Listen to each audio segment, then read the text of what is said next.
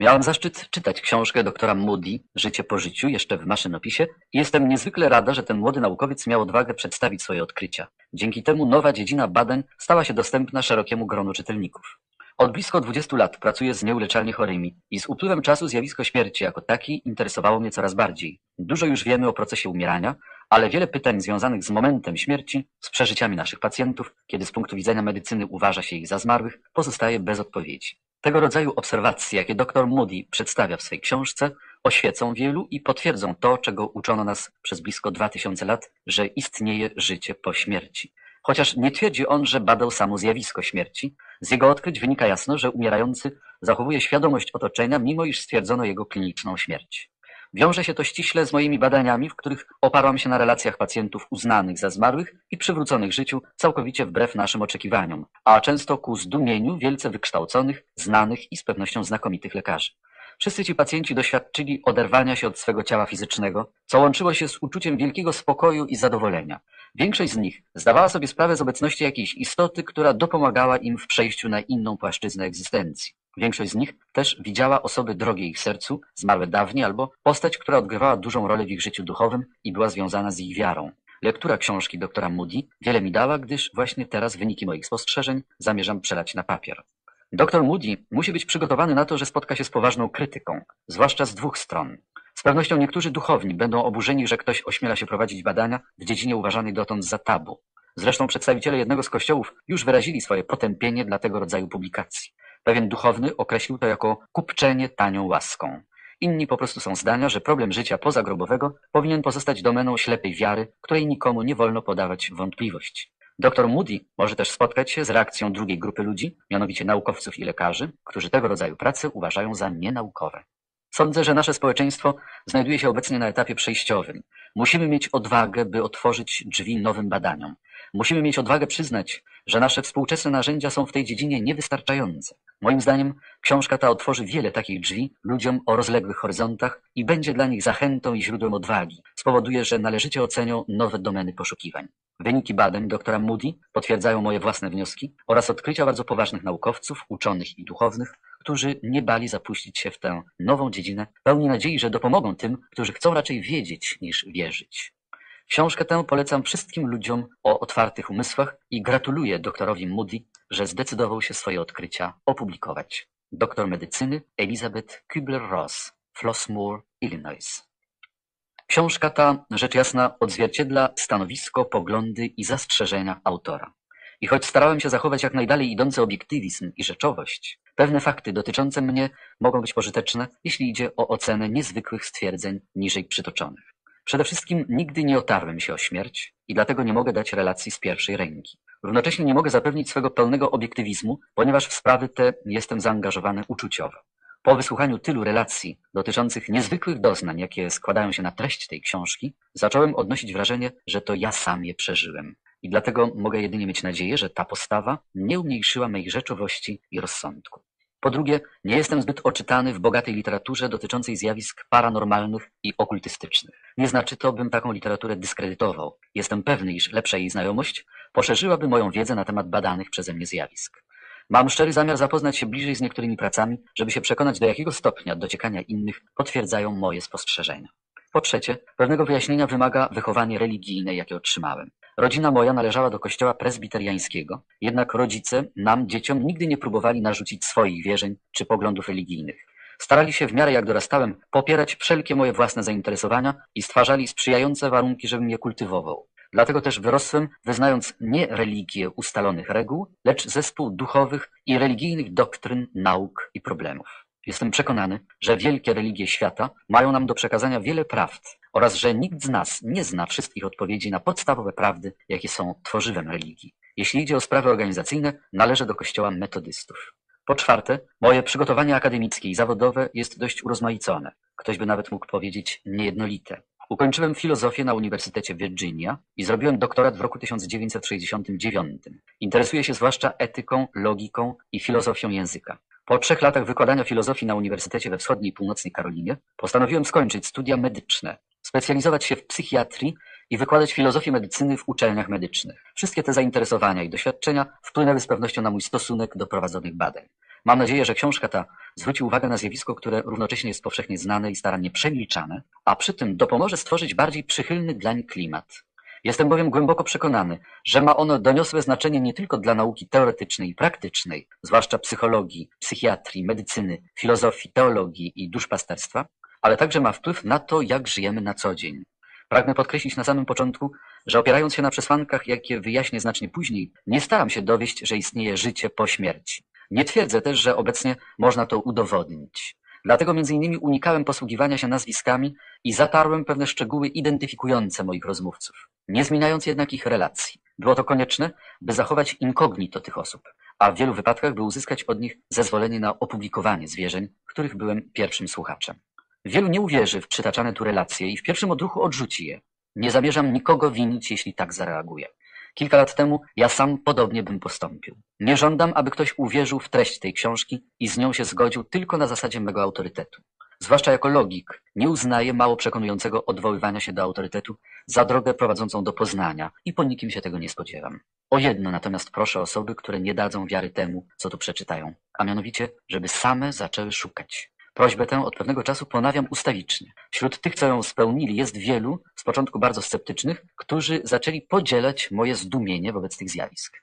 Z drugiej strony, nie ma wątpliwości, że znajdzie się wiele osób, które tę książkę przeczytają i z ulgą stwierdzą, że nie są osamotnione, że inni mieli podobne przeżycie. Im zwłaszcza, jeśli, jak większość ludzi, ukrywały swoje doznania przed szerszym gronem, zwierzając je tylko najbliższym, mogę powiedzieć tyle. Mam nadzieję, że książka ta zachęci Was do mówienia o swych doświadczeniach swobodniej, gdyż w ten sposób padnie światło na najbardziej tajemny zakątek duszy ludzkiej. Zjawisko śmierci. Jak się umiera? Oto pytanie, jakie stawia sobie ludzkość od kiedy istnieje. W ciągu ubiegłych paru lat miałem możliwość zadawać je licznym grupom moich słuchaczy, którymi byli nie tylko studenci psychologii, filozofii i socjologii, ale też członkowie organizacji kościelnych, klubów obywatelskich i zawodowych stowarzyszeń medycznych. Na tej podstawie śmiało mogę powiedzieć, że temat ten porusza najgłębsze odczucia ludzi o różnej wrażliwości, przedstawicieli różnych zawodów. A jednak mimo tego zainteresowania, faktem jest, że na ogół tak bardzo trudno jest nam mówić o śmierci. Istnieją co najmniej dwa po temu powody. Jeden to powód przede wszystkim psychologiczny i kulturowy. Temat śmierci jest niejako tabu. Czujemy, może tylko podświadomie, że wszelki kontakt ze śmiercią, nawet nie bezpośredni, stawia nas wobec możliwości własnej śmierci. Przybliża ją do nas sprawia, że jest bardziej rzeczywista i wyobrażalna. Na przykład większość studentów medycyny, łącznie ze mną samym, przekonała się, że spotkanie nawet z anonimową śmiercią, a dzieje się to podczas pierwszej bytności w prosektorium na początku studiów, może wywołać bardzo silne uczucie niepokoju. Przyczyna takiej reakcji wydaje mi się teraz całkiem oczywista. Kiedy się nad tym obecnie zastanawiam, dochodzę do wniosku, że doświadczyłem wtedy nie tylko współczucia dla zmarłych, których tam zobaczyłem. To, co ujrzałem na stole sekcyjnym, było symbolem mojej własnej śmiertelności. W jakiś sposób, choć może jedynie podświadomy, w moim mózgu musiała zrodzić się myśl mnie także to czeka. Podobnie z punktu widzenia psychologii, rozmowę o śmierci można uważać za jeszcze jeden sposób podejścia nie wprost do tego zjawiska. Bez wątpienia wiele osób sądzi, że samo już rozmawianie o śmierci przywodzi ją na myśl, przybliża tak, że trzeba stanąć wobec nieuchronności własnego odejścia. I dlatego, żeby uniknąć najmniejszego psychicznego urazu, wolimy po prostu unikać tego tematu. Drugi powód, dla którego trudno nam mówić o śmierci, jest bardziej skomplikowany, gdyż wrośnięty w samą istotę języka. W większości wypadków słowami określamy rzeczy doświadczane poprzez zmysły. Śmierć jednak jest czymś, co leży poza świadomym doświadczeniem większości ludzi, ponieważ większość z nas jej nie doświadczyła. Jeśli więc w ogóle mamy mówić o śmierci, musimy unikać zarówno społecznych tabu, jak i głęboko zakorzenionych dylematów językowych, które wywodzą się z braku naszego doświadczenia. Często rozważania na ten temat kończą się używaniem eufemistycznych sformułowań. Porównujemy śmierć czy umieranie do przyjemniejszych doznań, które dobrze znamy. Zapewne najczęściej spotykaną analogią jest porównanie śmierci do snu. Umieranie, powiadamy, przypomina zapadanie w sen. Ta figura retoryczna występuje bardzo często w zwykłym rozumowaniu i języku potocznym, jak również w literaturze różnych kultur i epok. Była powszechnie stosowana nawet w czasach starożytnych Greków. Na przykład w Iliadzie Homer nazywa sen siostrą śmierci. A Platon w dialogu Obrona Sokratesa następujące słowa wkładał w usta swego nauczyciela, którego sąd ateński właśnie skazał na śmierć.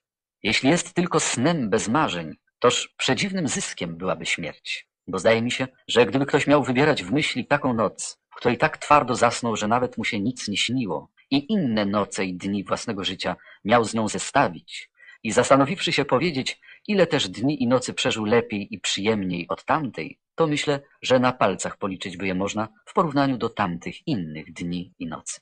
Więc jeżeli śmierć jest czymś w tym rodzaju, to ja ją mam za czysty zysk. Toż wtedy cały czas nie wydaje się ani odrobinę dłuższy niż jedna noc. To samo porównanie tkwi w naszym własnym, współczesnym języku, choćby w wyrażeniu uśpić. Jeśli prowadzimy naszego psa do weterynarza i prosimy, żeby go uśpił, z pewnością znaczy to całkiem coś innego niż kiedy mówimy, że anestezjolog uśpił naszą żonę czy męża. W użyciu są też inne podobne zwroty. Śmierć, powiadają niektórzy, jest zapomnieniem. Kiedy się umiera, zapomina się o wszelkich cierpieniach, wszystkie bolesne i przykre wspomnienia przestają istnieć. Choć tego rodzaju określeń jak zaśnięcie czy zapomnienie używamy od dawna i są one bardzo rozpowszechnione, lecz zupełnie nie wystarczają, jeśli idzie o dodanie nam otuchy. Każde z nich na inny sposób mówi to samo. Chociaż podają nam to w formie łatwej do przyjęcia, obydwa oznaczają, że śmierć jest po prostu unicestwieniem na zawsze świadomego przeżywania. A jeśli tak, to w rzeczywistości śmierć nie ma żadnej z tych godnych pożądania cech snu i zapomnienia. Sen jest w życiu zjawiskiem pozytywnym, pożądanym, gdyż następuje po nim przebudzenie. Po dającym wypoczynek śnie nocnym jesteśmy w dobrym nastroju i wydajnie pracujemy. Gdybyśmy się nie obudzili, nie istniałyby też korzyści ze snu. Przecież unicestwienie świadomych przeżyć powoduje nie tylko wymazanie wszystkich bolesnych wspomnień, ale również i tych przyjemnych. I dlatego widzimy, że żadna z omawianych analogii nie jest na tyle precyzyjna, żeby nas naprawdę pocieszyć czy dać nadzieję w obliczu śmierci. Istnieje jednak inny pogląd, który dyskredytuje definicję śmierci jako unicestwienia świadomości. Zgodnie z tą inną, może starszą tradycją, jakiś aspekt ludzkiej istoty żyje nadal, choć ciało fizyczne przestaje funkcjonować i ulega całkowitemu zniszczeniu. Ów aspekt opatrywany bywa rozlicznymi nazwami: psyche, dusza, umysł, duch, jaźń, istota, świadomość. Niezależnie od tego, jak bywa nazywany, przekonanie, że po śmierci fizycznej przechodzi się do innego wymiaru egzystencji, tkwi głęboko w wierzeniach ludzkości. W Turcji odkopano cmentarz sprzed około 100 tysięcy lat. Archeologowie stwierdzili, że tamtejsi neandertalczycy chowali swych zmarłych na marach pokrytych kwiatami. Może śmierć uważali za okazję do świętowania. Zmarły przechodził z tego świata do drugiego. Na ogół bardzo dawne groby w przeróżnych zakątkach ziemi świadczą o wierze ludzi w przeżycie cielesnej śmierci. Krótko mówiąc, stajemy wobec dwóch przeciwstawnych odpowiedzi na nasze pierwsze pytanie dotyczące istoty śmierci. Obie wywodzą się z bardzo odległych czasów, jednak szeroko są rozpowszechnione jeszcze dzisiaj. Jedni twierdzą, że śmierć jest unicestwieniem świadomości, inni mówią z równym przekonaniem, że śmierć jest przejściem duszy albo umysłu w inny wymiar rzeczywistości. W dalszych rozważaniach nie zamierzam dyskredytować żadnej z tych odpowiedzi. Po prostu pragnę zdać relacje z poszukiwań, w których osobiście wziąłem udział. W ciągu ubiegłych paru lat spotkałem wiele osób, które doświadczyły tego, co będę dalej nazywał przeżyciami z pogranicza śmierci. Zetknąłem się z tymi ludźmi przy różnych okazjach. Po raz pierwszy przypadkowo. Było to w roku 1965, roku kiedy studiowałem jeszcze filozofię na Uniwersytecie Virginia. Poznałem wówczas profesora psychiatrii klinicznej, wykładowcę Akademii Medycznej. Od samego początku ujęła mnie jego serdeczność, życzliwość i humor. Nieco później ku memu wielkiemu zdumieniu dowiedziałem się ciekawego faktu z jego życia, mianowicie, że umarł. I to nie raz, lecz dwa razy w ciągu dziesięciu minut. I że opowiadał wprost niezwykłe rzeczy o tym, co się z nim działo, kiedy nie żył. Ja sam wraz z małym gronem studentów usłyszałem potem jego opowiadanie. Zrobiło to na mnie wtedy duże wrażenie, ponieważ jednak nie miałem odpowiedniego przygotowania, żeby osądzić tego rodzaju przeżycia, utrwaliłem je zarówno w pamięci, jak i na taśmie magnetofonowej. W kilka lat później, po zrobieniu doktoratu z filozofii, wykładałem na uniwersytecie we wschodniej części stanu Północna Karolina. Podczas któregoś seminarium kazałem moim studentom przeczytać dialog Platona Fedon, w którym między innymi toczy się dyskusja na temat nieśmiertelności. W wykładach moich Omawiałem inne tezy, które tam przedstawia Platon i nie zatrzymywałem się specjalnie na problemie życia po śmierci. Pewnego dnia po wykładzie zatrzymał mnie jakiś student i spytał, czy moglibyśmy porozmawiać na temat nieśmiertelności. Bardzo się tym interesował, ponieważ jego babka umarła podczas operacji i potem opowiedziała mu niezwykłe rzeczy. Poprosiłem, żeby mi to powtórzył i ku memu zdumieniu usłyszałem prawie to samo, co parę lat temu zrelacjonował ów profesor psychiatrii. Tak więc nieco aktywniej jąłem szukać tego rodzaju przypadków a do wykładów z filozofii zacząłem wprowadzać teksty dotyczące przeżycia przez człowieka śmierci biologicznej. Jednak byłem na tyle ostrożny, że nie wspominałem moim słuchaczom o tych dwóch relacjach. Przyjąłem postawę wyczekującą. Jeśli takie zjawiska są dość powszechne, pomyślałem sobie, usłyszę o nich zapewne więcej. Wystarczy, że poruszę ogólnie temat przyszłego życia w dyskusji filozoficznej i wyrażę swoją przychylną postawę wobec tego zagadnienia. Ze zdziwieniem przekonałem się, że prawie z każdej grupy, liczącej zwykle około 30 studentów, zgłaszał się potem do mnie co najmniej jeden słuchacz i opowiadał swoje przeżycia z pogranicza śmierci. Od początku, ledwie zacząłem się interesować zagadnieniem, uderzyły mnie wielkie podobieństwa w relacjach, mimo iż pochodziły od osób wyznających odmienne religie, przedstawicieli różnych środowisk społecznych o różnym stopniu wykształcenia.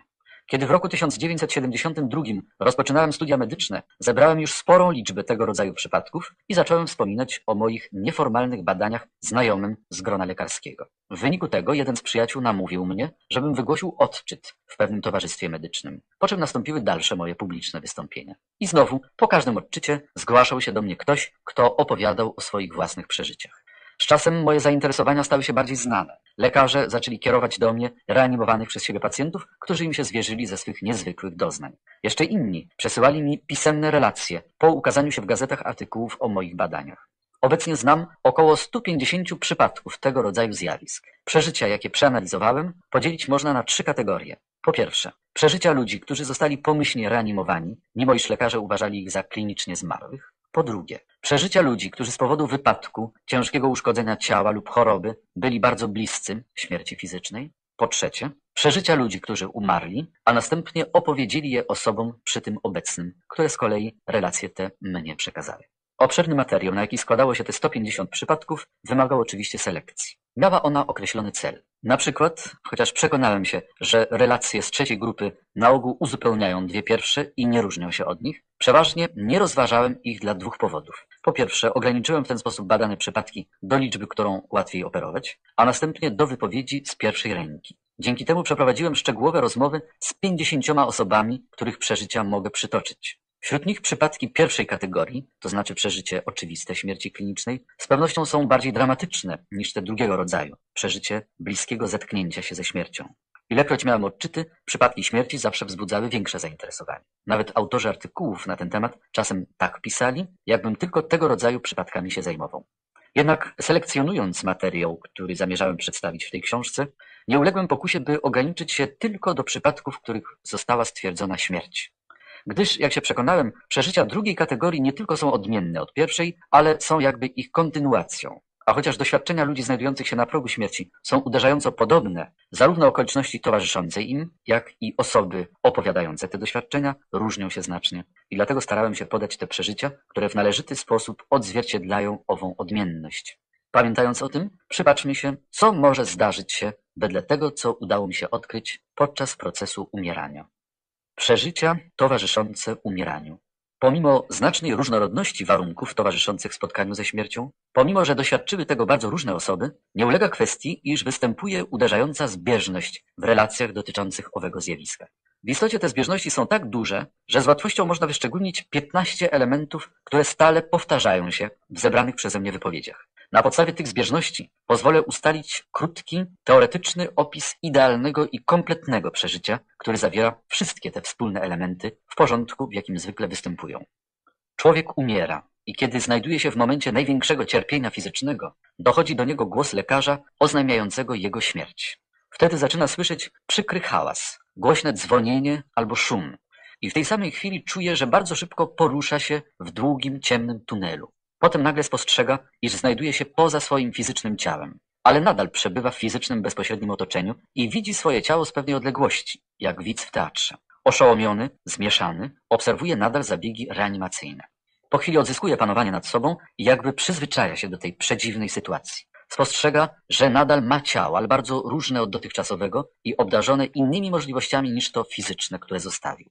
Wkrótce zaczynają się dziać niezwykłe rzeczy. Pojawiają się inni, żeby mu pomóc. Widzi duchy krewnych i przyjaciół, którzy zmarli wcześniej. I pojawia się przed nim, pełen miłości, promieniejący ciepłem duch, którego nigdy dotąd nie spotkał. Jakaś świetlista istota. Zwraca się ona do niego, bez słów, żeby dokonał oceny swego życia i pomaga mu w tym, ukazując natychmiast panoramę minionych ważniejszych wydarzeń.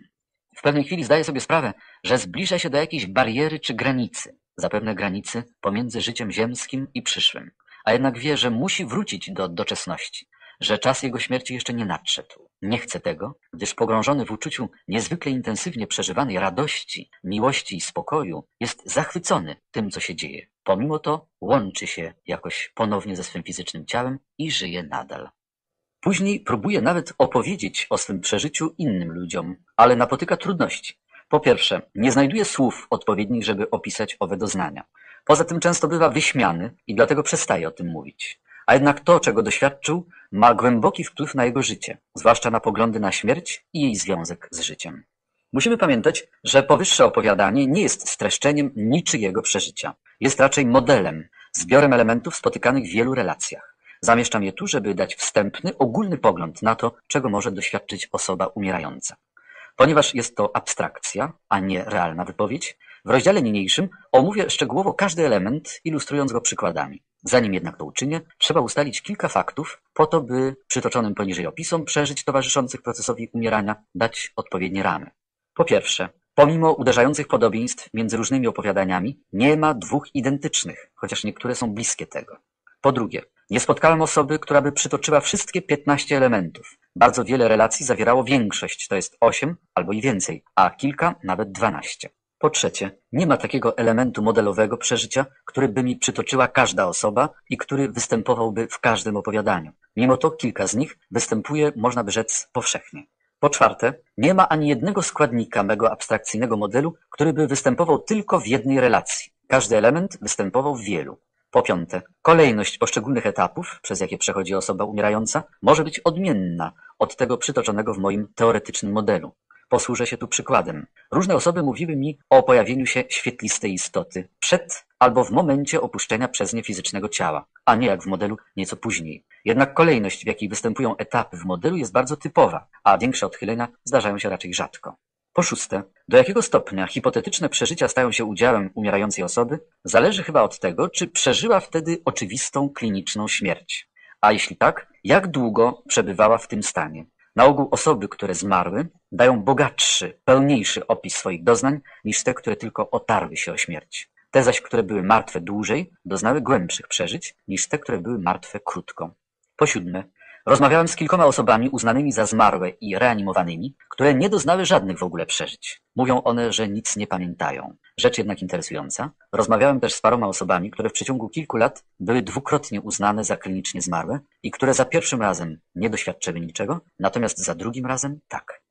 Po ósme, trzeba tu podkreślić, że piszę przede wszystkim o relacjach czy opowiadaniach przekazanych mi ustnie.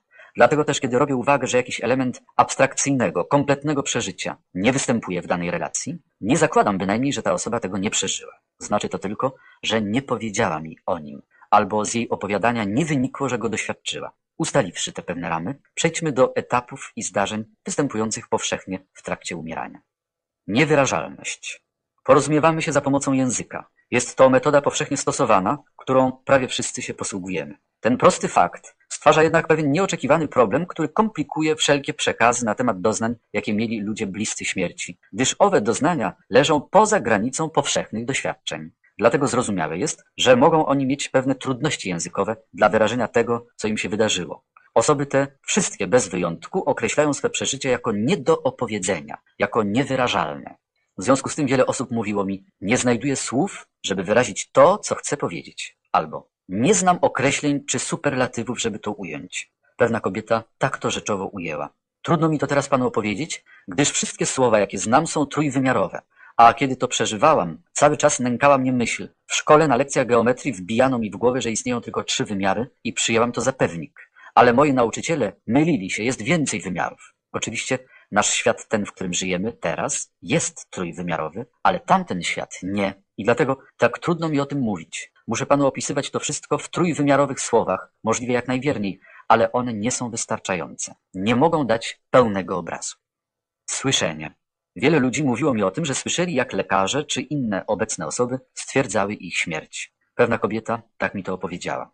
Byłam w szpitalu, ale nie wiedzieli, co mi dolega. Dlatego dr James, opiekujący się mną, posłał mnie na dół do rentgena na holangiografię, żeby się dowiedzieć, co mi jest. Najpierw zrobili mi zastrzyk w rękę z tego lekarstwa, jakie mi miano podać, bo byłam uczulona na wiele środków. Ponieważ nie było reakcji, dali mi je, a wtedy straciłam przytomność. Słyszałam jednak wyraźnie, jak rentgenolog, który się mną zajmował, podszedł do telefonu, nakręcił numer i powiedział Doktorze James, zabiłem pańską pacjentkę, panią Martin. Jednak wiedziałam, że nie jestem martwa. Próbowałam się poruszyć, jakoś dać im znać, że tak nie jest, ale nie mogłam. Kiedy starali się mnie reanimować, słyszałam jak mówią, ile centymetrów sześciennych czegoś tam trzeba mi podać, ale nie czułam ukłucia igły. Nic nie czułam, kiedy mnie dotykali. A oto relacja osoby cierpiącej już wcześniej na serce. Dostała ona ataku, w czasie którego omal nie umarła. Nagle poczułam okropny ból w piersi, jakby ktoś szybko, coraz mocniej ściskał mi żelazną obręczą klatkę piersiową. Mój mąż i przyjaciółka usłyszeli, że upadłam i przybiegli, by mi pomóc. Znalazłam się w głębokiej ciemności i poprzez nią słyszałam, że mój mąż jakby z wielkiej odległości powiedział stało się, tym razem stało się. A ja pomyślałam, tak, stało się. Młody człowiek uznany za martwego w wypadku samochodowym opowiada. Usłyszałem, jak jakaś kobieta spytała, czy on nie żyje, a ktoś inny odrzekł, tak, on nie żyje. Relacje tego typu są zgodne całkowicie z tym, co pamiętają lekarze i inne osoby obecne przy wypadku. Na przykład pewien lekarz powiedział mi, u jednej z moich pacjentek zatrzymała się akcja serca tuż przed operacją, jaką miałem jej zrobić z kolegą chirurgiem. Stałem przy niej i zobaczyłem, że źrenice jej rozszerzają się. Przez pewien czas próbowaliśmy ją reanimować, lecz bezskutecznie, więc byłem pewien, że nie żyje. Memu koledze, który mi w tym pomagał, powiedziałem, spróbujmy jeszcze przez pewien czas, a potem damy spokój. Tym razem serce zaczęło bić i chora odzyskała przytomność. Później spytałem ją, jakie ma wspomnienia ze swojej śmierci. Odparła, że niewiele pamięta, tylko te moje słowa. Spróbujmy jeszcze przez pewien czas, a potem damy spokój. Uczucie spokoju i ciszy. Wiele osób opisuje niezwykle przyjemne uczucia w pierwszych etapach swych przeżyć. Mężczyzna, który miał ciężkie uszkodzenie głowy i nie dawał oznak życia, tak opowiada. W momencie uderzenia uczułem nagły ból, który natychmiast całkiem zniknął. Miałem uczucie pływania w ciemnej przestrzeni. Dzień był wtedy bardzo zimny, ale w tej ciemności było mi ciepło i wygodnie jak nigdy dotąd. Pamiętam, że pomyślałem sobie, z pewnością nie żyje. Kobieta, która została reanimowana po ataku serca, zrobiła taką uwagę. Zaczęłam doznawać cudownych wprost wrażeń. Nic nie czułam oprócz spokoju, ciszy, odprężenia. Wszystkie moje troski minęły i pomyślałam sobie, jak mi cicho i spokojnie. To wcale nie boli. Pewien mężczyzna wspomina. Miałem wspaniałe wrażenie samotności i spokoju. Było cudownie i odczuwałem taki wewnętrzny spokój. A były żołnierz, który umarł na skutek ran odniesionych w Wietnamie, powiada, że kiedy został trafiony, odczuł wielką ulgę. Nic mnie nie bolało i nigdy jeszcze nie byłem tak odprężony. Było mi bardzo dobrze. Hałas. W wielu przypadkach w momencie śmierci czy na jej progu występują niezwykłe wrażenia słuchowe. Czasami są one w najwyższym stopniu dokuczliwe. Mężczyzna, który podczas operacji brzusznej nie żył przez 20 minut, tak mi to opisuje. Z wnętrza mojej głowy dobywał się przykry, trudny do zniesienia brzęczący hałas. Nigdy nie zapomnę tego hałasu. Znowuż inna kobieta wspomina, że w momencie utraty przytomności usłyszała głośne dzwonienie, które można nawet określić jako brzęczenie, a ja byłam całkowicie oszołomiona. Owe przykre wrażenia określano również jako głośny stuk, ryczenie, uderzanie lub jako przenikliwy świst, podobny do świstu wiatru.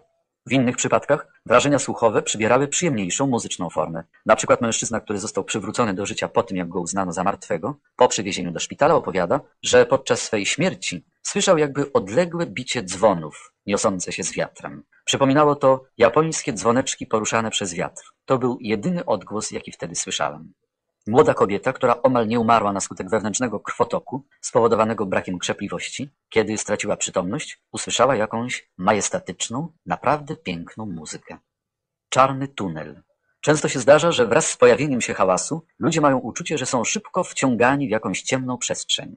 Opisywano mi ją na różny sposób, jako pieczarę, studnię, rów, zamknięcie, tunel, lej, próżnię, pustkę, kanał, dolinę i cylinder. Chociaż ludzie ci posługiwali się różnymi określeniami, jasne, że wszyscy starali się wyrazić jedno pojęcie. Przypatrzmy się dwóm relacjom, gdzie wyraźnie występuje tunel. Zdarzyło się to, kiedy byłem małym chłopcem, miałem wtedy dziewięć lat. Od tej pory minęło dwadzieścia siedem lat, ale było to tak niezwykłe przeżycie, że nigdy go nie zapomnę. Któregoś popołudnia ciężko zachorowałem i zawieziono mnie do najbliższego szpitala. Kiedy się tam znalazłem, lekarze doszli do wniosku, że trzeba mnie uśpić. Dlaczego nie wiem, bo byłem za mały, żeby to zrozumieć. W owych czasach używano jeszcze eteru, nasycając nim gazę, którą przykładano do nosa i kiedy to zrobiono, jak mi potem opowiedziano, moje serce przestało bić. Wtedy nie wiedziałem, co się ze mną dzieje. W każdym razie, kiedy to nastąpiło, miałem dziwne przeżycie. Najpierw się zdarzyło, będę to opisywał tak, jak to czułem, a więc najpierw usłyszałem jakby długi dzwonek, taki drrrr, bardzo rytmiczny. A potem znalazłem się i zacząłem poruszać, pan pomyśli, że to całkiem głupie, w jakimś długim, ciemnym miejscu, przypominającym tunel, czy coś w tym stylu. Naprawdę nie potrafię tego opisać. Poruszałem się, obijałem, przez cały czas słysząc ten przeraźliwie dźwięczący dzwonek. Inny mój informator stwierdza.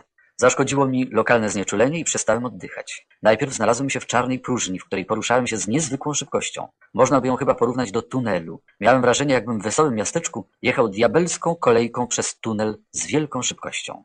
Podczas ciężkiej choroby pewien mężczyzna był bliski śmierci. Źrenice mu się rozszerzyły, temperatura ciała zaczęła gwałtownie spadać. Powiedział, byłem w absolutnie ciemnej pustce. To bardzo trudno wyjaśnić, ale miałem uczucie, jakbym się poruszał w próżni, w ciemności. A jednak byłem całkiem przytomny, jakbym się znajdował w cylindrze, w którym nie było powietrza. Miałem uczucie, że znajduję się w otchłani, że jestem w połowie drogi między tym światem a drugim. Człowiek, który umierał kilkakrotnie na skutek ciężkich oparzeń i uszkodzeń spowodowanych upadkiem, mówi Niemal tydzień znajdowałem się w szoku i w tym czasie nagle znalazłem się w czarnej próżni. Miałem wrażenie, że przebywam w niej długi czas, pływając i kołysząc się w przestrzeni. Tak byłem pochłonięty tą próżnią, że o niczym innym nie myślałem. Pewien mężczyzna doznał takiego przeżycia jako chłopiec. Bardzo bał się wtedy ciemności. Jednak kiedy jego serce przestało bić wskutek wewnętrznych obrażeń spowodowanych wypadkiem rowerowym, miałem uczucie, że poruszam się w głębokiej, bardzo ciemnej dolinie. Ta ciemność była tak głęboka i nieprzenikniona, że absolutnie nic nie widziałem, ale było to najcudowniejsze, wolne od zmartwień przeżycie, jakie można sobie wyobrazić. Kobieta, która miała zapalenie otrzewnej, tak opowiada. Lekarz wezwał moją siostrę i brata, żeby mnie zobaczyli po raz ostatni. Pielęgniarka zrobiła mi zastrzyk, ponieważ chciała mi ułatwić umieranie. Otaczające mnie rzeczy zaczęły się coraz bardziej oddalać. I kiedy się tak cofały, weszłam głową naprzód w wąski i bardzo, bardzo ciemny korytarz, do którego byłam dobrze dopasowana i zaczęłam się zsuwać coraz szybciej w dół. Inna osoba, bliska śmierci na skutek wypadku ulicznego, zrobiła porównanie wzięte z widowiska telewizyjnego. Miałam uczucie całkowitego spokoju, żadnego lęku. Znalazłam się w tunelu, tunelu złożonym z koncentrycznych kół. Wkrótce potem oglądałam program telewizyjny pod tytułem Tunel czasu, gdzie ludzie cofają się w czasie przez taki spiralny tunel. I chyba to jest najlepsze porównanie, jakie przychodzi mi na myśl. Pewien mężczyzna dał odmienne porównanie, wywodzące się z jego wierzeń religijnych. Powiedział, Nagle znalazłem się w bardzo ciemnej i bardzo głębokiej dolinie. Wydawało mi się, że przez tę dolinę prowadzi ścieżka, prawie droga, a ja szedłem tą ścieżką. Później, kiedy wyzdrowiałem, pomyślałem, teraz już wiem, co znaczą te słowa w Biblii Dolina Cieni Śmierci, ponieważ tam byłem. Poza ciałem. Truizmem będzie stwierdzenie, że większość ludzi przeważnie identyfikuje się ze swym fizycznym ciałem. Owszem, przyznajemy, że mamy również umysł, ale jest on dla nas czymś bardziej efemerycznym niż ciało.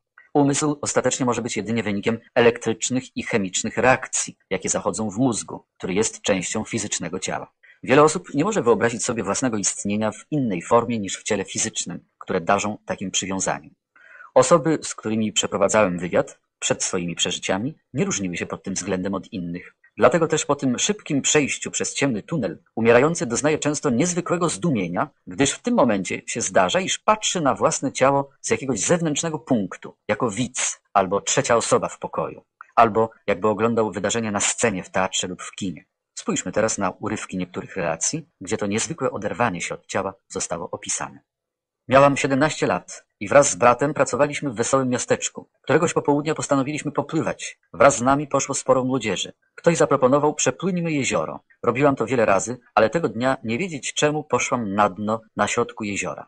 Wypływałam i szłam pod wodę kilka razy i nagle doznałam uczucia, jakbym znalazła się poza własnym ciałem, poza wszystkimi, sama w przestrzeni. Chociaż byłam w jednym miejscu, na tym samym poziomie, widziałam swoje ciało w wodzie o jakieś trzy, cztery stopy ode mnie, to wypływające, to niknące pod wodą. Widziałam je od tyłu, bardziej z prawej strony. I nadal czułam całe swoje ciało, choć się znajdowałam poza nim. Miałam cudowne, nie do opisania uczucie. Czułam się jak piórko.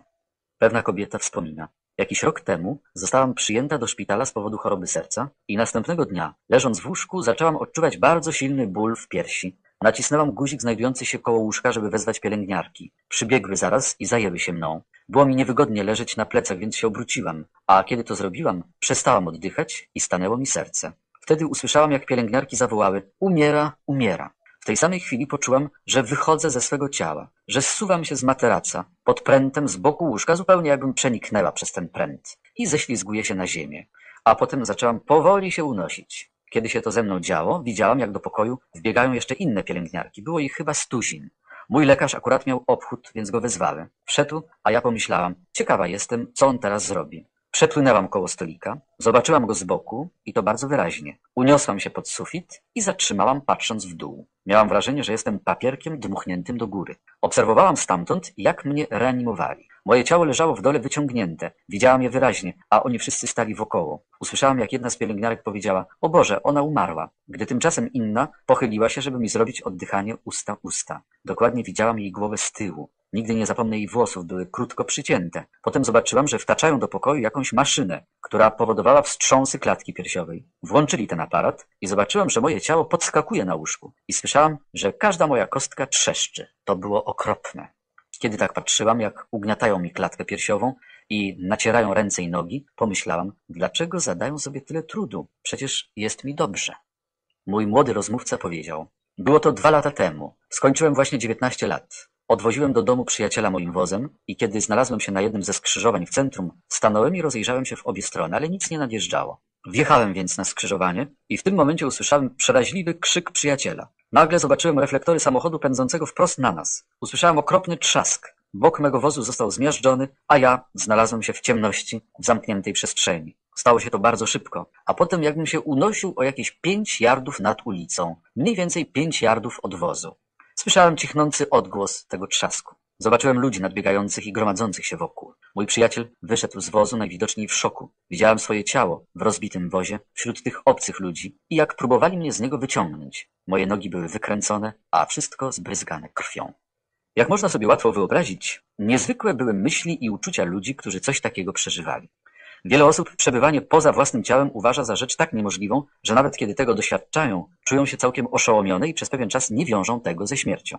Są zdumione tym, co się z nimi dzieje. Dlaczego nagle patrzą na siebie jak widzowie? Reakcje emocjonalne na ten dziwny stan bywają różne. Większość ludzi stwierdza, że najpierw czuli rozpaczliwą chęć powrotu do swego ciała, ale nie wiedzieli zupełnie jak to zrobić. Inni znów byli przerażeni, wprost w panice. Byli też tacy, którzy podchodzili do tego zjawiska z całym spokojem, jak autor poniższej wypowiedzi. Zachorowałem bardzo ciężko i lekarz umieścił mnie w szpitalu. Pewnego ranka zebrała się wokół mnie jakby gęsta, szara mgła i poczułem, że opuszczam swoje ciało.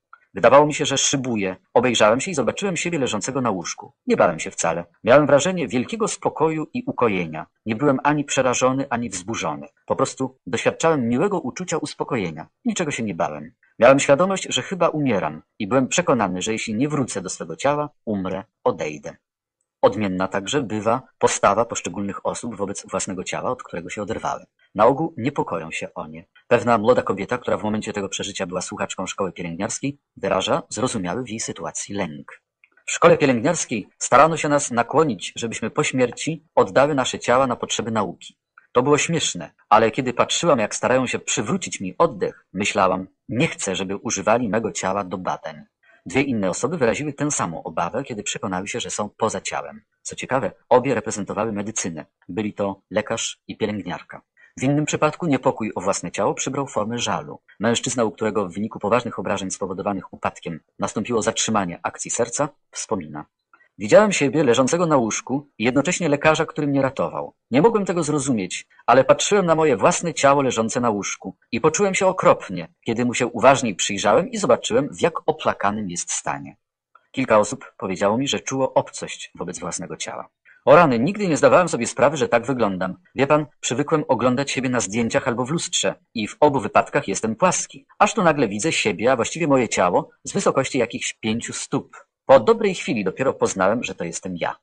W jednej wypowiedzi to uczucie obcości przybrało formę krańcową i wręcz humorystyczną. Pewien lekarz opowiedział mi, jak podczas swojej klinicznej śmierci znajdował się koło łóżka i patrzył na własne poszarzałe ciało. Zrozpaczony i zdumiony zastanawiał się, co robić.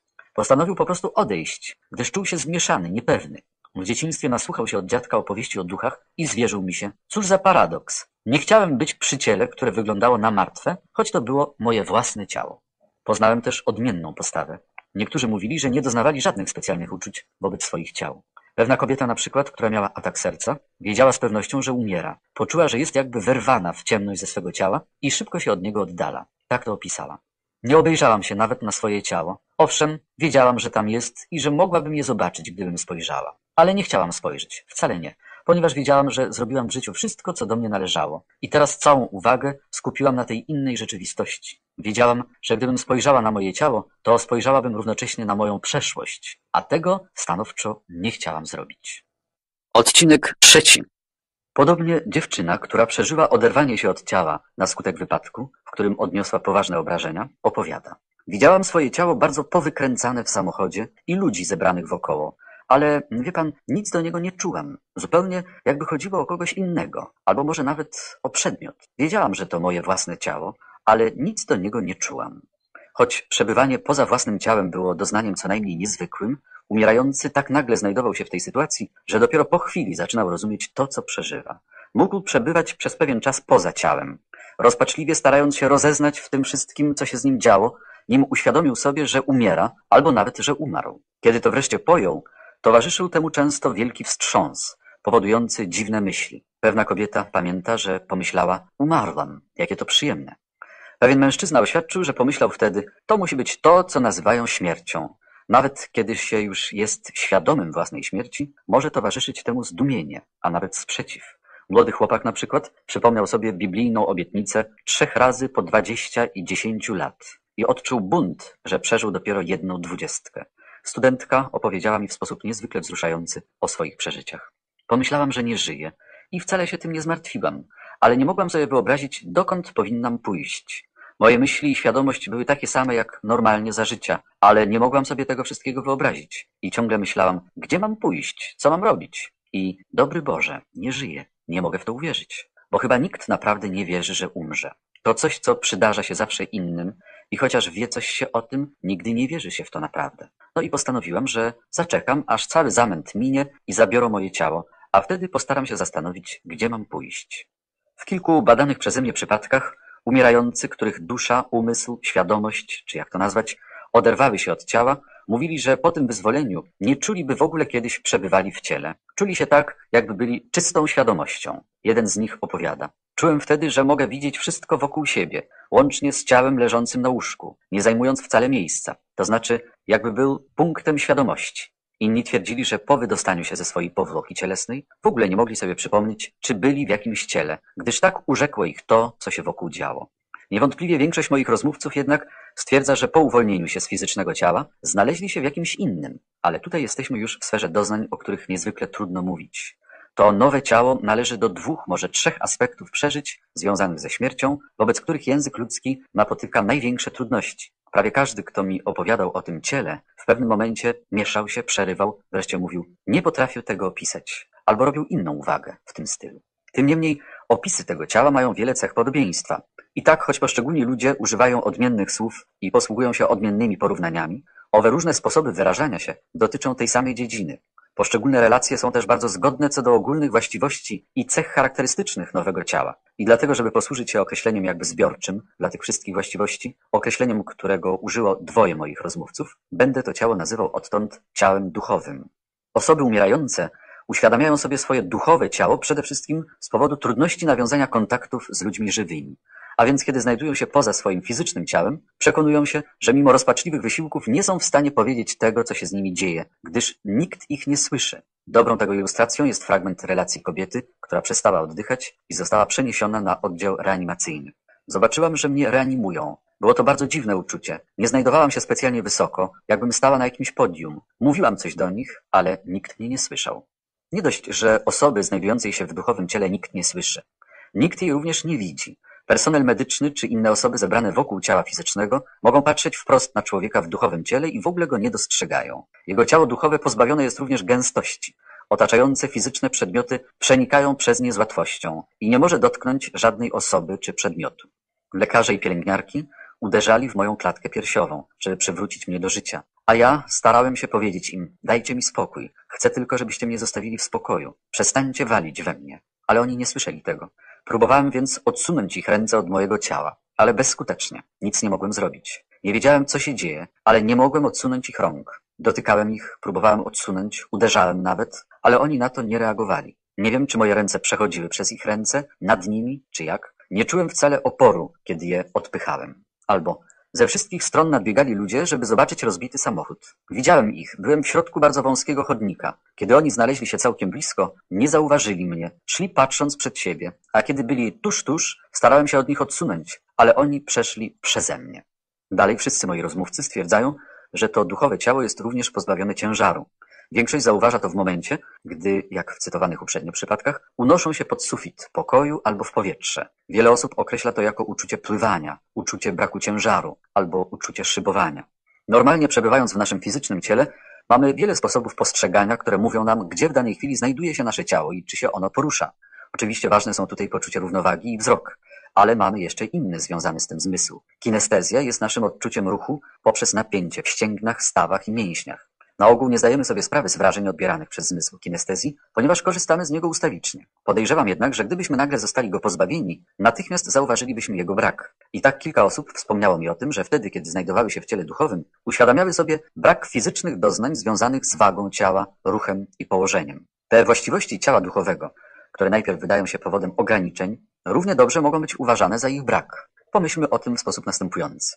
Osoba w duchowym ciele znajduje się w pozycji uprzywilejowanej wobec ludzi w ciele fizycznym. Może ich widzieć i słyszeć, podczas gdy oni nie widzą jej ani nie słyszą. Podobnie, chociaż nie może otworzyć drzwi naciskając klamkę, w istocie nie ma to żadnego znaczenia, gdyż z łatwością może przejść przez drzwi. Podróż w tym stanie jest niezwykle łatwa. Przedmioty fizyczne nie stanowią przeszkody, a poruszanie się z miejsca na miejsce może być niesłychanie szybkie, prawie natychmiastowe. Dalej, pomimo braku kontaktu z ludźmi o ciałach fizycznych, ci wszyscy, którzy doświadczyli ciała duchowego, zgodnie stwierdzają, że jednak jest ono czymś, choć nie da się tego opisać. Panuje zgodne przekonanie, że ciało duchowe ma formę albo kształt, czasem kulistej, a czasem amorficznej chmury. Nieraz też przypomina ciało fizyczne i nawet części, jakby odbicia albo płaszczyzny analogiczne do rąk, nóg, głowy itd. Nawet kiedy mi określano ten kształt jako okrągły, mówiono na ogół, że był ograniczony. Miał określoną górę i dół, nawet części, o jakich była przed chwilą mowa. To nowe ciało określano różnymi terminami, ale łatwo można zauważyć, że za każdym razem wyrażano tę samą ideę. Słowa i zwroty używane przez różnych ludzi mówiły o mgle, chmurze, jakby dymie, parze, czymś przejrzystym, chmurze kolorów, niejako zespole energii, a te inne określenia wyrażały podobne pojęcia. Wreszcie prawie każdy mówił o bezczasowości tego pozacielesnego stanu. Wiele osób mówiło mi, że chociaż mają określić swój pobyt w duchowym ciele w kategoriach czasu, ponieważ język ludzki jest nim uwarunkowany, czas nie był w istocie elementem ich doznań, tak jak to jest w życiu fizycznym. Oto urywki pięciu rozmów, w których te fantastyczne aspekty egzystencji w ciele duchowym zostały podane bezpośrednio. Pierwszy przykład. Na zakręcie straciłem panowanie nad kierownicą i mój wóz wyleciał z szosy. Pamiętam wyraźnie błękit nieba i to, że samochód wpadł do rowu. Powiedziałem sobie, mam wypadek. W tym momencie jakbym stracił poczucie czasu i fizycznej rzeczywistości wobec swojego ciała. Straciłem z nim kontakt. Poczułem, że moja istota, moje ja albo mój duch, wszystko jedno, jak to nazwiemy, wychodzi ze mnie poprzez głowę i nic mnie nie bolało. Po prostu jakby się ono unosiło i było nade mną. Moje ja miało zwartość, ale jakby nie fizyczną. Sam nie wiem, fali lub czegoś w tym rodzaju. Właściwie nic fizycznego, prawie jakby było czymś nasycone, jeśli tak to można określić. Było małe i czułem, że kuliste, bez określonych konturów. Można by to porównać do chmury. Miałem wrażenie, że było jakby we własnym pokrowcu. Kiedy wyszło z mojego ciała, miałem wrażenie, że najpierw szerszym końcem, a potem węższym. Miałem uczucie naprawdę wielkiej lekkości. Nie czułem związania z fizycznym ciałem. Miałem świadomość całkowitego oddzielenia się. Moje ciało nie miało wagi. Najbardziej niezwykłym przeżyciem była chwila, kiedy moje ja zawisło nad moim czołem. Zupełnie jakby zastanawiało się, czy chce oddalić się, czy pozostać. Miałem wtedy wrażenie, że czas się zatrzymał. Na początku i na końcu wypadku wszystko działo się bardzo szybko, ale w tej właśnie chwili, jakby w antrakcie, kiedy moje ja zawieszone było nade mną, a samochód przelatywał nad obmurowaniem szosy, zdawało mi się, że leci bardzo długo. Wtedy właśnie nie przejmowałem się specjalnie ani samochodem, ani wypadkiem, ani swoim ciałem, tylko moim ja. Moje ja nie miało cech fizycznych ale muszę opisywać je terminami fizycznymi. Mógłbym uczynić to na wiele sposobów, użyć tu wielu słów, ale żadne z nich nie byłoby dokładne. To tak trudno opisać. Wreszcie samochód uderzył o ziemię i przekoziołkował, a jedynymi obrażeniami, które odniosłem, była otarta stopa oraz wykręcona szyja. Drugie. Kiedy opuściłem moje fizyczne ciało, miałem uczucie, że wyszedłem z ciała i wszedłem w coś innego. To nie była moim zdaniem nicość. To było inne ciało, ale nie normalne ludzkie. Różniło się. Nie było dokładnie takie jak ludzkie ciało. Nie było też jakąś większą kulą materii. Miało formę, ale nie miało koloru. I wiem, że miałem coś, co można by nazwać rękami. Nie potrafię tego opisać. Bardziej byłem zainteresowany wszystkim wokół siebie, tym, że widzę własne ciało i w ogóle nie myślałem więc o tym, jakiego rodzaju ciało mam teraz. Wszystko zresztą działo się tak szybko. Czas nie był istotnym elementem, a mimo to istniał. Po wydostaniu się z ciała wszystko działo się jakby szybciej. Trzeci przykład. Pamiętam jak wózek, na którym leżałam, wprowadzono do sali operacyjnej i nastąpiło parę krytycznych godzin. W tym czasie kilkakrotnie opuszczałam moje fizyczne ciało i wracałam do niego. I mogłam je widzieć z góry. Nadal byłam w ciele, ale nie fizycznym. Tylko w czymś, co najlepiej dałoby się opisać jako jakiś zespół energii. Gdybym miała to opisać słowami, powiedziałabym, że było przejrzyste i duchowe, w przeciwieństwie do bytu materialnego. A jednak z całą pewnością miało jakieś części. Czwarty. Kiedy moje serce przestało bić, poczułem, że jestem jakby okrągłą piłką, jakby małą kulą, literą B na wewnętrznej ściance tej okrągłej kuli. Po prostu nie potrafię panu tego opisać. Piąty. Byłem poza swoim ciałem i patrzyłem na nie z odległości około dziesięciu yardów, ale nadal myślałem jak w fizycznym życiu. I to, czym myślałem, było na wysokości mojej normalnej głowy. Nie byłem jednak w ciele jako takim. Czułem, że jestem kapsułą lub czymś w tym rodzaju, jakąś jasną formą. Nie mogłem jednak widzieć jej. Była niby przejrzysta, ale nie naprawdę, jakbym się w niej znajdował. Była to może energia, jakby mała kula energii, a ja nie odbierałem żadnych cielesnych wrażeń, temperatury, w ogóle nic takiego.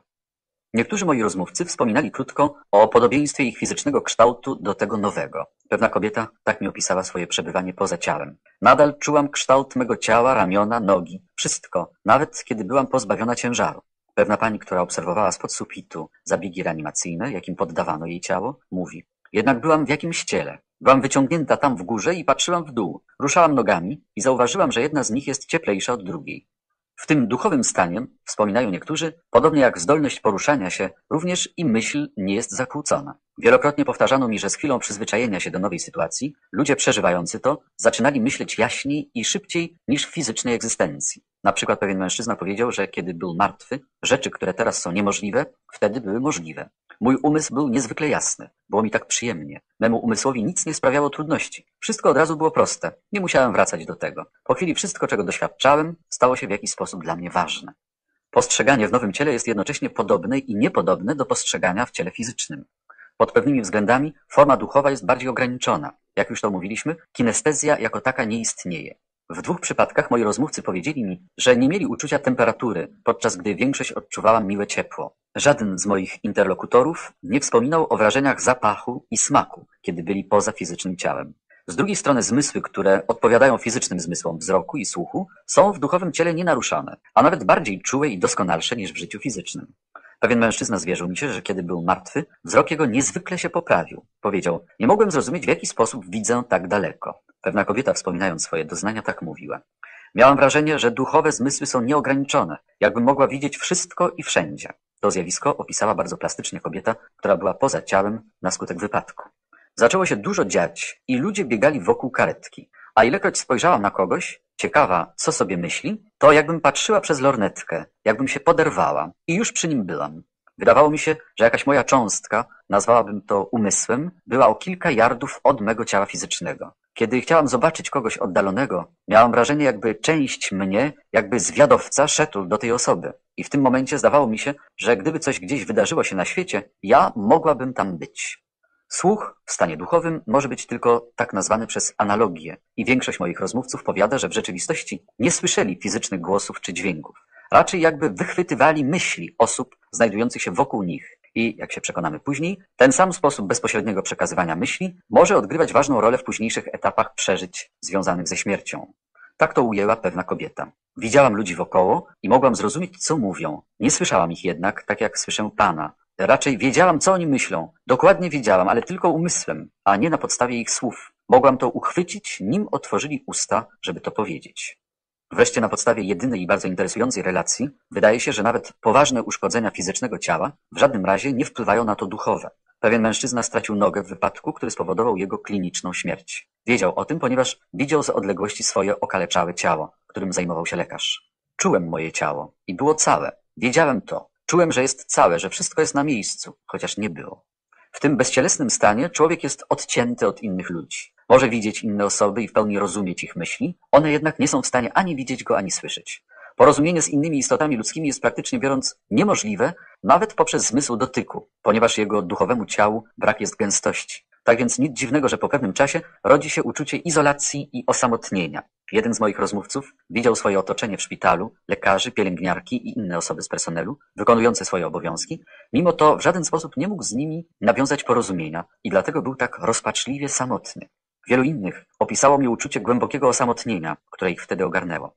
Moje przeżycia, to wszystko, czego doświadczyłem, było cudowne, choć nie do opisania.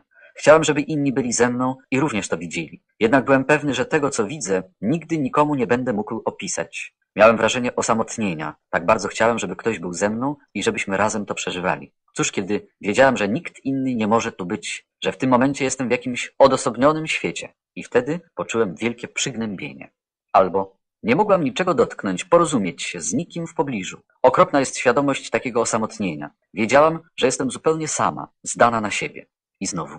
Byłam po prostu zdumiona. Nie mogłam uwierzyć, że to się dzieje. Wcale nie byłam tym poruszona, ani nie martwiłam się myślami w stylu o Boże, nie żyję i moi osieroceni rodzice będą rozpaczać, a ja nigdy więcej ich nie zobaczę. Nic takiego nie przyszło mi na myśl. Przez cały czas zdawałam sobie jednak sprawę, że jestem sama, bardzo sama. Prawie jakbym była gościem skądś z daleka. Zupełnie jakby wszelkie kontakty zostały ucięte. Jakby nie było miłości, ani żadnych takich uczuć. Wszystko było takie, powiedzmy, techniczne. Doprawdy tego nie rozumiem.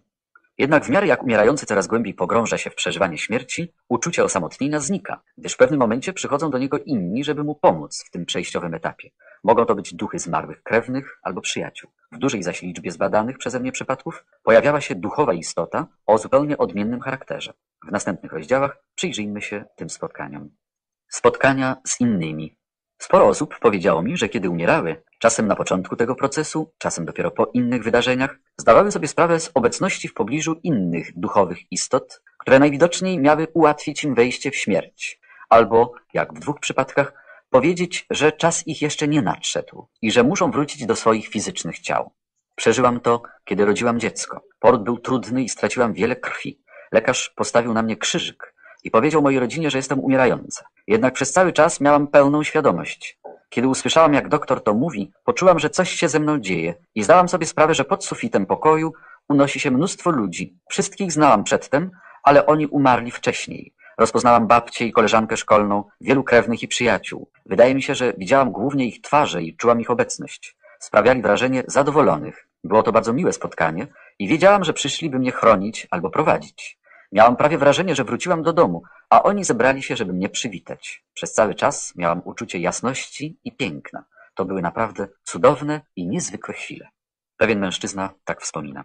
Kilka tygodni przedtem, nim omal nie umarłem, mój przyjaciel Bob został zabity. I teraz, kiedy wyszedłem ze swego ciała, miałem wrażenie, że Bob stoi tuż obok mnie. Widziałam go jakby w umyśle i czułem jego obecność, ale to było dziwne. Nie widziałam go w fizycznym ciele, ale mimo to jego wygląd i w ogóle wszystko było bardzo wyraźne. Czy to ma jakiś sens? Był przy mnie, ale nie miał fizycznego ciała. Miał jakby przejrzyste ciało, a ja mogłem wyczuć każdą jego część, ręce, nogi i tak dalej. Ale nie widziałem go fizycznie. Wtedy nie wydawało mi się to dziwne, ponieważ nie musiałem go widzieć moimi oczami. Przecież nie miałem oczu. Zacząłem go pytać, Bob, gdzie ja teraz pójdę? Co się stało? Czy umarłem, czy jeszcze żyję? A on nie odpowiedział mi ani razu. Nie wymówił ani słowa. Ale często, kiedy leżałem w szpitalu, był przy mnie i znowu go wtedy pytałem, co się stanie. Nigdy jednak nie otrzymałem odpowiedzi. A tego dnia, kiedy lekarz powiedział, że będę żył, Bob odszedł. Nie zobaczyłem go więcej, ani nie czułem jego obecności. Zupełnie jakby czekał, żebym przekroczył tę ostateczną granicę. Wtedy powiedziałby mi dokładnie, co się ze mną stanie. W innych przypadkach spotkane istoty nie były osobami, które umierający znali w fizycznym życiu. Pewna kobieta powiedziała mi, że w czasie przebywania poza ciałem zobaczyła nie tylko własne, przejrzyste duchowe ciało, ale także inne. Osoby, która zmarła przed chwilą. Nie wiedziała, kim jest ta osoba, ale zrobiła ciekawą uwagę. Nie wiedziałam, w jakim ta osoba, ten duch, jest wieku. Ja sama nie miałam poczucia czasu. W kilku przypadkach moi rozmówcy wierzyli, że spotkane istoty były ich duchami opiekuńczymi. Jednemu z nich taki duch powiedział: Pomagałem ci na tym etapie twojej egzystencji, ale teraz przekażę cię innym. Pewna kobieta mówiła, że w chwili, gdy opuszczała swe ciało, zauważyła obecność dwóch innych duchowych istot i że one określiły siebie jako jej duchowych pomocników. Dwie osoby opowiedziały mi swoje bardzo podobne przeżycia. Usłyszały one głos, który oświadczył, że nie umarły jeszcze i że muszą wrócić. Jedna z nich tak to ujęła. Usłyszałam głos, ale nie głos ludzki. Było to coś poza zmysłowym doznaniem, który mi powiedział, co muszę zrobić, że muszę wrócić, a ja nie odczułam żadnego lęku, wracając z powrotem do mego fizycznego ciała. Wreszcie duchowe istoty przybierają czasem trudną do określenia formę. Kiedy byłam martwa w tej próżni, mówiłam do kogoś, jednak nie mogę powiedzieć, czy mówiłam do osób cielesnych, a przecież miałam uczucie, że wokół mnie są ludzie i czułam ich obecność. To, że się poruszają, choć nikogo nie widziałam. Od czasu do czasu rozmawiałam z kimś, ale nie widziałam nikogo. A ilekroć zastanawiałam się, co się dzieje, otrzymywałam od któregoś z nich myśl, że wszystko jest w porządku, że umieram, ale wszystko będzie dobrze. I dlatego mój stan nie budził we mnie lęku. Na każde zadane pytanie natychmiast otrzymywałam odpowiedź. Nie zostawiali mego umysłu pustego. Odcinek czwarty. Świetlista istota. Elementem najczęściej występującym, wprost trudno w to uwierzyć, w zbadanych przeze mnie relacjach jest spotkanie z bardzo jasnym światłem, które to zjawisko wywarło niezwykle silne wrażenie na każdym z moich rozmówców. Znamienne, że z początku to światło jest słabe, ale szybko nabiera mocy, aż wreszcie staje się nieziemsko olśniewające. Jednak choć zwykle określane jako białe albo jasne, jest ono jasnością nie do opisania. Wiele osób podkreśliło, że nie oślepiało, ani w żaden sposób nie wpływało źle na oczy. Nie uniemożliwiało też widzenia innych rzeczy w pobliżu. Może dlatego, że w tym momencie osoby te nie miały fizycznych oczu. Pomimo niezwykłości tego światła, nikt nie wątpił, że była to istota, świetlista istota. Co więcej, twierdzono, że miała bardzo określoną osobowość. Miłość i ciepło, jakie z niej emanowały, nie dadzą się opowiedzieć. Umierający czuł, że niejako otoczony jest przez tę istotę, wchłonięty przez nią, uspokojony wewnętrznie i zaakceptowany. Światło to wprost magnetycznie i nieodparcie przyciągało. Ciekawe, że o ile powyższy opis świetlistej istoty był zawsze taki sam, identyfikacja jej zależała od poszczególnych osób i była chyba w znacznej mierze funkcją wychowania religijnego, wykształcenia albo wierzeń. I tak większość osób wyrosłych w tradycji chrześcijańskiej czy ludzi wierzących identyfikowała to światło z Chrystusem. Czasem, żeby poprzeć swoją interpretację, odwoływała się do Biblii. Dwoje Żydów określiło to światło jako anioła. Było jednak jasne w obu przypadkach, iż nie zamierzali twierdzić, że ta istota miała skrzydła, grała na harfie albo nawet miała kształt ludzki, czy też z wyglądu przypominała człowieka. Było to tylko światło. Każdy jednak starał się powiedzieć, że uważa tę istotę za wysłannika albo przewodnika. Człowiek, który uprzednio nie miał żadnych przekonań religijnych, ani przygotowania religijnego, po prostu określał to, co widział, jako świetlistą istotę. Tego samego określenia użyła pewna chrześcijanka, której to światło wcale się nie kojarzyło z Chrystusem. Wkrótce po ukazaniu się Owa istota nawiązuje kontakt z osobą umierającą. Należy podkreślić, że ów kontakt ma charakter tak samo bezpośredni, jak wtedy, kiedy osoba w ciele duchowym odbierała myśli znajdujących się w pobliżu. I w tym wypadku moi rozmówcy twierdzili, że nie słyszeli fizycznego głosu ani dźwięków, ani też nie odpowiadali tej istocie słyszalnymi dźwiękami. Stwierdzali natomiast, że miało miejsce bezpośrednie i swobodne przekazywanie myśli, i to w sposób tak jasny, że nie istniała żadna możliwość, by nie zrozumieć światła albo mu skłamać. Dalej, ta swobodna wymiana nie odbywa się w języku ojczystym umierającego, a jednak rozumie ona wszystko i natychmiast. Nie potrafił nawet przetłumaczyć owej wymiany myśli na język ludzki, którym musi się posługiwać po reanimowaniu. Następny etap owego przeżycia jasno ilustruje trudności tłumaczenia z tego nie dającego się ująć w słowa języka. Owa istota prawie natychmiast kieruje pewną myśl do osoby, której się tak dramatycznie pojawiła. Moi rozmówcy tę myśl próbowali zwykle sformułować jako pytanie. Na przykład, czy jesteś gotów umrzeć? Czy jesteś przygotowany do śmierci? Co zrobiłeś w życiu godnego pokazania mi? I czy to, czego dokonałeś w życiu jest wystarczające? Dwa pierwsze sformułowania, kładące nacisk na przygotowanie, na pierwszy rzut oka mogą różnić się znaczeniem od dwóch następnych, które podkreślają osiągnięcia. Jednak moje przekonanie, że każdy starał się wyrazić tę samą myśl, znajduje uzasadnienie w opowiadaniu pewnej kobiety, która tak to ujęła.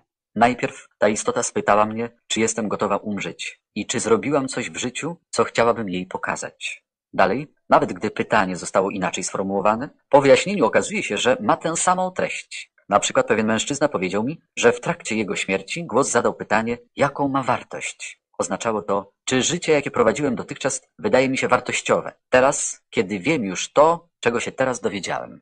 Muszę dodać, że wszyscy moi rozmówcy podkreślali fakt, iż to pytanie, tak zasadnicze, jeśli idzie o jego tonację uczuciową, nie miało w sobie nic potępienia. Istota owa, wszyscy się z tym zgadzają, nie kieruje tego pytania, żeby kogokolwiek oskarżać czy mu grozić. Każdy bez wyjątku czuł wszechogarniającą miłość i życzliwość, emanujące od światła, niezależnie od treści odpowiedzi. Pytanie to zadawane jest chyba raczej w intencji, by umierający zastanowił się nad swoim dotychczasowym życiem, żeby wyjawił, co o nim sądzi. Jest to niejako sokratesowe pytanie, stawiane nie po to, by uzyskać informacje, lecz by ułatwić osobie pytanej samodzielne wkroczenie na drogę prawdy. Przyjrzyjmy się bezpośrednim relacjom o tej zdumiewającej istocie. Pierwsza. Usłyszałem, jak lekarze powiedzieli, że nie żyje i wtedy poczułem, jakbym zapadł w ciemność i w niej płynął. Była ona jednak w jakiś sposób zamknięta. Naprawdę nie znajduję słów, żeby to opisać. Wszystko było bardzo czarne, tylko gdzieś w dali przed sobą widziałem światło. Było niezwykle jasne, ale z początku niezbyt duże. Powiększało się, w miarę jak się do niego zbliżałem. Starałem się dotrzeć do tego światła, ponieważ byłem przekonany, że to Chrystus. Nie czułem wcale strachu. Było mi właściwie przyjemnie, gdyż jako chrześcijanin natychmiast to światło skojarzyłem z Chrystusem, który powiedział: Jam jest światłością świata. Pomyślałem, jeśli już mam umrzeć teraz, to wiem, kto czeka na mnie tam, na końcu, w tym świetle. Relacja druga. Wstałam i wyszłam na korytarz, żeby się napić wody. I w tym właśnie momencie, jak stwierdzono później, nastąpiło pęknięcie wyrostka robaczkowego. Zrobiło mi się słabo i upadłam. Zdawało mi się, że unoszę się i że moja prawdziwa istota poruszyła się i opuściła ciało. I słyszałam piękną muzykę. Uleciałam korytarzem i przez drzwi na werandę obitą siatką. Tutaj miałam wrażenie, że otacza mnie chmura, różowa mgła. Przeniknęłam przez tę siatkę, jakby jej nie było, poszybowałam w górę i znalazłam się w krystalicznie czystym świetle, oślepiająco białym. Było cudowne, promieniejące, ale nie raziło moich oczu. Nie było to światło, jakie spotkać można na ziemi. Nie widziałam nikogo w tym świetle, a jednak miało ono jakąś osobowość. Byłam tego pewna. Było to światło doskonałego zrozumienia i doskonałej miłości. Mój umysł odebrał pytanie, czy mnie miłujesz? Nie było to ściśle mówiąc pytanie, ale zrozumiałam je tak. Jeśli mnie naprawdę kochasz, wracaj i skończ to, co zaczęłaś w życiu. I przez cały czas miałam uczucie, że otacza mnie wszechogarniająca miłość i zrozumienie. Relacja trzecia. Wiedziałem, że umieram i że nic nie mogę na to poradzić, bo nikt mnie nie słyszał. Znajdowałem się poza swoim ciałem. Nie wątpiłem w to, ponieważ widziałem je na stole operacyjnym. Moja dusza je opuściła. Z początku czułem się okropnie, lecz nagle ujrzałem niezwykle jasne światło. Najpierw było przytłumione, a potem zobaczyłem wielki promień. Była to ogromna ilość światła. Nie taka jak błysk flesza, po prostu wielka światłość. I ogrzewało mnie ono. Czułem jego ciepło. Było jasne, przy tym żółtawo-białe, właściwie bardzo białe i okropnie jasne, wprost nie potrafię tego opisać. Miałem wrażenie, że wszystko zakrywa, a jednak widziałem wokół siebie bardzo wyraźnie salę operacyjną, lekarzy i pielęgniarki, każdy szczegół. Widziałem wszystko doskonale, bo to światło nie oślepiało mnie.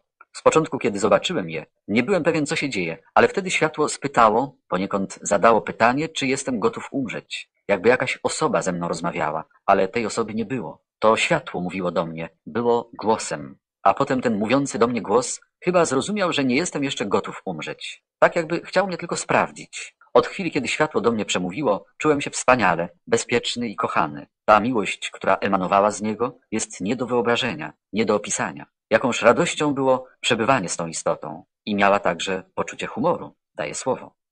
Przegląd życia. Pojawienie się świetlistej istoty i wstępne, bezsłowne pytania poprzedzają zdumiewające doznanie, kiedy to owa jasność ukazuje umierającemu panoramiczny obraz jego życia. Często był on przekonany, że świetlista istota zna całe jego życie i nie potrzebuje żadnych informacji, a jej zamiarem jest wyłącznie skłonienie do refleksji. Ten przegląd określić można jedynie w kategoriach pamięci, gdyż jest temu najbliższy. Ma on jednak specjalne cechy, które stawiają go poza normalnym pamiętaniem. A więc wszystko dzieje się z niezwykłą szybkością. Niektórzy widzieli historię swego życia w porządku chronologicznym, inni w ogóle nie mieli świadomości porządku czasowego. Wspomnienie było natychmiastowe, wszystko ukazywało się od razu i byli oni w stanie ogarnąć je jednym spojrzeniem. Niezależnie od tego, jak owa retrospekcja była wyrażona, wszyscy moi rozmówcy zgadzają się, że wedle czasu ziemskiego trwała zaledwie chwilę.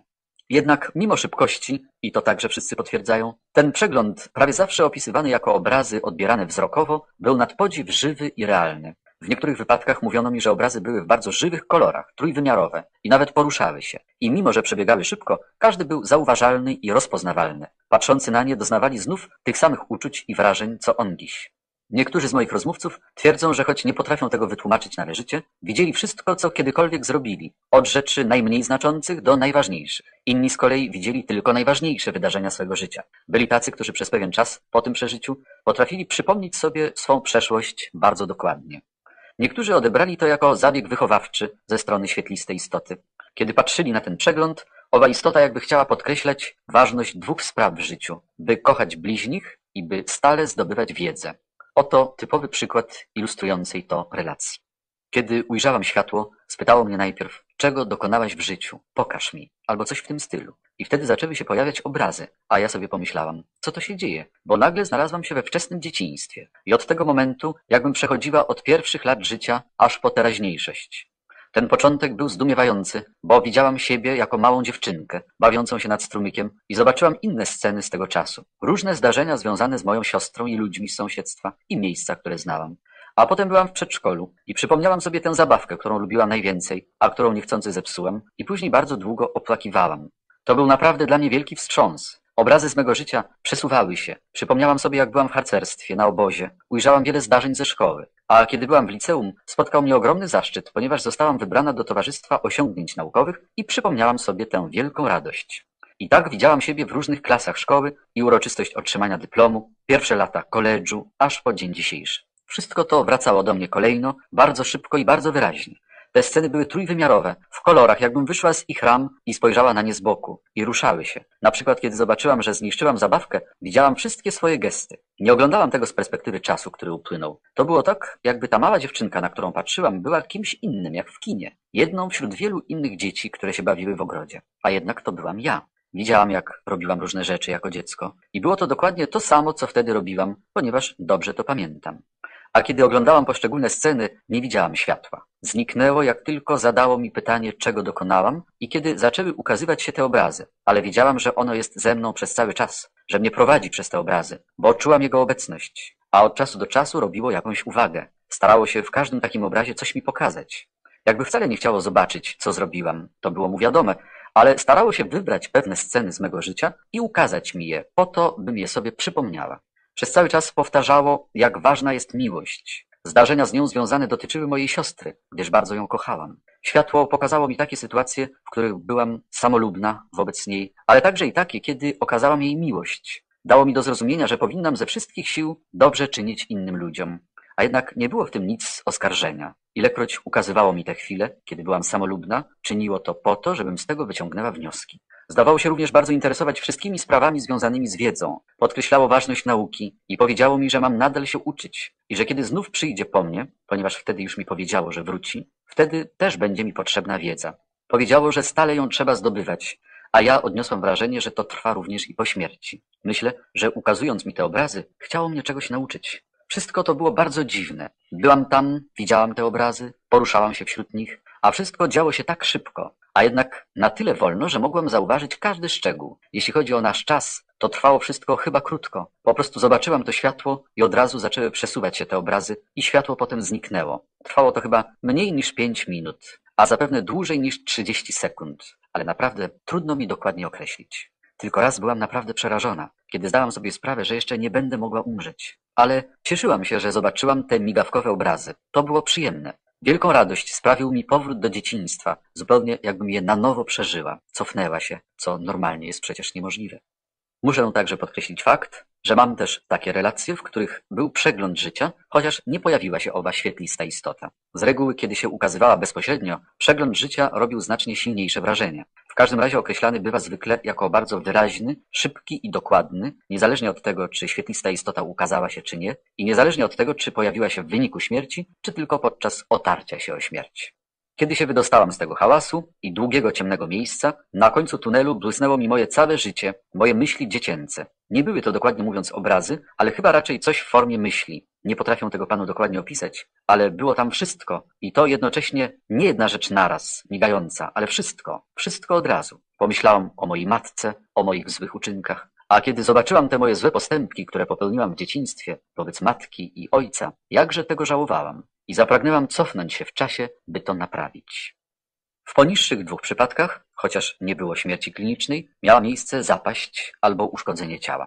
Wszystko stało się bardzo nagle. Miałem trochę gorączki i od jakichś dwóch tygodni kiepsko się czułem. Tego wieczoru nagle poczułem się bardzo chory i bardzo źle. Leżałem w łóżku i pamiętam, że się wychyliłem, by sięgnąć ręką do żony i powiedzieć jej, że jestem bardzo chory. Jednak nie mogłem się ruszyć. Nagle poczułem, że znajduję się w kompletnej próżni i ciemności. I ujrzałem przed sobą całe moje życie. Kiedy miałem sześć, siedem lat, mego przyjaciela ze szkoły podstawowej, potem zobaczyłem szkołę średnią, szkołę stomatologiczną i swoją praktykę dentystyczną. Wiedziałem, że umieram i pamiętam, jak się zastanawiałem nad zabezpieczeniem rodziny. Byłem zmartwiony, że to już koniec. Żałowałem, że zrobiłem różne rzeczy w moim życiu. Żałowałem też tego, czego nie zdążyłem zrobić. Powiedziałbym, że te obrazy widziałem w wyobraźni, ale były znacznie żywsze niż dziejące się w rzeczywistości. Widziałem tylko ważniejsze zdarzenia, ale odbywało się to bardzo szybko. Patrzyłem na całe moje życie, a działo się to w przeciągu paru sekund. Migało mi jak film, z niezwykłą szybkością, a mimo to byłem w stanie wszystko dokładnie obejrzeć i zrozumieć. Jednak obrazom nie towarzyszyły żadne uczucia, ponieważ nie było na to dość czasu. Nie widziałem nic, tylko ciemność i te obrazy a jednak przez cały czas czułem obok siebie obecność potężnej, bardzo kochającej istoty. Było to ogromnie interesujące. Kiedy zaś przyszedłem do siebie, dzięki temu doświadczeniu mógłbym z niezwykłą dokładnością opowiedzieć o każdym etapie z mego życia. To przeżycie było niezwykłe, trudno jednak opisać je słowami, bo działo się tak szybko, choć bardzo wyraźnie. Były żołnierz tak opisuje. Podczas służby wojskowej w Wietnamie zostałem ranny i potem wskutek tego umarłem, ale przez cały czas dokładnie wiedziałem, co się ze mną dzieje. Dostałem sześć pocisków z karabinu maszynowego, ale wcale się nie przeraziłem. Nawet poczułem ulgę, że zostałem ranny. Byłem zupełnie spokojny i nie było to wcale straszne. I nagle zacząłem przed sobą widzieć całe swoje życie. Zdawało mi się, że mogę wrócić do czasów, kiedy byłem jeszcze dzieckiem, a potem stopniowo widziałem obrazy z całego życia. Wszystko mogłem sobie przypomnieć, ponieważ wszystko było bardzo żywe, wyraźne. Przesuwało się przede mną od najwcześniejszych wspomnień, jakie zapamiętałem, aż do teraźniejszości, a trwało to bardzo krótko. I nie dostrzegłem w tym nic złego, patrzyłem na to bez żalu, bez wyrzutów sumienia. Jakbym oglądał serię obrazów, powiedzmy przezroczy. To najlepsze porównanie, jakie mi się nasuwa. Zupełnie jakby ktoś wyświetlał mi je bardzo szybko. Wreszcie interesujący przypadek, w którym mój rozmówca przeżył wielkie napięcie uczuciowe, gdyż groziła mu śmierć, choć nie odniósł żadnych obrażeń. Latem po pierwszym roku koledżu pracowałem jako kierowca wielkiej ciężarówki. Niestety często zasypiałem za kierownicą. Któregoś dnia wczesnym rankiem prowadziłem tę ciężarówkę i drzemałem. Czekał mnie długi kurs. Ostatnią rzeczą, jaką zapamiętałem, był znak drogowy i potem zasnąłem na dobre. Nagle usłyszałem okropny huk. Wystrzeliła zewnętrzna prawa opona. Następnie na skutek dużego ładunku i zarzucenia to samo stało się z oponami po lewej stronie. Ciężarówka przewróciła się na bok i zaczęła zsuwać się w stronę mostu. Byłem przerażony tym, co się dzieje, ponieważ wiedziałem, że ciężarówka rozbije się o most. W tym czasie, kiedy ciężarówka podskakiwała, pomyślałem o tym wszystkim, co zrobiłem w życiu. Widziałem tylko niektóre te najważniejsze rzeczy, a były one bardzo realne. Najpierw zobaczyłem, jak mając dwa lata idę z moim ojcem nad morską plażą. Potem nastąpiły dalsze obrazy chronologicznie od najwcześniejszych lat. Przypomniałem sobie, jak zepsułem zabawkę, taki czerwony wóz, który dostałem na gwiazdkę, gdy miałem pięć lat. Pamiętam, jak plakałem, kiedy poszedłem do szkoły do pierwszej klasy w żółtym płaszczu przeciwdeszczowym, który kupiła mi matka. Zobaczyłem każdego nauczyciela i trochę różnych zdarzeń z każdego roku. Potem widziałem szkołę średnią i jak pracowałem, roznosząc gazety, i jak poszedłem do pracy w sklepie kolonialnym i to, co teraz robiłem tuż przed rozpoczęciem mego drugiego roku nauki w koledżu. Wszystko to i wiele innych rzeczy przemknęło mi przez głowę, a działo się to bardzo szybko. Może trwało zaledwie ułamek sekundy. A potem nagle się skończyło. Stałem patrząc na ciężarówkę i pomyślałem, że nie żyję, że jestem aniołem. I zacząłem się szczypać, żeby się upewnić, że żyję, czy jestem duchem, czy jak. Ciężarówka była zupełnie rozbita, a ja nie zostałem nawet draśnięty. Widać, udało mi się jakoś wyskoczyć. Kiedy zapanowała cisza, pomyślałem, jakie to dziwne, że to, co przytrafiło mi się w życiu, te rzeczy, które wywarły na mnie trwałe wrażenie, w momencie kryzysu przeleciały mi przez głowę. Pewno mógłbym i teraz o nich wszystkich pomyśleć i wspomnieć je i wyobrazić sobie, ale pewno zajęłoby mi to co najmniej z piętnaście minut. A to wszystko wydarzyło się natychmiast, automatycznie, w niecałą sekundę. Naprawdę zdumiewające. Granica albo kres. Kilku moich rozmówców, którzy znaleźli się na progu śmierci, miało wrażenie, że zbliżają się do czegoś, co można by nazwać granicą albo pewnego rodzaju kresem. W różnych relacjach przybierało to formę wody, szarej mgły, żywopłotu przecinającego pole albo po prostu linii. Chociaż jest to sprawa bardzo dyskusyjna, można postawić pytanie, czy u źródła tych wszystkich wyobrażeń nie ma jednego podstawowego doświadczenia albo idei. Gdyby to było prawdą, różne wersje reprezentowałyby tylko indywidualne sposoby interpretowania, wyrażania albo wspomnienia tego podstawowego doświadczenia. Zapoznajmy się z kilkoma relacjami, w których granica albo kres odgrywają istotną rolę.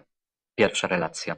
Umarłam z powodu zatrzymania akcji serca. I wtedy nagle znalazłam się na pofalowanym polu. Było piękne, intensywnie zielone, miało barwę niespotykaną na ziemi. Wokół mnie było cudownie, radośnie, jasno. Spojrzałam przed siebie i na końcu tego pola zobaczyłam żywoplot. Zaczęłam iść w tym kierunku. Po drugiej jego stronie zobaczyłam mężczyznę, który szedł naprzeciw mnie, jakby na spotkanie. Chciałam podejść do niego, ale coś mnie nieodwołalnie odciągnęło. Jednocześnie zobaczyłam, że on również odwraca się i odchodzi w przeciwnym kierunku. Oddala się od żywoplotu. Relacja druga. Przeżyłam to podczas narodzin mego pierwszego dziecka. W ósmym miesiącu ciąży miałam toksyczne zatrucie, tak to określił lekarz, i poradził mi, żebym od razu poszła do szpitala, gdzie przyspieszy poród. Zaraz po urodzeniu się dziecka miałam silny krwotok i lekarz nie mógł sobie z nim poradzić. Zdawałam sobie w pełni sprawę z tego, co mi grozi, bo jestem z zawodu pielęgniarką. Kiedy straciłam przytomność, usłyszałam przykry, brzęczący, dzwoniący hałas. Potem zdawało mi się, że znajduję się na małym statku, czy żaglówce, płynącej na drugą stronę jakiejś dużej wody. Na dalekim brzegu widziałam wszystkich moich kochanych zmarłych, matkę, ojca, siostrę i innych. Widziałam ich. Byli tacy, jakich znałam na ziemi. Kiwali do mnie, żebym się do nich zbliżyła, a ja cały czas powtarzałam: Nie, nie jestem gotowa, żeby z wami być. Nie chcę umierać. Nie jestem jeszcze gotowa, żeby odejść. Odcinek piąty. A co najdziwniejsze, przez cały czas widziałam lekarzy i pielęgniarki, jak się zajmowali moim ciałem. Ale wydawało mi się, że jestem raczej widzem, a nie tą osobą, tym ciałem, które oni ratują. Tak bardzo chciałam powiedzieć mojemu lekarzowi: Nie umrę, ale nikt nie mógł mnie usłyszeć. Wszystko to razem, lekarze, pielęgniarki, sala porodowa, statek, woda i daleki brzeg mieszało się ze sobą. Wszystko było razem, jakby jedna scena nakładała się na drugą. Wreszcie statek znalazł się blisko tego odległego brzegu, ale zanim dobił, zawrócił i zaczął płynąć z powrotem. Wreszcie udało mi się powiedzieć do mojego lekarza, nie umrę. I chyba w tej chwili odzyskałam przytomność, a lekarz wyjaśnił mi, co się stało, że miałam poporodowy krwotok i że omal nie umarłam ale że teraz wszystko będzie dobrze. Relacja trzecia. Leżałem w szpitalu z powodu ciężkiej choroby nerek i byłem w stanie śpiączki od blisko tygodnia. Opiekujący się mną lekarze nie wiedzieli, czy będę żyć. W czasie, kiedy byłem nieprzytomny, miałem uczucie, jakbym się unosił, jakbym wcale nie miał fizycznego ciała. I zobaczyłem jasne, białe światło. Tak jasne, że nie mogłem przez nie nic zobaczyć. Ale przebywanie w jego zasięgu było cudowne. Dawało ukojenie. Żadnego przeżycia na ziemi nie można z tym porównać. W obecności tego światła Odebrałem takie myśli czy słowa: Czy chcesz umrzeć? I odpowiedziałem, że nie wiem, bo nic mi nie wiadomo o śmierci. Wtedy białe światło powiedziało: Przejdź przez tę linię, a dowiesz się. Byłem pewien, że ta linia jest przede mną, choć jej nie widziałem. A kiedy ją przekroczyłem, ogarnęło mnie cudowne uczucie spokoju, ciszy. Zniknęły wszystkie troski. Relacja czwarta. Miałam atak serca. Znalazłam się w czarnej pustce i czułam, że zostawiłam za sobą swoje fizyczne ciało. Wiedziałam, że umieram i pomyślałam, Boże, zawsze starałam się wszystko robić jak najlepiej. Proszę, pomóż mi. Natychmiast znalazłam się poza ciemnością. Było szaro, a ja poruszałam się, ślizgałam szybko i przed sobą w dali zobaczyłam szarą mgłę, do której się zbliżałam. Miałam uczucie, że poruszam się zbyt wolno. Chciałam jak najszybciej tam się znaleźć. Wreszcie mogłam spojrzeć przez tę mgłę. Widziałam za nią ludzi i wyglądali oni tak jak na ziemi. I widziałam także coś, co można by uważać za budowlę. Wszystko to przenikało wspaniałe, niezwykłe światło, żyjący, złocisto-żółty blask, o jasnym odcieniu, jakiego nie znamy na ziemi. Kiedy się zbliżyłam, byłam pewna, że przejdę przez tę mgłę. Przenikała mnie cudowna radość. Nie ma w języku ludzkim słów, żeby to opisać. A jednak nie nadszedł jeszcze mój czas, bowiem natychmiast z drugiej strony ukazał się mój wuj Karl, który umarł wiele lat temu. Zagrodził mi przejście, mówiąc: Wracaj, jeszcze nie skończyłaś swojej pracy na ziemi, teraz wracaj. Nie chciałam wracać, ale nie miałam wyboru i natychmiast znalazłam się z powrotem w moim ciele. Poczułam okropny ból w piersi i usłyszałam, jak mój synek placze i woła: O Boże, wróć mi moją mamę. Relacja piąta.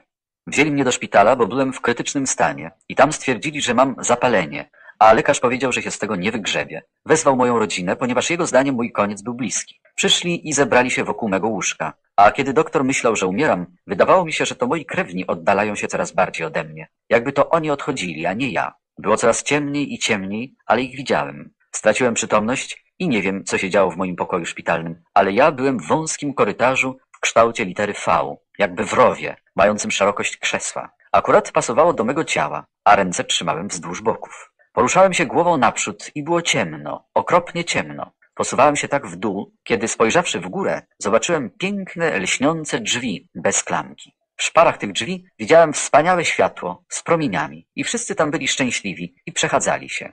Miałem wrażenie, że tam jest bardzo duży ruch. Popatrzyłem w górę i powiedziałem, o Boże, jestem tu. Jeśli chcesz, zabierz mnie. Człowieku, odesłał mnie tak szybko, że omal tchu nie straciłem. Powrót. Najwidoczniej osoby, z którymi rozmawiałem, musiały wrócić w jakimś momencie swego przeżycia. Zwykle jednak wtedy zachodziła ciekawa zmiana w ich postawie. Proszę pamiętać, że na ogół wszyscy stwierdzali, że w pierwszych chwilach po śmierci pragnęli wrócić do swych ciał i odczuwali wielki żal z powodu zgonu. Jednak jeśli osoba umierająca osiągnęła pewien etap swego przeżycia, nie chciała wracać do ciała, nawet opierała się temu. Zwłaszcza miało to miejsce w przypadku tych, którzy znaleźli się tak daleko, że zetknęli się ze świetlistą istotą. Pewien mężczyzna powiedział z przejęciem: Wcale nie chciałem rozstać się z tą istotą. Wyjątki od tego uogólnienia są często pozorne, a nie rzeczywiste. Kilka kobiet, w owym czasie matek małych dzieci, wyznało mi, że one same wolałyby zostać tam, gdzie się znalazły, ale czuły się w obowiązku uczynić próbę powrotu, żeby wychować dzieci. Zastanawiałam się, czy powinnam tam zostać, ale wtedy przypomniałam sobie moją rodzinę, troje dzieci i męża. Ciężko mi to wyjaśnić. Było mi tak cudownie w obecności tego światła, że naprawdę nie chciałam wrócić. Ale zawsze podchodziłam bardzo poważnie do moich obowiązków i wiedziałam, że jestem potrzebna rodzinie, więc postanowiłam spróbować wrócić. W kilku innych przypadkach moi rozmówcy mówili, że choć czuli się dobrze i bezpiecznie w tej nowej, bezcielesnej egzystencji i nawet się nią cieszyli, byli zadowoleni, że mogą wrócić do fizycznego ciała, gdyż zostawili jakieś ważne, niespełnione zadanie. W kilku wypadkach chodziło o ukończenie studiów. Miałem za sobą trzy lata college'u i został mi jeszcze tylko rok. Kołatała mi się myśl, nie chcę teraz umrzeć. Ale czułem, że jeśli to potrwa jeszcze kilka minut, jeśli jeszcze chwilę dłużej pobędę w obecności tego światła, zapomnę o nauce i ulegnę temu, co przeżywam. W zebranych przeze mnie relacjach występuje duża różnorodność, jeśli idzie o sposób i przyczyny powrotu do ciała fizycznego. Większość po prostu odpowiedziała, że nie wie, jak czy też dlaczego wróciła. Inni, że mogą się tylko domyślać. Kilka osób bardzo wyraźnie czuło, że to ich własna decyzja sprawiła, że wrócili do ciała i do ziemskiego życia. Znalazłem się poza swoim ciałem i uświadomiłem sobie, że muszę powziąć decyzję. Wiedziałem, że nie mogę pozostawać poza moim fizycznym ciałem przez dłuższy czas. Dla innych ludzi może to jest trudne do zrozumienia, ale dla mnie było to wtedy całkowicie jasne. Czułem, że to ja muszę zdecydować, czy mam iść dalej naprzód, czy wracać. Po drugiej stronie było cudownie i chciałem nawet zostać, ale świadomość, że muszę zrobić na ziemi coś dobrego, też była w jakiś sposób cudowna. Myślałem więc sobie, tak, muszę wracać i żyć. I wróciłem do mego fizycznego ciała. Miałem wprost uczucie, jakbym sam powstrzymywał krwawienie. W każdym razie zacząłem po tym wracać do zdrowia. Inni są przekonani, że to Bóg pozwolił im żyć, czy też świetlista istota, w odpowiedzi na ich własną prośbę. Zwykle ta prośba była altruistyczna, albo dlatego, że Bóg czy ta istota mieli najwidoczniej zamiar powierzyć im jakąś misję. Unosiłam się ponad stołem i widziałam wszystko, co robili. Z całą pewnością wiedziałam, że umieram, a jednak martwiłam się o moje dzieci, o to, kto się nimi zaopiekuje. Nie byłam jeszcze gotowa, żeby odejść. Bóg pozwolił mi żyć. Pewien mężczyzna wspomina. Bóg okazał mi dobroć. Umarłem, a on pozwolił lekarzom przywrócić mi życie, ponieważ miał w tym swój cel. Tym celem, jak sądzę, była pomoc mojej żonie, która popadła w alkoholizm. I wiedziałam, że beze mnie nie wyciągnie się z tego. Teraz jest z nią lepiej i naprawdę myślę, że przyczyniło się do tego to, co przeżyłem. Młoda matka mówi. Bóg odesłał mnie na ziemię, ale nie wiem dlaczego. Z całą pewnością czułam tam Jego obecność i wiedziałam, że poznał mnie, że wiedział, kim jestem, a jednak nie uważał, że jestem już gotowa do nieba. Czemu? Nie wiem. Wiele razy o tym myślałam i sądzę, że to dlatego, iż mam dwoje małych dzieci do wychowania, albo że ja sama nie byłam jeszcze gotowa, by się tam znaleźć. Nadal szukam na to odpowiedzi. Kilku moich rozmówców jest przekonanych, że miłość albo modlitwy osób bliskich cofnęły je od progu śmierci wbrew ich pragnieniom. Byłam przy mojej ciotce staruszce podczas jej ostatniej choroby, która trwała bardzo długo. Pomagałam ją pielęgnować. Przez ten czas cała rodzina modliła się, żeby odzyskała zdrowie. Kilkakrotnie przestawała oddychać, ale te modlitwy przywracały ją znowu do życia. Wreszcie któregoś dnia spojrzała na mnie i powiedziała John, ja już tam byłam. Tam jest bardzo pięknie. Chciałam zostać, ale nie mogę, dopóki się za mnie modlicie, żebym została z wami. Wasze modlitwy zatrzymują mnie. Proszę, nie módlcie się więcej. Spełniliśmy jej prośbę i wkrótce potem moja ciotka umarła. Pewna kobieta opowiedziała mi. Lekarz stwierdził, że umarłam, ale ja wróciłam. Jednak to, czego doświadczyłam, było tak radosne, że wcale się nie bałam. Kiedy otworzyłam znów oczy, zobaczyli to moja siostra i mąż. Widziałam ich radość, aż im łzy popłynęły z oczu. Tak się ucieszyli, że wyżyłam. A ja miałam uczucie, jakby mnie zawróciła po prostu jak magnes, miłość mojej siostry i męża. Od tej pory wierzę, że to jest możliwe.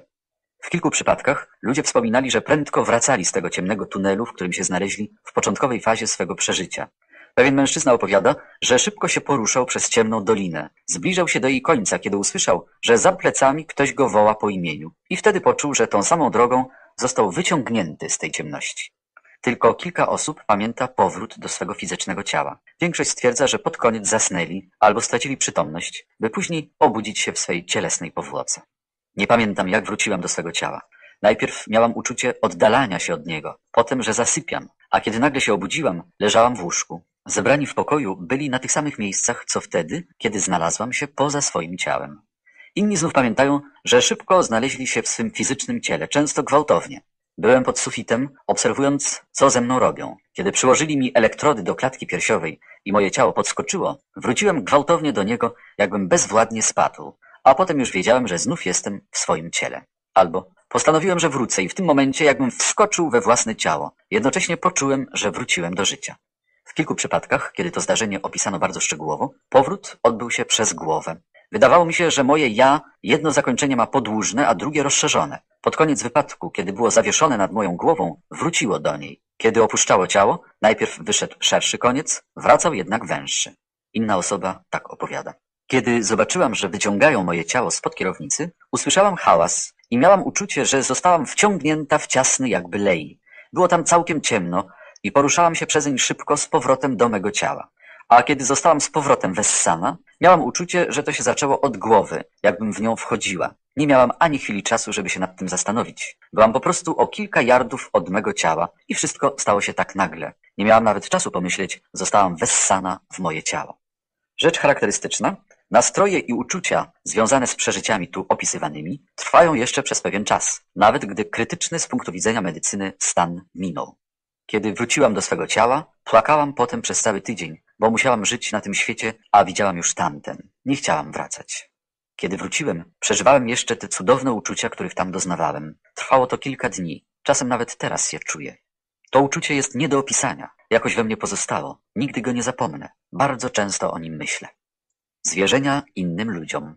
Należy podkreślić, że ktoś, kto przeżył tego rodzaju doświadczenie, nie wątpi w jego prawdziwość i doniosłość. Przeprowadzając rozmowy, często spotykałem się z uwagami na ten temat. Na przykład, kiedy przebywałem poza ciałem, byłem zdumiony tym, co się ze mną dzieje. Nie mogłem tego zrozumieć, ale to było rzeczywiste. Widziałem swoje ciało bardzo wyraźnie i z daleka. Mój umysł był w takim stanie, że nie miałem żadnych życzeń, ani nie podejmowałem decyzji. W ogóle nie myślałem. Po prostu umysł mój nie pracował.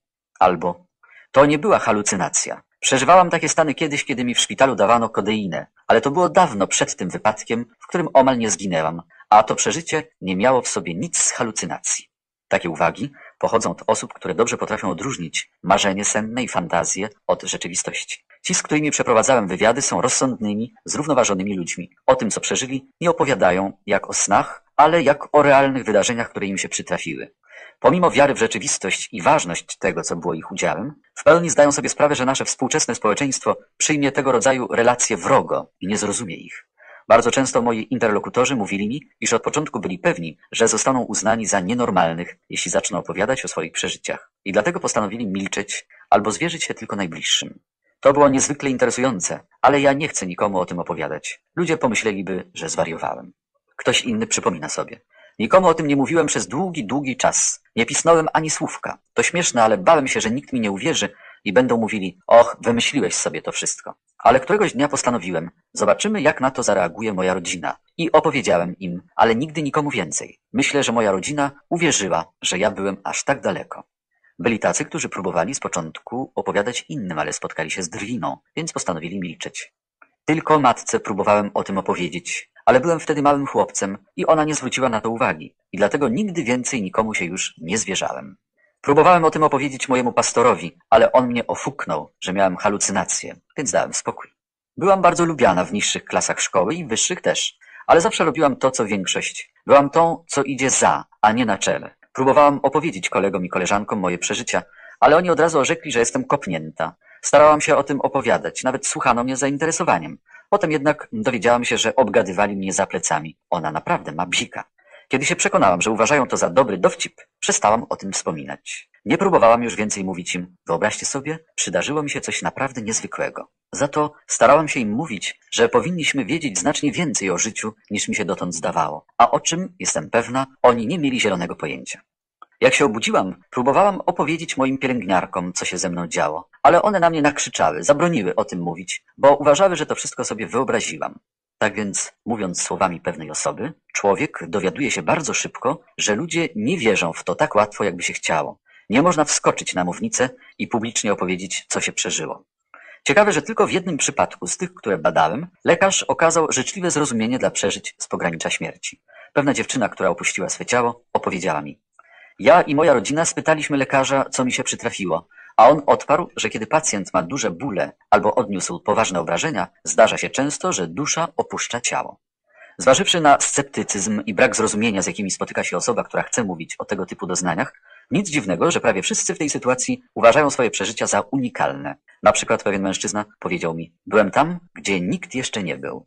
Często, gdy ktoś po pierwszej wyczerpującej rozmowie na temat swoich doświadczeń dowiedział się ode mnie, że inni ludzie również przeżywali podobne stany, dawał wyraz swej głębokiej ulicy.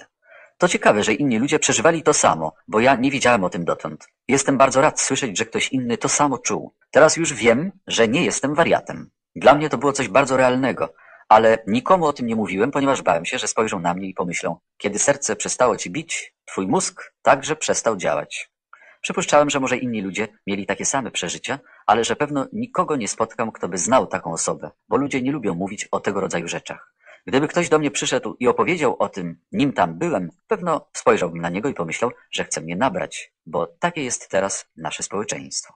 Jest jeszcze inny powód, dla którego ludzie tak są powściągliwi w opowiadaniu swych przeżyć. Czują mianowicie, że ich doświadczenia są tak nieprzekazywalne, tak przekraczają możliwość ludzkiego języka, ludzkiej percepcji i egzystencji, że wszelkie próby są bezcelowe.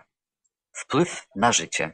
Dla przyczyn już wyjaśnionych powyżej, nikt z moich rozmówców nie zbudował sobie przenośnej kazalnicy i nie poświęcił się bez reszty głoszeniu swoich przeżyć. Nikt nie uważał się za powołanego do nawracania ludzi. Nie próbował przekonywać innych o realności własnych doświadczeń. Odkryłem nawet, że trudność polega na czymś wręcz przeciwnym. Ludzie z natury swej są bardzo powściągliwi w opowiadaniu tego, co im się przytrafiło. Wpływ tych doświadczeń na dalsze życie przybrał formy bardziej subtelne, spokojniejsze. Wiele osób mówiło mi, że ich życie niejako poszerzyło się i pogłębiło, że stali się bardziej skłonni do rozmyśleń i bardziej zaczęli się interesować filozofią dotyczącą rzeczy ostatecznych. W tym czasie, to było tuż przed moim pójściem do koledżu, dorastałem w małym miasteczku wśród ludzi o bardzo ciasnych horyzontach, z którymi jednak byłem zżyty. Byłem typowym chłopakiem ze szkoły średniej. Trzeba było należeć do jakiejś paczki, żeby być fajnym kumplem. Ale po tym, co mi się przytrafiło, chciałem wiedzieć więcej. W owym czasie jednak nie myślałem, że znajdę kogoś, kto by mi w tym dopomógł, ponieważ nigdy nie przebywałem poza tym moim malutkim światem. Nie miałem pojęcia o psychologii ani o tego rodzaju rzeczach. Czułem tylko, że się postarzałem w jedną noc po tym wydarzeniu, ponieważ otworzyło mi ono całkiem nowy świat, którego istnienia nigdy nie podejrzewałem. Ciągle sobie powtarzałem w duchu, jest tyle rzeczy, o których muszę się dowiedzieć. Innymi słowy, że istnieje w życiu coś więcej niż piątkowe kino i mecze piłki nożnej. Więcej niż kiedykolwiek przypuszczałem. I wtedy zacząłem myśleć, jakie są granice człowieka i jego umysłu. To mi otworzyło całkiem nowy, wielki świat. Inny rozmówca stwierdza. Od tej pory stale rozmyślałem nad tym, co zrobiłem z moim życiem i co zrobię z nim w przyszłości. Jestem zadowolony z mojej przeszłości. Nie uważam, by świat był mi coś winien, ponieważ naprawdę zrobiłem wszystko, co chciałem i zrobiłem to tak, jak chciałem. A teraz nadal żyję i mogę zrobić więcej. Ale od kiedy nagle umarłem, zacząłem się zastanawiać, czy zrobiłem pewne rzeczy dlatego, że były dobre, czy dlatego, że były dobre dla mnie. Przedtem działałem pod wpływem impulsu. A teraz najpierw wszystko muszę powoli i dokładnie przemyśleć, przetrawić. Staram się robić rzeczy ważniejsze, które wzbogacają mój umysł i duszę. Nie chcę być ani przez nikogo inspirowany, ani też sądzić innych. Chcę robić wiele dobrego, ale nie to, co jest dobre dla mnie. I wydaje mi się, że teraz, dzięki temu, co przeżyłem, gdzie byłem i co widziałem, wszystko znacznie lepiej rozumiem. Inni zmienili swe podejście, stosunek do życia fizycznego, do którego wrócili. Pewna kobieta mówi na przykład całkiem prosto: Życie stało się dla mnie znacznie bardziej cenne. Inna osoba opowiada: To było jakby błogosławieństwo, ponieważ przed tym atakiem serca zbyt czynnie zajmowałam się przyszłością moich dzieci i zbytnio troszczyłam się o wczoraj, a przez to traciłam radości dnia dzisiejszego. Teraz moja postawa uległa całkowitej przemianie. Kilka osób mówi o przemianie postawy duchowej i o względnej wartości ciała fizycznego wobec umysłu. Zwłaszcza dobrze ilustrują to słowa kobiety, która bliska śmierci znalazła się poza ciałem. Zdawałam sobie wtedy sprawę bardziej z umysłu niż z ciała fizycznego. Umysł był najważniejszy, a nie stan ciała. A przedtem przez całe moje życie było na odwrót. Ciało mnie interesowało najwięcej, a to, co się działo w umyśle, to się działo. Ale po tym, co przeżyłam, umysł stał się najważniejszy, a ciało było czymś drugorzędnym, jakby pokrowcem dla umysłu. Nie zwracałam uwagi na to, czy mam ciało, czy nie. Najważniejszy był umysł. Zaledwie kilka osób powiedziało, że po swoich doświadczeniach zauważyły w sobie rozwój zdolności intuicyjnych. Po tym przeżyciu miałam wrażenie, że przeniknął mnie nowy duch. Odtąd wiele osób mówiło mi, że mam na nie wpływ uspokajający, kiedy są zdenerwowane. I wydaje mi się, że jestem teraz z ludźmi w większej zgodzie, że łatwiej ich rozumiem. Po tej mojej śmierci otrzymałam pewien dar, mianowicie potrafię wyczuć potrzeby innych. Na przykład często, kiedy jadę windą w budynku, w którym pracuję, mam wrażenie, że potrafię czytać z ludzkich twarzy, powiedzieć, kto jaki potrzebuje pomocy. Wiele razy odzywałem się do ludzi zmartwionych i zapraszałem do mego pokoju na rozmowę, żeby im jakoś pomóc. Od kiedy miałam ten wypadek, czułam, że odbieram myśli ludzkie i wibracje, że potrafię wyczuć niechęć do mnie. Często umiałam odgadnąć, co ludzie powiedzą, nim otworzyli usta. Mało kto by mi uwierzył, ale miałam potem różne dziwne przeżycia. Pewnego razu byłam na przyjęciu i odgadywałam myśli innych osób. Kilka z nich, ci, którzy mnie nie znali, po prostu wyszli. Bali się, że jestem czarownicą albo czymś w tym rodzaju. Może to jest coś, czego nabrałam, kiedy nie żyłam. A może to we mnie drzemało nieużywane, dopóki się to nie przydarzyło. Odcinek szósty. Panuje godna podziwu jednomyślność co do tej lekcji wyniesionej z owych spotkań ze śmiercią. Prawie wszyscy moi rozmówcy podkreślili doniosłość kultywowania w życiu doczesnym miłości do bliźnich, miłości wyjątkowej i głębokiej. Pewien mężczyzna, który widział świetlistą postać, poczuł się otoczony miłością i zaakceptowany, mimo iż owa istota widziała panoramę jego życia. Czuł, że pytanie, jakie mu zadała, brzmiało, czy potrafisz w ten sam sposób kochać innych? Uważa, że jest teraz jego posłannictwem na ziemi nauczyć się takiej miłości. Poza tym wiele innych osób podkreśliło, jak ważne jest poszukiwanie wiedzy. W trakcie swych doświadczeń zostało im przekazane, że nabywanie wiedzy trwa nawet po życiu na ziemi. Pewna kobieta na przykład skorzystała z możliwości nauki, jaką miała po swej śmierci. Pewien mężczyzna udziela rady. Niezależnie od tego, ile kto ma lat, powinien się stale uczyć. To jest bowiem proces, który trwa po wieczność. Nikt z moich rozmówców nie żywił przekonania po swoim doświadczeniu, że jest moralnie oczyszczony albo doskonały. Nikt nie miał ochoty wywyższać się nad innych. Przeciwnie, większość podkreślała, że ciągle próbują być lepsi, że się starają. Ich wizja ukazała im nowe cele, nowe zasady moralne. Postanowili żyć w zgodzie z nimi. Wiedzieli jednak, że nie są już zbawieni czy moralnie doskonali. Nowy pogląd na śmierć. Jak można było oczekiwać, te przeżycia wywarły głęboki wpływ na postawę człowieka wobec fizycznej śmierci, zwłaszcza na poglądy tych, którzy przedtem spodziewali się, że po śmierci nic nie ma. W takiej czy innej formie prawie wszyscy wyrazili myśl, że nie boją się już śmierci. To jednak wymaga wyjaśnienia. Po pierwsze, pewne formy śmierci są oczywiście niepożądane. Po drugie, żadna z tych osób nie szuka świadomie śmierci. Są przekonani, że dopóki żyją fizycznie, muszą wypełniać swoje zadania i zgodziliby się zapewne ze słowami pewnego mężczyzny, który mi powiedział muszę dokonać wielu zmian, zanim odejdę z tego świata.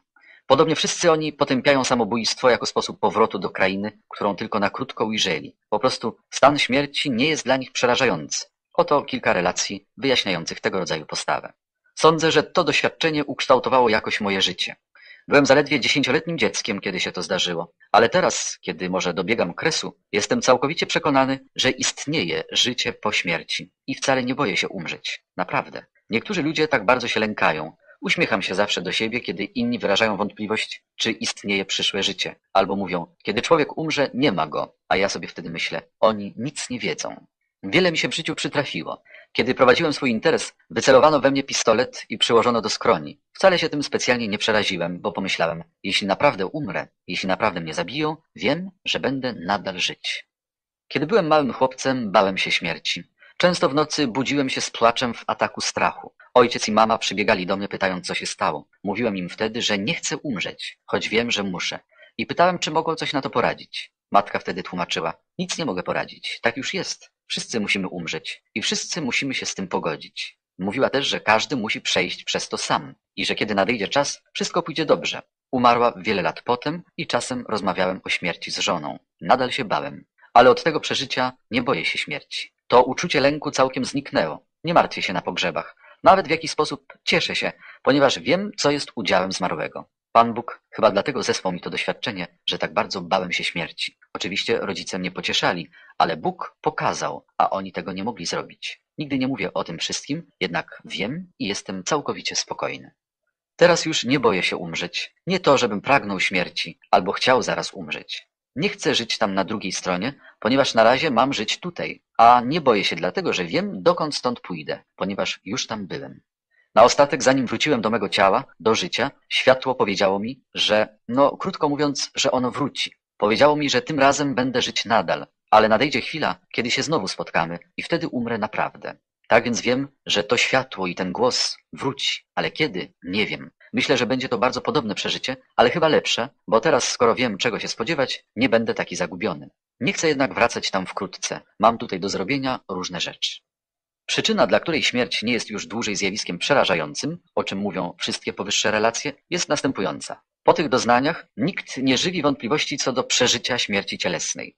To nie jest już tylko abstrakcyjna możliwość, ale fakt doświadczony osobiście. Proszę przypomnieć sobie, że wcześniej omawiałem koncepcję unicestwienia, która jako model śmierci przyjmuje zapomnienie i sen. Osoby, które umarły, odrzucają taki model i uważają śmierć za przejście z jednego stanu w drugi, za przejście do wyższego stanu świadomości czy istnienia. Pewna kobieta, którą zmarli krewni powitali po śmierci, porównywała ją do powrotu do domu, inni do pozytywnych psychicznie stanów, przykład do przebudzenia, otrzymania dyplomu czy ucieczki z więzienia. Niektórzy powiadają, że nie wymawiamy słowa śmierć, ponieważ staramy się od niego uciec. W moim przypadku nie jest to prawdą.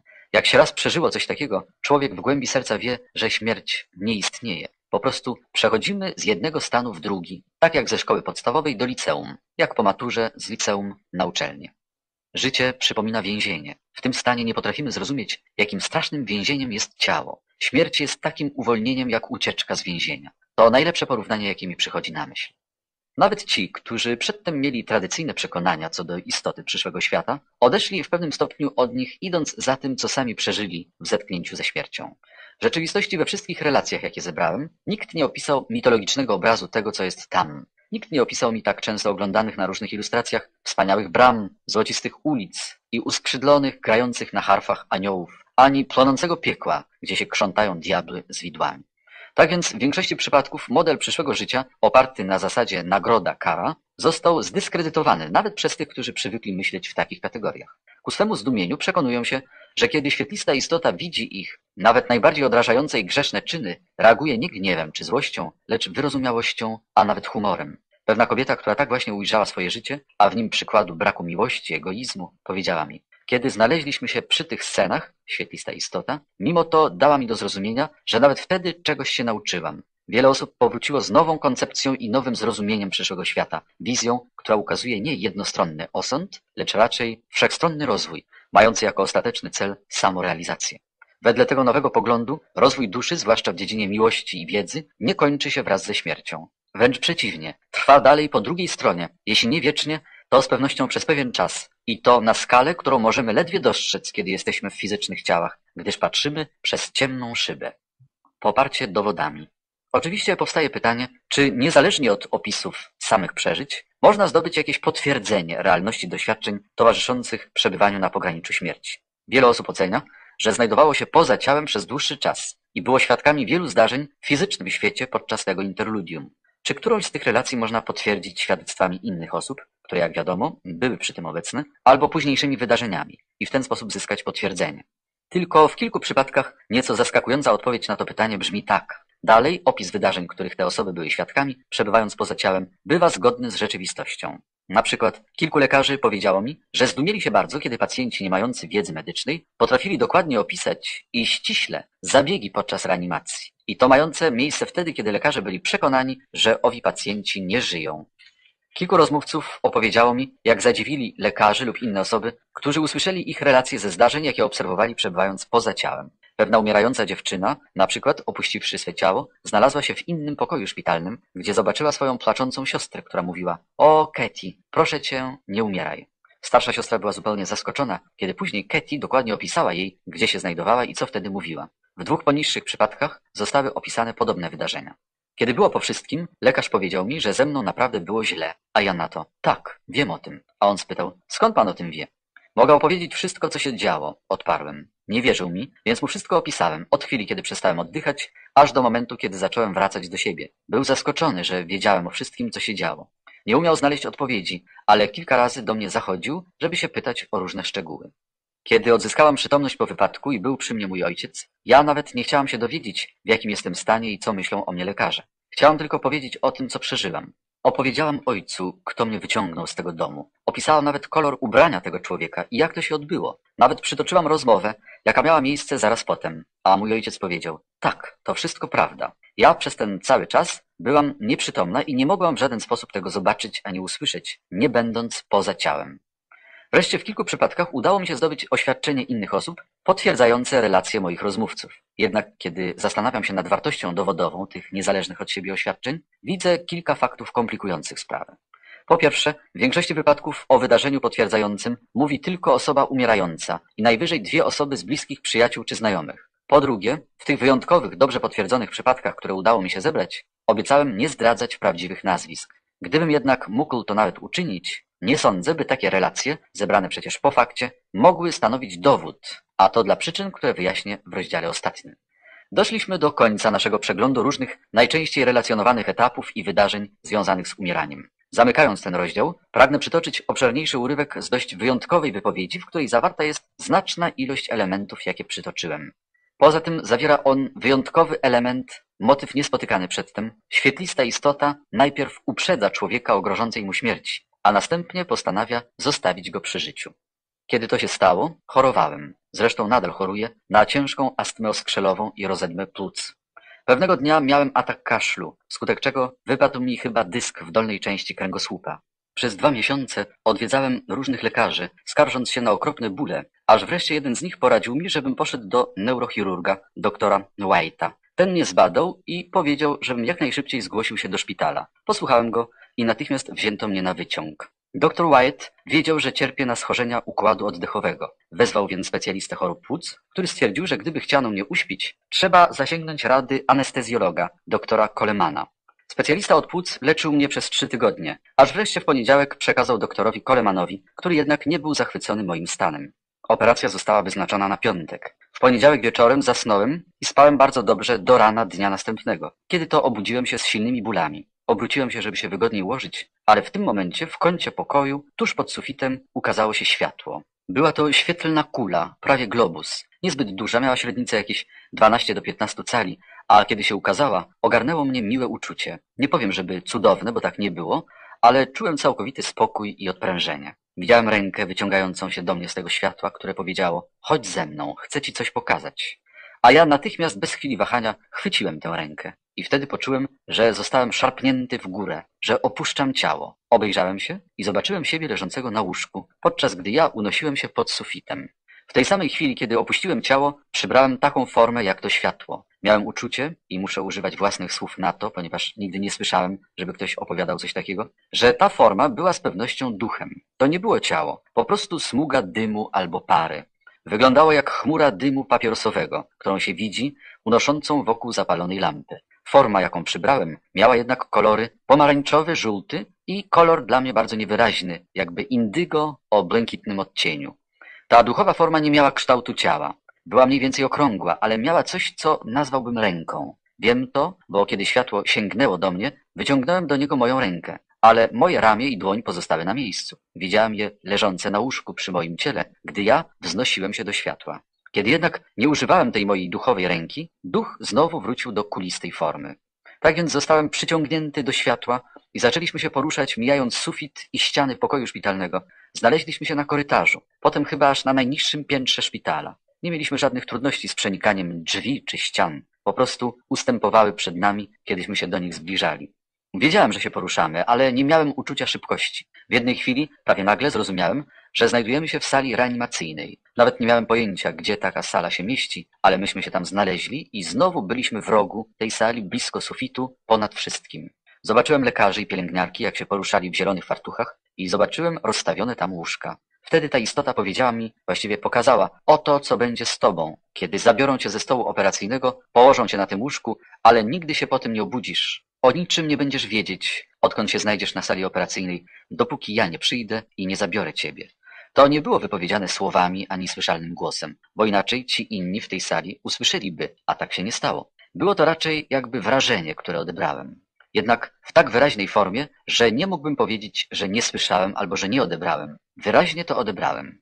Kiedy byłem w tej duchowej formie, wszystko co widziałem, o ileż było łatwiejsze do rozpoznania. Raz przemknęła mi myśl, co takiego ono chce mi pokazać. A potem wiedziałem od razu, co to było, o co chodziło. Nie było wątpliwości. To łóżko. Łóżko po prawej stronie, jak się wchodziło z korytarza. Na nim będę leżeć. A ono przyprowadziło mnie tu specjalnie. I potem powiedziało mi dlaczego. Światło w obawie, żebym się nie lękał, kiedy przyjdzie pora i mój duch opuści ciało, pragnęło, żebym wiedział, jakie to będzie uczucie. Chciało mi dodać otuchy, żebym się nie bał. Powiedziało, że nie od razu będzie ze mną, że najpierw będę musiał przeżyć różne rzeczy, ale że ono będzie czuwać nad wszystkim i na koniec czekać tu na mnie. A kiedy przyłączyłem się do niego, żeby odbyć tę wycieczkę do sali reanimacyjnej, stałem się sam duchem i w jakiś sposób połączyliśmy się w jedno, będąc oczywiście przy tym dwoma oddzielnymi istotami. Jednak to ono sprawowało kontrolę nad wszystkim, co mnie dotyczyło. I nawet kiedy przenikaliśmy ściany i sufity i tak dalej, wydawało mi się, że jestem tak z nim zjednoczony, że o nic się nie martwiłem. I znowu to uczucie spokoju, ciszy i radości, jakich nigdy dotąd nie doświadczyłem. Kiedy mi to powiedziało, zabrało mnie z powrotem do mego pokoju szpitalnego. Gdy wróciliśmy tam, zobaczyłem znowu moje ciało, ciągle leżące w tej samej pozycji, w jakiej je zostawiliśmy. I nagle znalazłem się w nim znowu. Przypuszczam, że byłem poza ciałem pięć albo dziesięć minut, ale upływ czasu nie miał wtedy żadnego znaczenia. Nie pamiętam nawet, czy pomyślałem w ogóle o jakimś określonym czasie. Całe to zdarzenie zaskoczyło mnie, zdumiało. Było tak żywe i wyraźne, bardziej niż zwykłe przeżycie. A następnego ranka nie bałem się wcale. Kiedy się goliłem, zauważyłem, że moja ręka wcale nie drży, jak to było przez ubiegłe sześć albo osiem tygodni. Wiedziałem, że umrę, ale nie czułem żalu ani strachu. Nie postała mi w głowie nawet myśl, co robić, żeby temu przeszkodzić. Byłem gotów. W czwartek po południu, w przeddzień operacji, byłem w swoim pokoju szpitalnym i bardzo się martwiłem. Moja żona i ja zaadoptowaliśmy chłopca, siostrzeńca i mieliśmy z nim trudności.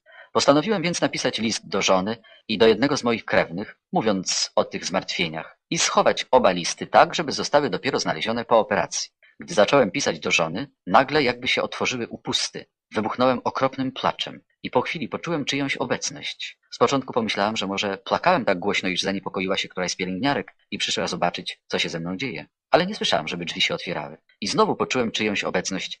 Tym razem nie zobaczyłem światła. I znowu dotarły do mnie niewypowiadane słowa, ale myśli. I usłyszałem. Jack, dlaczego płaczesz? Myślałem, że będziesz chciał być ze mną. A ja pomyślałem. Tak, i bardzo chcę odejść. A ten głos powiedział. Dlaczego więc płaczesz? Odparłem. Mamy zmartwienie z naszym siostrzeńcem. Boję się, że moja żona nie potrafi go wychować. Staram się teraz napisać jej, co ma robić. Martwię się, bo wydaje mi się, że gdybym żył, może poradziłbym sobie z nim. I wtedy od tej obecności przyszła do mnie myśl. Ponieważ troszczysz się o innych i prosisz nie o siebie, zrobię to, co chcesz. Będziesz żyć tak długo, aż zobaczysz swego siostrzeńca jako dorosłego człowieka. I natychmiast ta obecność zniknęła. Przestałem plakać i zniszczyłem list, żeby moja żona przypadkiem go nie znalazła. Tego wieczora przyszedł do mnie doktor Coleman i powiedział, że spodziewa się kłopotów z narkozą i żebym się po przebudzeniu nie zdziwił, jak zobaczę przy sobie mnóstwo różnych drutów, przewodów i aparatów. Nie powiedziałem mu, co przeżyłem, tylko skinąłem głową i obiecałem współpracę z lekarzami. Następnego ranka operacja trwała długo, ale udała się. Kiedy odzyskałem przytomność, doktor Coleman był przy mnie, a ja powiedziałem, wiem dokładnie, gdzie jestem. A on spytał, w jakim łóżku? W pierwszym łóżku po prawej stronie, jak się wchodzi z korytarza. On się tylko na to roześmiał i oczywiście myślał, że jestem jeszcze pod wpływem narkozy. Chciałem mu powiedzieć, co mi się przydarzyło, ale w tej chwili wszedł doktor Wyatt, mówiąc, a więc nasz pacjent już się obudził. Co pan kolega chce teraz zrobić? A Coleman odparł, nie mam nic do roboty. Jeszcze nigdy w życiu nie byłem tak zdumiony. Oto jestem gotów z całą aparaturą, a pacjentowi nic nie potrzeba. Cuda jeszcze się zdarzają, powiedział doktor Wyatt. Kiedy już mogłem usiąść na łóżku i obejrzeć salę, przekonałem się, że leżę na tym samym łóżku, które mi wskazało światło kilka dni przedtem. Działo się to trzy lata temu, ale wspomnienie tego jest tak żywe, jakby wszystko zdarzyło się wczoraj. Nigdy jeszcze nie przytrafiło mi się nic równie fantastycznego. Zmieniło się wiele w moim życiu, ale o tym doświadczeniu nie mówię. Opowiedziałem tylko żonie, bratu, mojemu pastorowi i teraz panu, doktorze. Nie wiem, jak to wyrazić, ale to takie trudne do wytłumaczenia. Nie chcę zrobić na panu wielkiego wrażenia, ani nie staram się przechwalać. Ale po tym wszystkim nie mam więcej żadnych wątpliwości. Wiem z całą pewnością, że po śmierci jest życie. Rozdział trzeci. Zbieżności. To, co się dzieje podczas faz umierania, jest, mówiąc oględnie, niezwykłe. I dlatego moje zdumienie rosło, kiedy w ciągu wielu lat napotykałem szereg zaskakujących zbieżności. Występują one również w dawnych, często ezoterycznych pismach, poza tym w literaturze różnych cywilizacji, kultur i epok. Biblia. W naszym społeczeństwie Biblia jest najpowszechniej czytaną i komentowaną książką, która porusza sprawy dotyczące duchowego aspektu człowieka i życia po śmierci. Jednak w całości Biblia stosunkowo mało ma do powiedzenia o wydarzeniach związanych ze śmiercią albo o tym, jaki jest ten przyszły świat. Zwłaszcza odnosi się to do Starego Testamentu. Wedle niektórych biblistów tylko dwa ustępy ze Starego Testamentu mówią jednoznacznie o życiu po śmierci. Izajasz. Ożyją twoi umarli, z martwych wstaną ich trupy, obudzą się i krzykną z radości spoczywający w prochu, bo ziemia wyda cienie zmarłych. Daniel. A wielu się obudzi z tych, którzy śpią w krainie prochu, ci do wiecznego życia, a owi ku pohańbieniu, na wieczne zawstydzenie. Proszę zwrócić uwagę, że w obu tych fragmentach powiedziane jest wyraźnie, że nastąpi zmartwychwstanie fizycznych ciał, a stan śmierci fizycznej został tu znowu porównany do snu. A jednak, jak to widzieliśmy w poprzednim rozdziale, niewiele osób odwoływało się do obrazów biblijnych, kiedy starały się omówić czy wyjaśnić swoje przeżycia. Przypomnijmy sobie, że pewien mężczyzna porównał ciemne, zamknięte miejsce, przez jakie przechodził w momencie śmierci, do biblijnej Doliny Cieni Śmierci. Dwie osoby wspomniały oświadczenie Jezusa. Jam jest światłość świata. Zapewne na podstawie tego zdania określiły spotkane światło jako Chrystusa. Odcinek siódmy. Jedna z nich powiedziała mi, nie widziałam żadnej postaci w tym świetle, ale dla mnie było ono Chrystusem, świadomą jednością ze wszystkimi rzeczami, doskonałą miłością. Sądzę, że Jezus rozumiał to dosłownie, kiedy powiedział, że jest światłością świata. Poza tym, podczas mojej własnej lektury, napotkałem w Biblii zbieżności, o jakich żaden z moich rozmówców nie wspomniał. Najciekawsze w pismach apostoła Pawła. Prześladował on Chrystusa, dopóki nie miał słynnej wizji na drodze do Damaszku, kiedy to się nawrócił. Powiada on, dzieje apostolskie. W południe podczas drogi ujrzałem o królu światło z nieba, jaśniejsze od słońca, które ogarnęło mnie i moich towarzyszy podróży. Kiedyśmy wszyscy upadli na ziemię, usłyszałem głos, który mówił do mnie po hebrajsku. Szawle, szawle, dlaczego mnie prześladujesz? Trudno ci bierzgać przeciwko ościeniowi. Kto jesteś, panie? zapytałem. A pan powiedział, ja jestem Jezus, którego ty prześladujesz. Ale podnieś się i stań na nogi, bo ukazałem ci się po to, aby ustanowić cię sługą i świadkiem tego, co zobaczyłeś i tego, co ci objawię. Temu widzeniu z nieba nie mogłem się sprzeciwić, królu Agryppo. Tracisz rozum, Pawle, zawołał głośno Festus. Wielka nauka doprowadza cię do utraty rozsądku. Nie tracę rozumu, dostojny Festusie, lecz słowa, które mówię, są prawdziwe i przemyślane. To wydarzenie przypomina spotkanie ze świetlistą istotą w czasie przeżyć ludzi bliskich śmierci. Po pierwsze, ta istota posiadała osobowość, chociaż nie miała wiadomego kształtu fizycznego, a głos, który stawiał pytania i wydawał polecenia, był jej emanacją. Kiedy Paweł starał się o tym opowiedzieć, został wyśmiany i twierdzono, że stracił rozum. Mimo to wizja ta zmieniła cały tok jego życia. Odtąd stał się orędownikiem chrześcijaństwa jako sposobu życia, którego treścią jest miłość bliźniego. Istnieją oczywiście pewne różnice. Paweł podczas swej wizji nie był bliski śmierci. Jeszcze jedna rzecz interesująca. Paweł notuje, że był oślepiony tym światłem i później przez trzy dni nic nie widział. Jest to niezgodne z relacjami tych, którzy opowiadają, że choć światło było niezwykle jasne, nie oślepiało ich, ani też nie przeszkadzało widzieć innych rzeczy w pobliżu. W rozważaniach na temat istoty życia pozagrobowego Paweł powiada, że są tacy, którzy podają wątpliwość chrześcijańską koncepcję życia po śmierci, pytając, jakiego rodzaju ciało będą mieć zmarli. Pierwszy list do Koryntian. Lecz oto powie ktoś, a jak zmartwychwstają umarli? W jakim ukażą się ciele? O niemądry, to co zasiewasz nie jest od razu ciałem, którym ma się stać potem, lecz zwykłym ziarnem. Bóg zaś takie daje mu ciało, jakie zechciał, każdemu z nasion właściwe. Są ciała niebieskie i ziemskie, lecz inne jest piękno ciał niebieskich, inne ziemskich. Podobnie rzecz się ma ze zmartwychwstaniem. Zasiewa się to, co zniszczalne, powstaje zaś niezniszczalne. Sieje się, co niechwalebne, powstaje chwalebne. Sieje się, co słabe, powstaje mocne. Zasiewa się ciało zmysłowe, powstaje ciało duchowe. Jeżeli jest ciało ziemskie, powstanie też ciało niebieskie. A oto ogłaszam wam tajemnicę. Nie wszyscy pomrzemy, lecz wszyscy będziemy odmienieni. W jednym momencie, w okamgnieniu, na dźwięk ostatniej trąby, zabrzmi bowiem trąba, umarli powstaną nienaruszeni. Ciekawe, że Pawłowy opis ciała duchowego zgodny jest z relacjami tych, którzy opuścili swe ciała. We wszystkich przypadkach podkreślano niematerialność ciała duchowego, brak substancji fizycznej, jak również brak wszelkich ograniczeń. Paweł powiada na przykład, że o ile ciało fizyczne jest słabe i brzydkie, duchowe będzie mocne i piękne. To mi przypomina pewną relację, w której ciało duchowe było całe, nieuszkodzone, choć to fizyczne zostało poważnie okaleczone, a także i inną, w której duchowe ciało nie miało żadnego określonego wieku, to znaczy nie podlegało ograniczeniom czasu. Platon. Platon, jeden z największych myślicieli wszechczasów, żył w Atenach w latach 427-347 przed Chrystusem. Swoją filozofię zawarł w licznych dialogach, w których rozmówcą jest na ogół jego nauczyciel Sokrates i niewielkiej ilości listów. Platon był zdania, że rozumowanie, logika i dyskusja są najlepszą drogą, by osiągnąć prawdę i mądrość, ale tylko do pewnej granicy. Był bowiem także wielkim wizjonerem i uważał, że do ostatecznej prawdy można dojść jedynie dzięki intuicji, dzięki mistycznemu przeżyciu olśnienia. Uważał, że istnieją płaszczyzny i wymiary rzeczywistości odmienne od fizycznego zmysłowego świata i wierzył, że ta fizyczna dziedzina może być zrozumiana tylko w powiązaniu z innymi, wyższymi płaszczyznami rzeczywistości. I dlatego zajmował się głównie niematerialnym, świadomym składnikiem człowieka, duszą, i traktował fizyczne ciało jako tymczasowy jej wehikuł.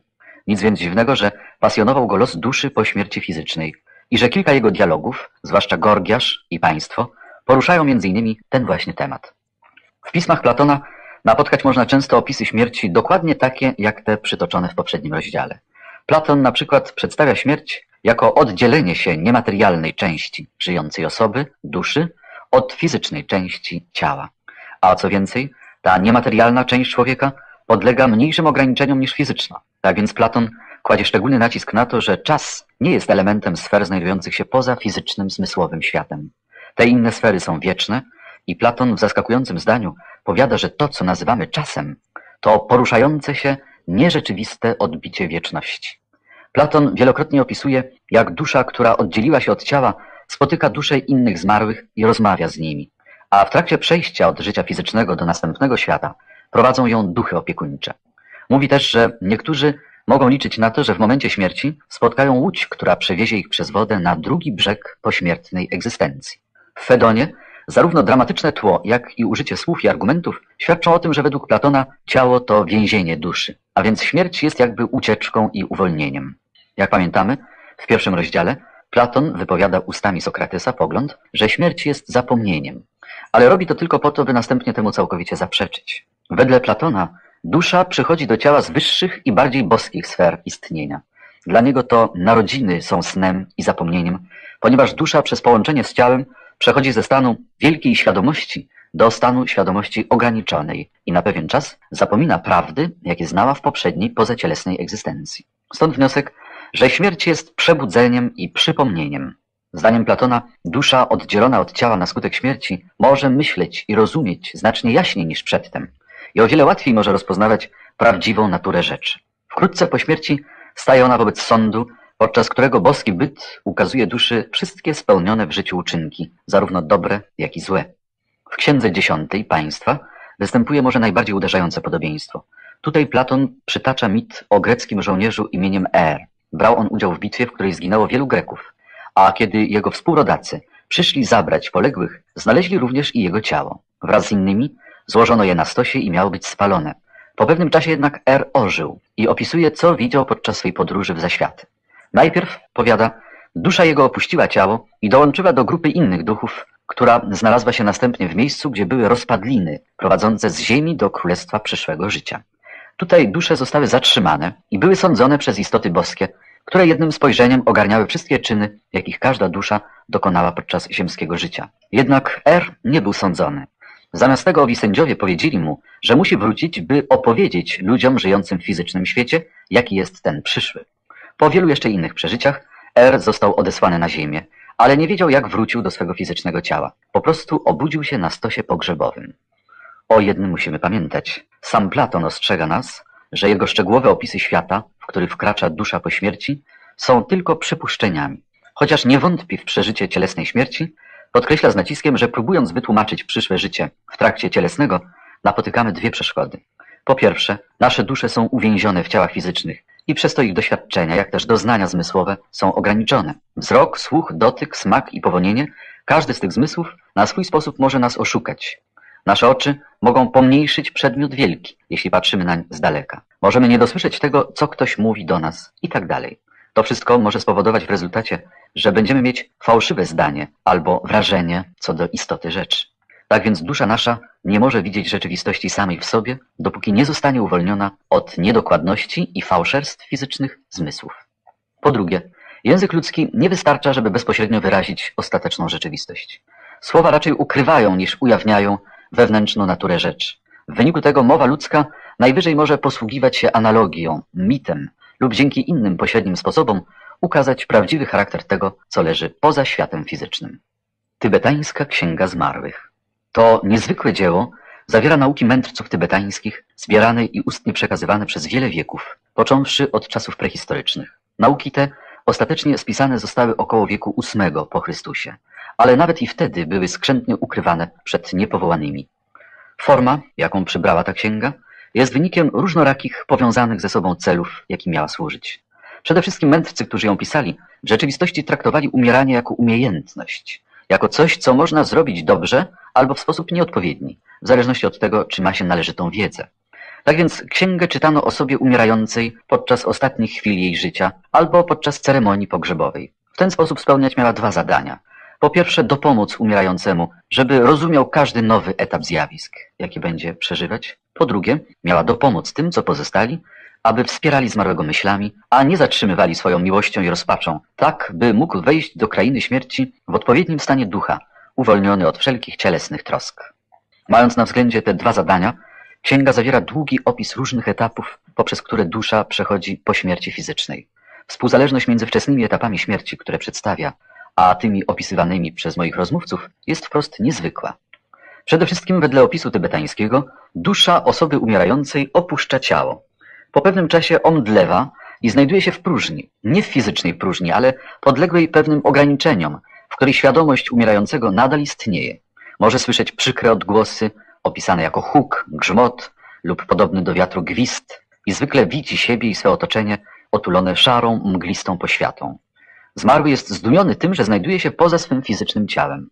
Widzi i słyszy opłakujących go najbliższych i przyjaciół. Widzi przygotowania do pogrzebu, a jednak, kiedy stara się do nich przemówić, nie słyszą go ani nie widzą. Jeszcze nie zdaje sobie sprawy, że nie żyje, jest oszołomiony, nie wie, czy już umarł, czy nie. A kiedy wreszcie to sobie uświadomi, nie ma pojęcia, gdzie powinien pójść albo co robić. Ogarnia go wielki żal i przygnębienie. Przez krótki czas pozostaje w pobliżu miejsc, gdzie przebywał podczas ziemskiego życia. W pewnym momencie spostrzega, że nadal ma ciało, zwane jaśniejącym ciałem, które jednak nie jest substancją materialną. Tak więc może przenikać przez skały i mury, nie napotykając żadnych trudności. Gdziekolwiek chce być, znajduje się tam w jednej chwili. Jego myśli i postrzeganie są mniej ograniczone.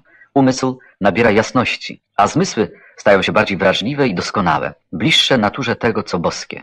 Jeśli w życiu fizycznym był ślepy, albo głuchy, albo kulawy, ku swemu zdumieniu przekonuje się, że w tym jaśniejącym ciele wszystkie jego zmysły, jak też możliwości ciała fizycznego zostały w pełni przywrócone, nawet wzmocnione. Może spotkać inne istoty w tej samej postaci. Może też ujrzeć to, co w tybetańskiej księdze nazwane jest czystym albo jasnym światłem. Tybetańczycy radzą umierającemu, by zbliżył się do tego światła, źródła wielkiej miłości i zrozumienia. Księga opisuje również uczucie ogromnego spokoju i zadowolenia, jakiego doświadcza umierający. Mówi także o swego rodzaju lustrze, w którym całe życie zmarłego, wszystkie uczynki, dobre i złe, zostają wyraźnie ukazane zarówno jemu, jak też istotom sądzącym go. W tej sytuacji nie ma mowy o żadnych wykrętach i kłamstwach. Krótko mówiąc, nawet jeśli tybetańska księga zmarłych przytacza wiele późniejszych stanów, jakich żaden z moich rozmówców nie przeżył, jest całkiem oczywiste, że występuje tu uderzające podobieństwo pomiędzy treścią tego pradawnego manuskryptu, a zdarzeniami, o jakich mi mówili współcześni Amerykanie z końca XX wieku. Emanuel Swedenborg. Swedenborg, który żył w latach 1688-1772, urodził się w Sztokholmie. Był znany w swoich czasach i miał znaczne osiągnięcia w naukach przyrodniczych. Najpierw interesował się anatomią, fizjologią i psychologią, a jego prace z tych dziedzin zyskały duże uznanie. Jako starzec przeżył przełom religijny i zaczął opowiadać o swych doznaniach, kiedy to, jak twierdził stanowczo, był w kontakcie z duchowymi istotami spoza naszego świata. Jego późniejsze prace pełne są dokładnych opisów, jak wygląda życie po śmierci. I w tym wypadku zbieżność pomiędzy tym, co pisze na temat swoich przeżyć duchowych, a tym, co opowiadali mi ludzie bliscy śmierci, jest zdumiewające. Na przykład Swedenborg opisuje etap, kiedy funkcje oddychania i krążenia krwi zostają przerwane. Człowiek jeszcze nie umarł, ale oddzielony jest tylko od swej cielesnej powłoki, która służyła mu na tym świecie. Człowiek, kiedy umiera, przechodzi tylko z jednego świata do drugiego. Swedenborg twierdzi, że sam przeżywał wczesne fazy śmierci i doświadczył oderwania się od swego ciała. Znalazłem się w stanie oderwania od zmysłów cielesnych. Byłem prawie umierający. Jednak moje wewnętrzne życie wraz z myśleniem pozostało niezakłócone. Także odbierałem wrażenia i zachowałem pamięć tych rzeczy, które się wydarzyły i które są udziałem ludzi ożywionych z martwych. Zwłaszcza doznałem wrażenia, że mój umysł, mój duch został wyciągnięty, wyrwany z ciała. W czasie tego przeżycia spotyka istoty, które określa jako anioły. Pytają go, czy gotów jest umrzeć. Te anioły spytały mnie najpierw, jakie są moje myśli. Czy są to myśli człowieka umierającego, który przygotowuje się do życia w wieczności i chciały, bym zachował te myśli. Jednak kontakt, jaki nawiązał się pomiędzy Swedenborgiem a duchami, nie miał charakteru ziemskiego, ludzkiego. Jest prawie bezpośrednim przekazywaniem myśli. Stąd niemożliwe jest wzajemne niezrozumienie. Kiedy duchy rozmawiają ze sobą uniwersalnym językiem, każdy człowiek natychmiast po śmierci poznaje ten uniwersalny język, który jest właściwy jego duchowi. To, co mówił anioł albo duch do człowieka, jest tak słyszalne jak mowa ludzka, a mimo to nie słyszą jej inni, którzy stoją blisko, a tylko on sam, dlatego że mowa anioła albo ducha przenika do myśli ludzkiej. Człowiek niedawno zmarły nie zdaje sobie sprawy, że umarł, ponieważ nadal jest w ciele, które przypomina jego ciało fizyczne pod wieloma względami. Pierwszy stan człowieka po śmierci przypomina jego postać na ziemi, ponieważ ma podobne cechy zewnętrzne. Stąd wydaje mu się, że jest jeszcze na ziemi. I dlatego, kiedy się dziwili, że są w ciele i że mają zmysły, wszystkie takie, jakie mieli na ziemi, zapragnęli dowiedzieć się, jakie jest niebo i jakie jest piekło. Jednak stan duchowy jest mniej ograniczony. Postrzeganie, myśl i pamięć są doskonalsze. Czas i przestrzeń nie są przeszkodami jak w życiu fizycznym. Wszystkie właściwości ducha są znacznie doskonalsze, zarówno jak odbierane przez nie wrażenia, myśli i postrzeżenia. Umierający człowiek spotyka się z duchami tych, którzy odeszli przed nim, a których znał za życia. Są oni po to, by mu pomóc w przejściu do drugiego świata. Duch człowieka, który niedawno opuścił świat, rozpoznany zostaje przez jego przyjaciół i tych, których znał żyjąc na ziemi. Pouczają oni, jakie jest wieczne życie.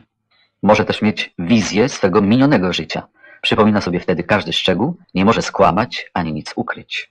Wewnętrzna pamięć to taka, w której zapisane jest dokładnie wszystko to, o czym człowiek w każdej chwili myślał, mówił i co czynił, od najwcześniejszego dzieciństwa po wiek sędziwy.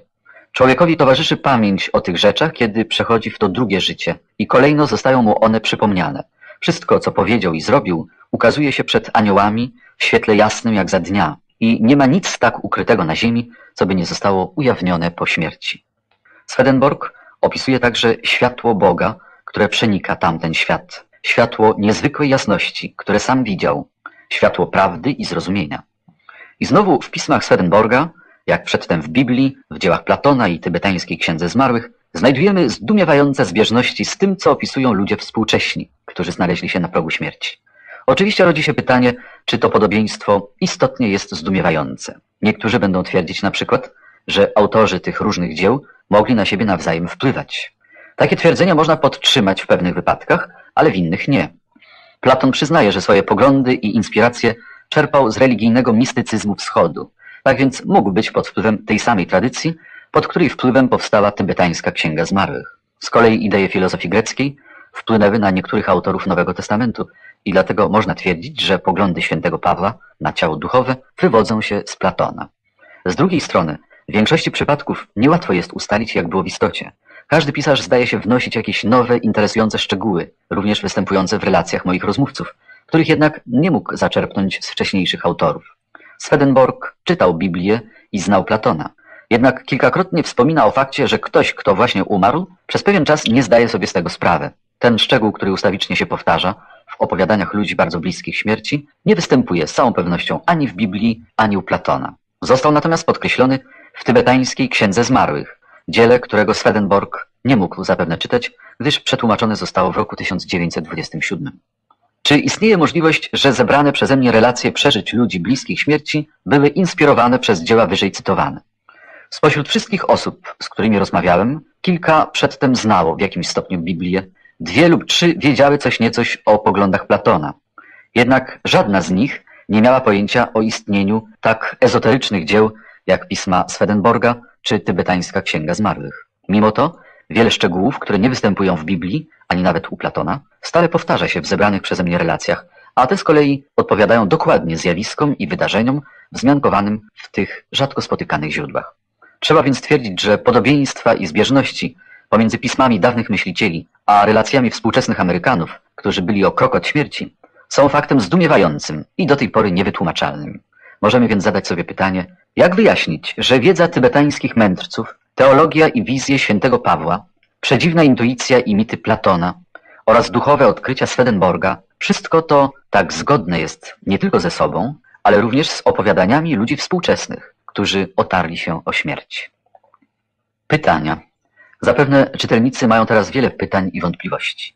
W latach, kiedy wygłaszałem odczyty i odbyłem wiele prywatnych rozmów, zadawano mi mnóstwo pytań, na ogół dotyczących tych samych zagadnień. Dlatego mogłem sporządzić listę tych powtarzających się najczęściej. W niniejszym rozdziale, a także i w następnym postaram się do nich ustosunkować. Czy pan to wszystko wymyślił? Nie, nie wymyśliłem. Pragnę w dalszym ciągu wykładać psychiatrię i filozofię medycyny, tak więc próba oszustwa z pewnością nie pozwoliłaby mi zrealizować tego celu. Przekonałem się zresztą, że każdy, kto wnikliwie i z życzliwością wypytuje swych znajomych, przyjaciół i krewnych o takie przeżycia, wkrótce pozbywa się swych wątpliwości. Czy podchodzi Pan do sprawy dostatecznie realistycznie? Do jakiego stopnia takie zjawiska są powszechne? Ja sam doskonale zdaję sobie sprawę, że na skutek ograniczonej z konieczności liczby zbadanych przeze mnie przypadków, nie jestem w stanie ocenić ściśle częstotliwości i zasięgu tego rodzaju zjawisk. Jednak całkiem śmiało mogę powiedzieć, że zdarzają się one znacznie częściej, niż mógłby przypuszczać ktoś, kto tego nie badał. Miałem wiele publicznych odczytów na ten temat dla różnych pod względem składu i liczebności audytoriów. I nigdy nie zdarzyło się, aby ktoś potem do mnie nie przyszedł ze swoją własną historią, a nawet w kilku przypadkach ludzie opowiadali swe przeżycia publicznie. Oczywiście zawsze można powiedzieć i słusznie, że ktoś, kto sam czegoś podobnego doświadczył, zechce posłuchać odczytu o takiej tematyce. Mimo to wielekroć ludzie ci nie z powodu tematu przychodzili na mój wykład. Na przykład ostatnio mówiłem do 30-osobowej grupy, z której dwie osoby doświadczyły przeżyć z pogranicza śmierci, ale obie znalazły się na prelekcji dlatego, że należały do tego właśnie zespołu. Żadna z nich nie wiedziała, o czym będę mówić. Odcinek ósmy, nie tak powszechny, dlaczego nie są ogólnie znane. Składa się na to chyba kilka powodów.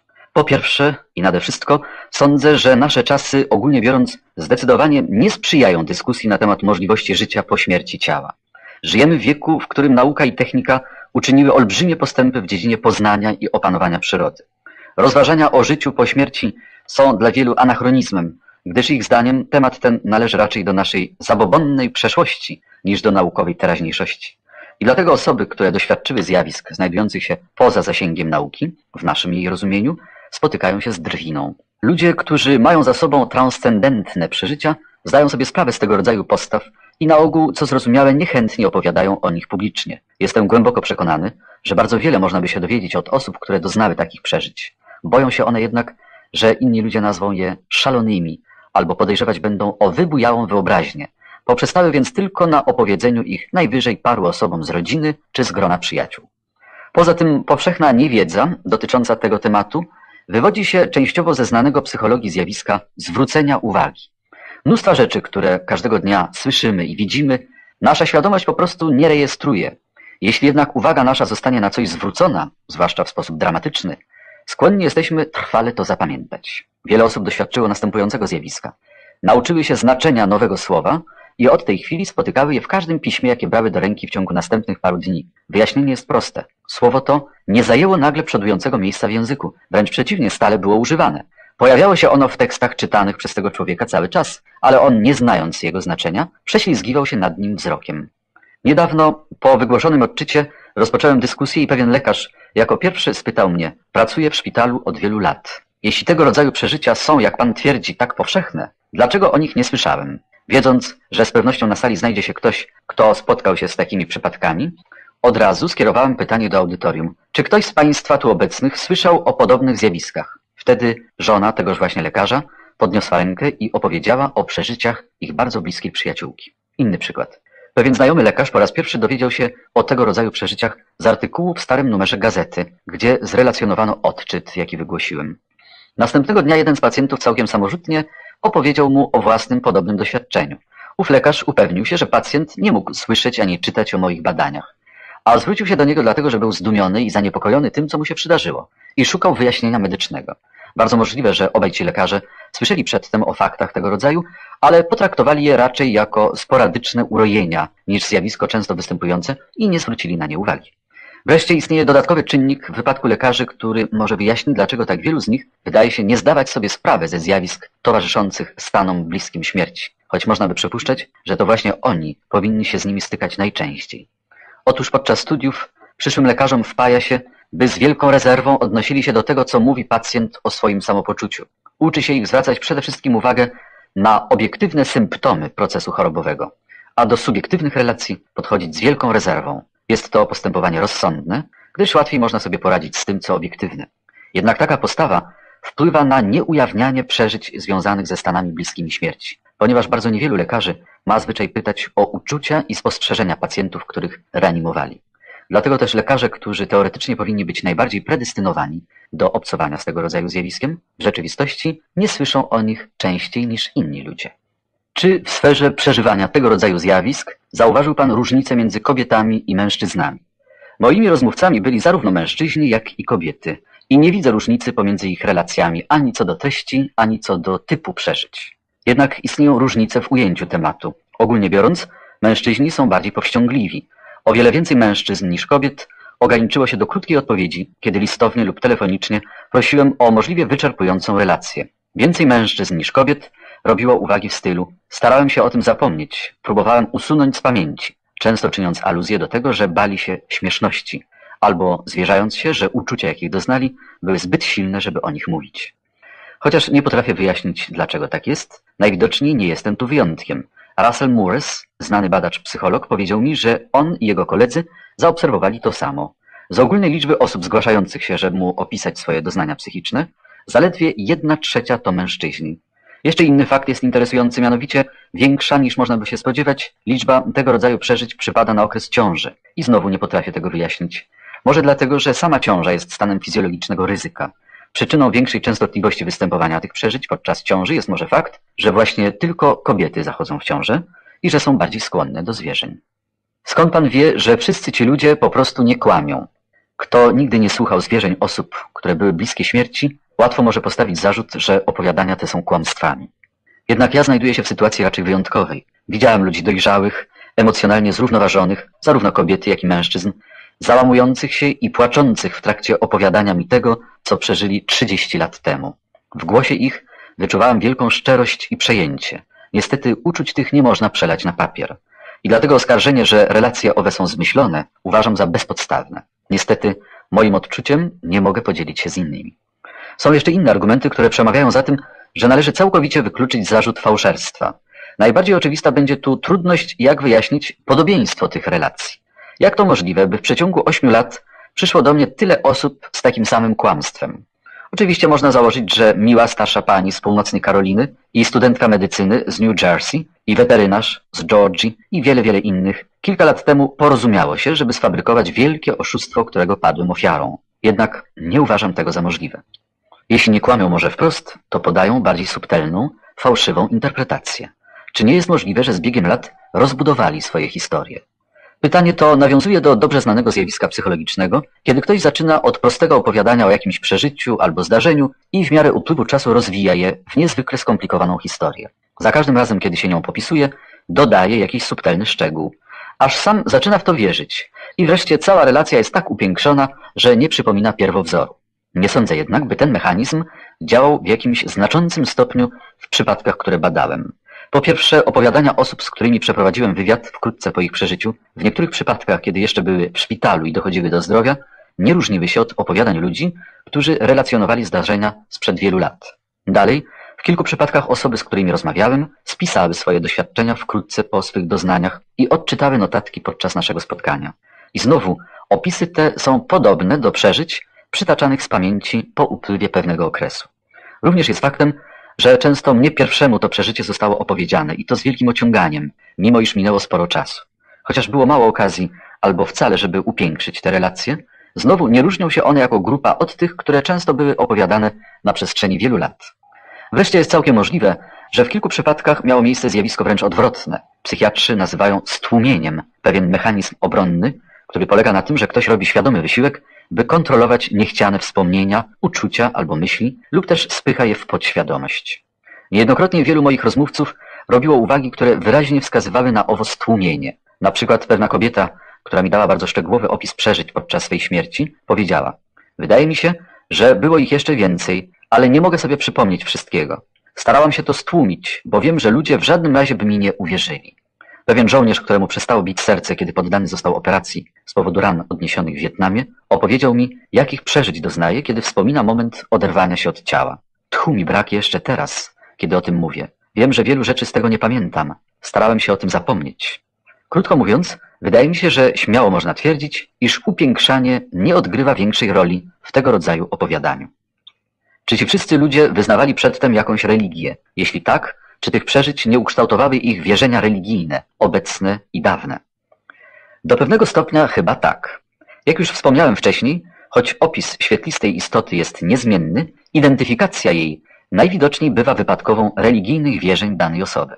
W czasie całych moich badań Jednak nie słyszałam żadnej wzmianki o niebie albo piekle, nic związanego ze zwyczajowym obrazem, jaki powszechnie tkwi w wyobraźni naszego społeczeństwa. Przeciwnie, wiele osób podkreślało, jak niepodobne były ich przeżycia do tego, czego spodziewały się na podstawie swych wierzeń religijnych.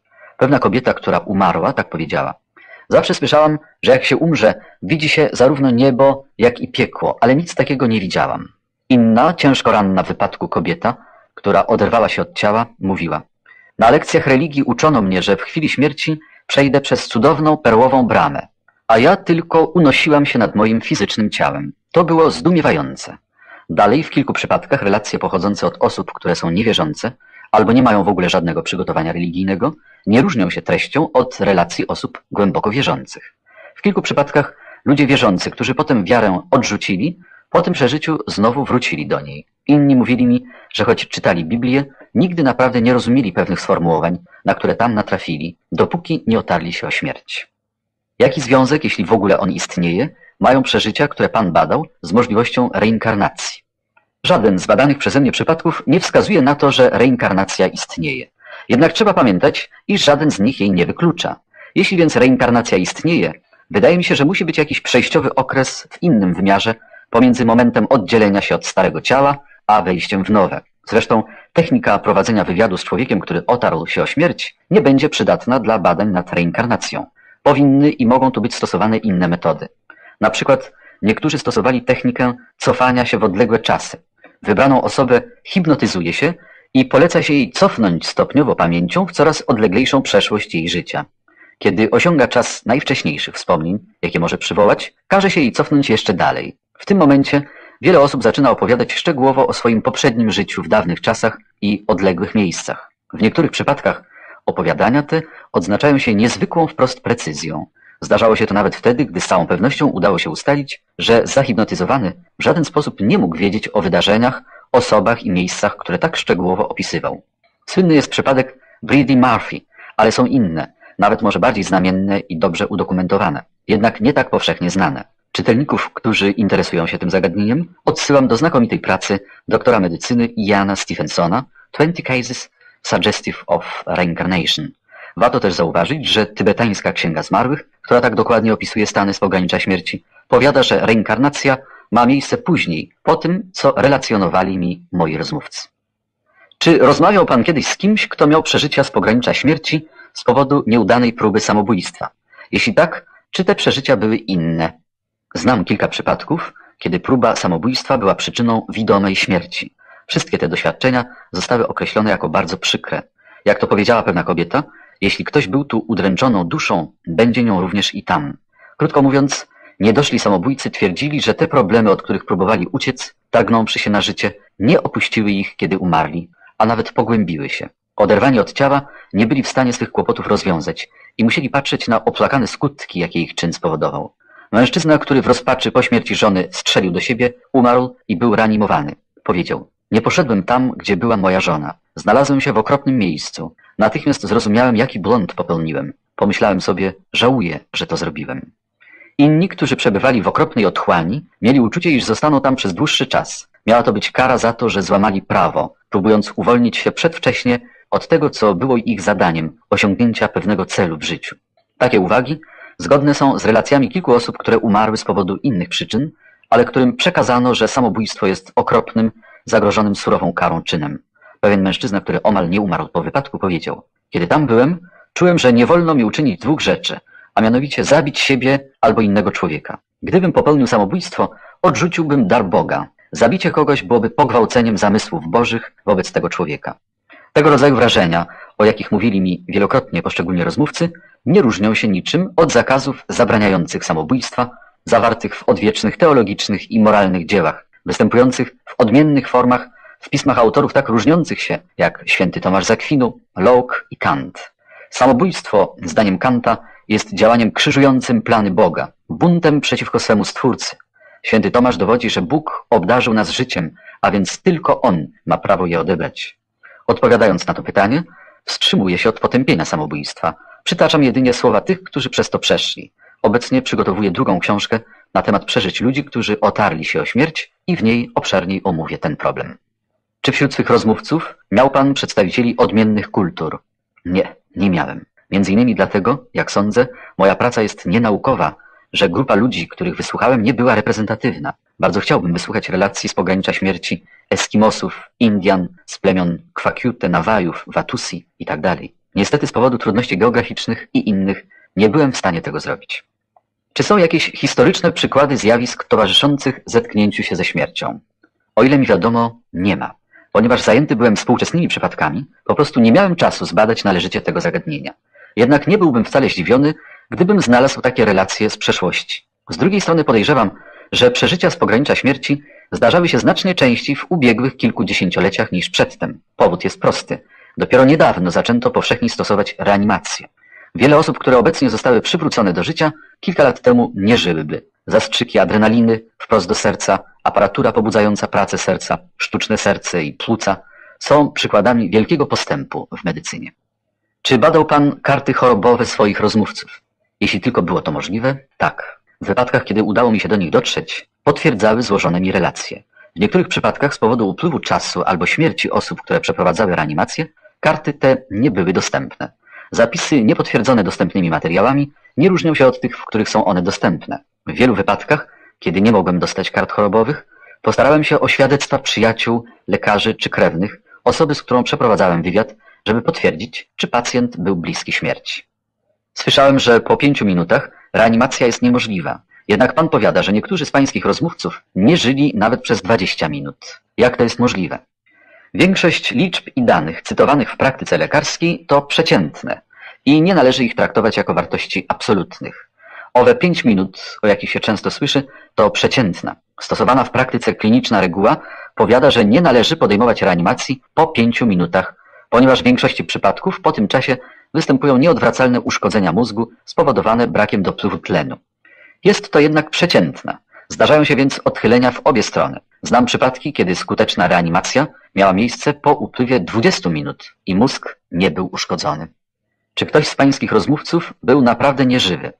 Jedna z głównych przyczyn, dla których to pytanie jest takie peszące i trudno na nie odpowiedzieć, polega częściowo na tym, że istnieje semantyczna trudność co do znaczenia słowa nieżywy.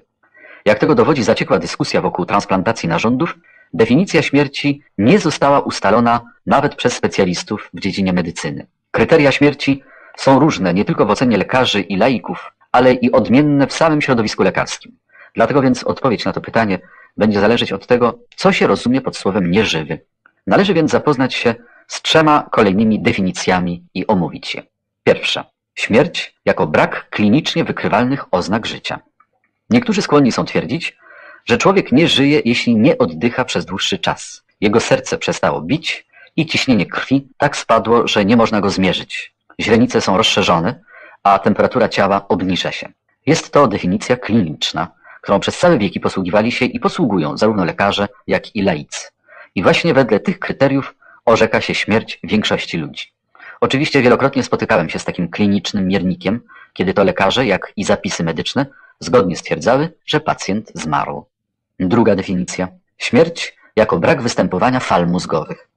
Postęp techniki spowodował pojawienie się bardzo czułych aparatów do badania procesów biologicznych, nawet takich, których objawów zewnętrznych nie można obserwować. Elektroencefalograf EEG jest aparaturą, która wzmacnia i zapisuje subtelną czynność bioelektryczną mózgu. Ostatnio istnieje tendencja, by orzec śmierć, kiedy nie występuje już elektryczna działalność mózgu, co się określa jako płaski zapis EEG.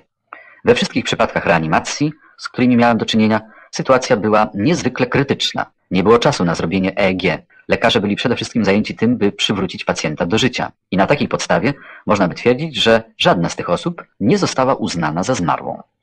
Załóżmy jednak przez chwilę, że wiele osób uznanych za zmarłe miało plaski zapis EEG, ale zostały skutecznie reanimowane. Czy ten fakt wiele by zmienił?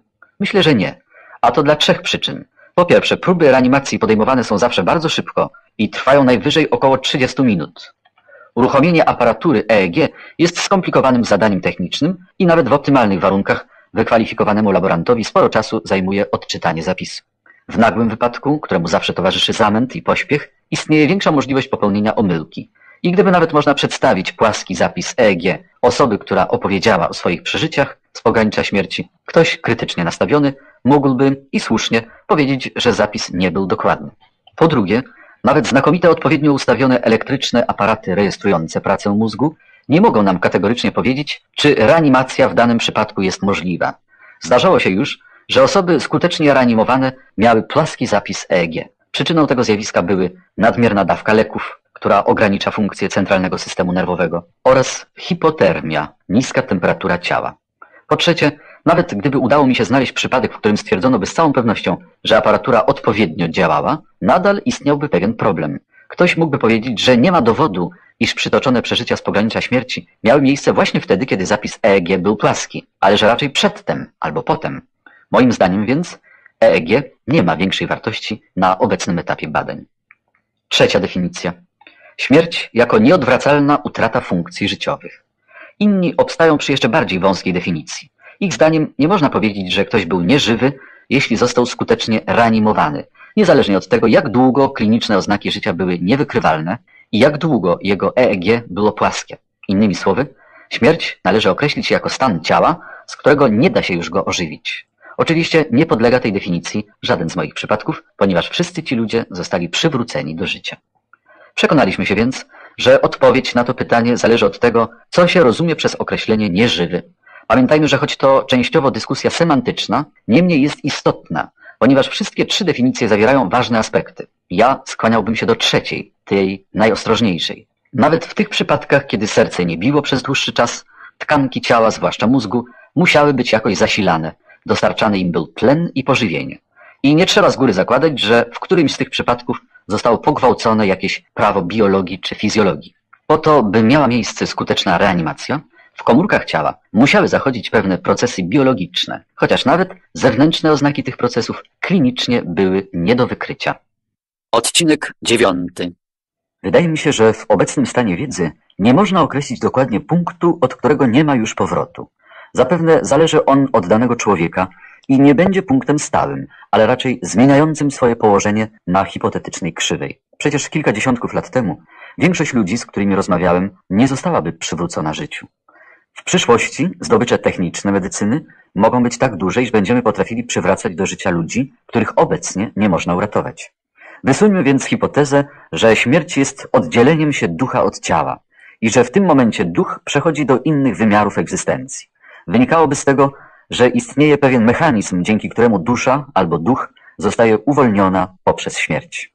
Nie mamy jednak podstaw twierdzić, że ten mechanizm zaczyna działać dokładnie w tym punkcie, który my w naszej epoce dość arbitralnie przyjęliśmy za punkt, z którego nie ma powrotu. Nie możemy też zakładać, że działa on w każdym przypadku doskonale, tak jak nie możemy zakładać, że każdy system cielesny zawsze działa doskonale. Może ten mechanizm dochodzi do głosu przed ostatecznym kryzysem fizjologicznym, pozwalając nielicznym ludziom spojrzeć w inny wymiar. Takie założenie pomogłoby wyjaśnić relacje tych osób, które widziały całe swe życie, doświadczyły oderwania się od ciała i tak kiedy były pewne, że zginą, nawet nim nastąpiło uszkodzenie ciała. Jedno twierdzę z całym przekonaniem. Cokolwiek by się uważało za ten nieodwracalny próg śmierci, zarówno w przeszłości, teraźniejszości, jak i przyszłości, ci, z którymi rozmawiałem, znaleźli się znacznie bliżej owego punktu niż większość ich bliźnich. I choćby tylko dla tej przyczyny chętnie słucham tego, co mają do powiedzenia. W ostatecznej analizie zbyteczne jest deliberować nad ścisłą definicją śmierci, odwracalnej czy nieodwracalnej, w kontekście tej dyskusji. Ci, którzy podnoszą takie obiekcje wobec przeżyć z pogranicza śmierci, mają na myśli coś bardziej istotnego. Twierdzą oni, że dopóki w ciele tli się choćby nikła iskra czynności fizjologicznych, może ona spowodować, a więc tłumaczyć te doznania. Już wcześniej twierdziłem, że musiała występować jakaś szczątkowa, biologiczna aktywność we wszystkich tych przypadkach. I tak kwestia, czy prawdziwa śmierć miała rzeczywiście miejsce, ogranicza się do bardziej zasadniczego problemu. Czy szczątkowe funkcje biologiczne mogą być przyczyną występowania tego rodzaju przeżyć? Innymi słowami, czy zatem są możliwe inne wyjaśnienia, to znaczy inne niż przeżycie cielesnej śmierci? A to pytanie z kolei nawiązuje do treści następnego rozdziału. Rozdział piąty. Wyjaśnienia. Oczywiście możliwe są inne wyjaśnienia przeżyć z pogranicza śmierci. Choćby z fizjologicznego punktu widzenia można postawić tu nieskończoną ilość hipotez, żeby wytłumaczyć każde doświadczenie, obserwację czy fakt. Słuchacze, do których się zwracałem, z wielu możliwych najczęściej wybierali kilka. Przedstawię je teraz, jak również te, z którymi mógłbym się spotkać. Dość arbitralnie podzieliłem je na trzy typy. Nadnaturalne, naturalne, naukowe i psychologiczne. Wyjaśnienia nadnaturalne. Raczej rzadko próbowano wyjaśnić omawiane przeze mnie zjawiska działaniem nieczystych, wrogich człowiekowi sił. Mam na to jedną odpowiedź. Wydaje mi się, że najlepszym sprawdzianem tego, czy było to działanie Boga czy szatana, będą słowa i czyny danej osoby po przeżytym doświadczeniu. Sądzę, że Bóg pragnąłby, aby ci, którym się ukazał, byli dobrzy i przebaczający. Szatan zapewne powiedziałby swoim sługom, żeby kroczyli drogą nienawiści i zniszczenia. Nie ulega wątpliwości, że wszyscy ci, których słuchałem, wrócili do życia, żeby iść drogą miłości, wyrzekając się tej drugiej. Owemu hipotetycznemu diablu, który musiałby zadać sobie tyle trudu, żeby omamić swoje nieszczęsne ofiary i to w jakim celu, nie udało się, o ile mi wiadomo, zrobić żadnego z moich rozmówców swoim emisariuszem. Wyjaśnienia naturalne, naukowe. Pierwsze, farmakologiczne. Niektórzy twierdzą, że przeżycia z pogranicza śmierci spowodowane są lekarstwami podawanymi pacjentowi w krytycznym momencie. Pozorna słuszność takiego założenia opiera się na kilku faktach. Na przykład powszechnie wiadomo zarówno lekarzom, jak i laikom, że pewne lekarstwa powodują stany umysłowych halucynacji i omamów. Poza tym żyjemy teraz w epoce dużego zainteresowania nadużywaniem pewnych leków i narkotyków, a publiczna uwaga skupiona jest na potajemnym zażywaniu takich środków jak LSD, marihuana itd., tak które są halucynogenne. Wreszcie faktem jest, że wiele stosowanych przez medycynę leków powoduje skutki uboczne, które mogą przypominać przeżycia towarzyszące umieraniu. Na przykład cykloheksanon, dożylnie wstrzykiwany środek usypiający, powoduje uboczne skutki, podobne niekiedy do przeżyć związanych z oderwaniem się od ciała. Został on określony jako dysocjacyjny środek znieczulający, ponieważ w czasie jego działania pacjent przestaje reagować nie tylko na ból, ale również na otoczenie. Czuje się oderwany od rzeczywistości, od poszczególnych części swojego ciała, rąk, nóg itd. Tak Przez pewien czas po przyjściu do zdrowia może odczuwać zakłócenia psychiczne łącznie z halucynacjami i bardzo wyraźnymi snami. Pragnę zwrócić uwagę, że zaledwie parę osób użyło tego właśnie słowa rozkojarzenie na określenie swych wrażeń, kiedy oderwały się od ciała.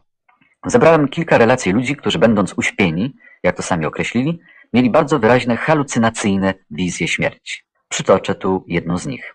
Było to dość dawno temu, kiedy miałam przeszło 10 lat. Byłam w gabinecie dentysty, żeby zaplombować ząb. Użył on gazu rozweselającego, tlenku azotu. Z początku bałam się, że po tym się nie obudzę. Kiedy gaz zaczął działać, poczułam, że się spiralnie obracam, nie dookoła osi, ale jak gdyby fotel dentystyczny unosił się wraz ze mną spiralnym ruchem w górę, coraz wyżej. Wszystko było bardzo jasne i białe, a kiedy znalazłam się na szczycie spirali, wyszli mi naprzeciw aniołowie, żeby mnie zabrać do nieba. Używam liczby mnogiej aniołowie, bo choć to wrażenie było dość mgliste, pewna jestem, że było ich więcej niż jeden. Nie mogę powiedzieć jednak ilu. W pewnym momencie dentysta i pielęgniarka rozmawiali ze sobą o jakimś innym pacjencie i słyszałam ich wyraźnie, ale kiedy skończyli, nie mogłam przypomnieć sobie pierwszego zdania. Wiedziałam jednak, że rozmawiali, a słowa odbijały się jak echo. To echo oddalało się stopniowo, zupełnie jak w górach. Pamiętam, że wydawało mi się, iż słyszę ich z góry, bo miałam uczucie, że ja sama jestem wysoko, że idę do nieba. Tyle tylko pamiętam. Pamiętam też, że wcale się nie bałam śmierci. W tym okresie mego życia czułam lęk przed piekłem, ale kiedy mi się to przytrafiło, wcale nawet o tym nie pomyślałam. Powiedziałam, że idę do nieba. Byłam potem zdziwiona, że nie martwiłam się myślą o śmierci.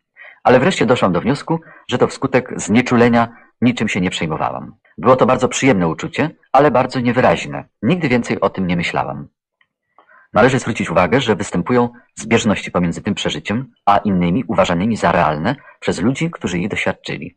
Ta kobieta opisuje bardzo jasne, białe światło, spotkanie z istotami, które miały ją zaprowadzić na drugą stronę i całkowity brak lęku przed śmiercią. Są jeszcze dwa inne aspekty, które nasuwają przypuszczenie, że oderwała się ona od ciała. Wrażenie, że głos lekarza i jego pielęgniarki słyszała z góry i uczucie unoszenia się. Z drugiej strony, inne szczegóły tego opowiadania są bardzo nietypowe dla przeżyć z pogranicza śmierci znanych mi z relacji. Jasne światło nie zostało personifikowane, nie występowało uczucie spokoju i szczęścia. Opis tamtego świata jest raczej niewyraźny, ale zgodny z wierzeniami religijnymi tej kobiety.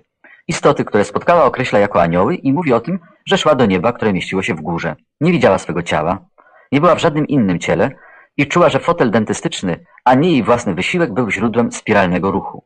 Kilkakrotnie wspomina o mglistości swego przeżycia, które widomie nie wpłynęło na jej późniejsze przekonania. Obecnie ma wątpliwości co do przeżycia śmierci cielesnej.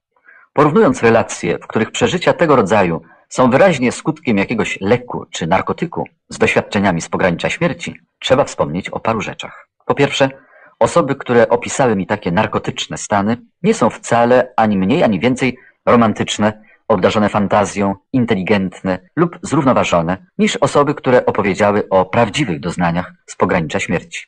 Po drugie, przeżycia wywołane narkotykami są bardzo mgliste. Po trzecie, opowiadania o nich bardzo się różnią między sobą, jak też zdecydowanie od prawdziwych wizji z pogranicza śmierci. Muszę przyznać, że wybierając do swoich celów określone przypadki typu narkozowego, świadomie wybrałem takie, które najbardziej są zbliżone do grupy prawdziwych doświadczeń. Dlatego twierdzę, że ogólnie biorąc istnieją bardzo poważne różnice pomiędzy tymi dwoma rodzajami przeżyć. Poza tym istnieje wiele dodatkowych czynników, które wykluczają farmakologiczne wytłumaczenie zjawisk z pogranicza śmierci. Najbardziej istotne jest to, że w wielu przypadkach lekarstwo nie zostało podane przed tymi doznaniami, ani, w niektórych przypadkach, nawet po reanimacji. Przeciwnie, wiele osób z całą stanowczością twierdziło, że ich przeżycie miało miejsce zanim jakiekolwiek lekarstwo zostało podane. W niektórych przypadkach na długo przedtem, nim udzielono im pomocy lekarskiej. Nawet w tych przypadkach, kiedy lekarstwa zostały zastosowane w okresie poprzedzającym śmierć, różnorodność ich jest olbrzymia, poczynając od aspiryny poprzez antybiotyki i adrenalinę, aż do znieczulenia miejscowego i ogólnego. Większość tych lekarstw nie wpływa na centralny układ nerwowy, ani nie ma działania psychotropowego. Trzeba również zwrócić uwagę, że nie ma wyraźnych różnic dzielących na dwie grupy relacje tych osób, którym nie dano żadnych lekarstw i tych, którym dawano środki różnego rodzaju. Wreszcie muszę zanotować bez komentarzy fakt, że pewna kobieta, która zmarła dwukrotnie na przestrzeni kilku lat, w zupełnie odmiennych okolicznościach, za pierwszym razem brak jakichkolwiek przeżyć przypisywała narkozie. Za drugim razem, kiedy nie była pod działaniem żadnych leków, miała bardzo bogate doznania. Współczesna farmakologia zakłada m.in., co nasze społeczeństwo wierzy na ogół bezkrytycznie, że pewne psychoaktywne lekarstwa powodują przeżycia psychiczne, które dlatego właśnie określa się mianem halucynacji, nierealnych, złudnych albo wyłącznie mózgowych. Trzeba jednak pamiętać, że nie wszyscy są tego zdania. Istnieje inny pogląd na zależność pomiędzy lekarstwem a doznaniami, jakie powoduje jego stosowanie. Mam tu na myśli zastosowanie lekarstw zwanych halucynogennymi. Na przestrzeni wieków ludzie szukali takich psychoaktywnych składników, by osiągnąć odmienne od normalnych stany świadomości oraz inne płaszczyzny rzeczywistości. Współczesną interpretację zastosowania tego rodzaju środków możemy znaleźć w niezwykle ciekawej książce Andrew Weyla The Natural Mind. Historycznie rzecz ujmując, leki te związane były nie tylko z medycyną i leczeniem chorób, ale także z obrzędami religijnymi i dążeniem do osiągnięcia olśnienia. I tak Indianie amerykańscy na zachodzie Stanów Zjednoczonych podczas obrzędów religijnych jedzą peyotl, kaktus zawierający meskalinę, aby mieć wizje religijne. Na całym świecie znane są podobne kulty, a ich wyznawcy wierzą, że środek, który biorą, ułatwia im przejście do innego wymiaru. Założywszy, że taki pogląd jest słuszny, można by przypuszczać, że stosowanie leków lub narkotyków jest tylko jedną z dróg wśród wielu prowadzących do osiągnięcia olśnienia i poznania innych sfer egzystencji. A więc przeżycia podczas umierania mogłyby być jedną z tych dróg, co wyjaśniłoby podobieństwo między doznaniami wywołanymi przez leki, jak te przytoczone powyżej, a doznaniami z pogranicza śmierci. Drugie, fizjologiczne. Fizjologia jest tą dziedziną biologii, która zajmuje się czynnościami komórek i narządów, słowem ciałem istot żyjących i zależnością pomiędzy jego funkcjami. Fizjologiczne wyjaśnienie zjawisk z pogranicza śmierci, z jakim się często spotykałem, jest następujące.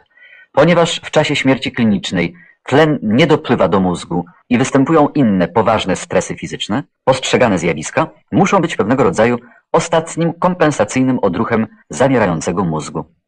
Zasadniczy błąd tej hipotezy polega na tym, że jak łatwo można przekonać się z relacji przytoczonych uprzednio, wiele przeżyć z pogranicza śmierci miało miejsce zanim wystąpił jakikolwiek stres typu fizjologicznego.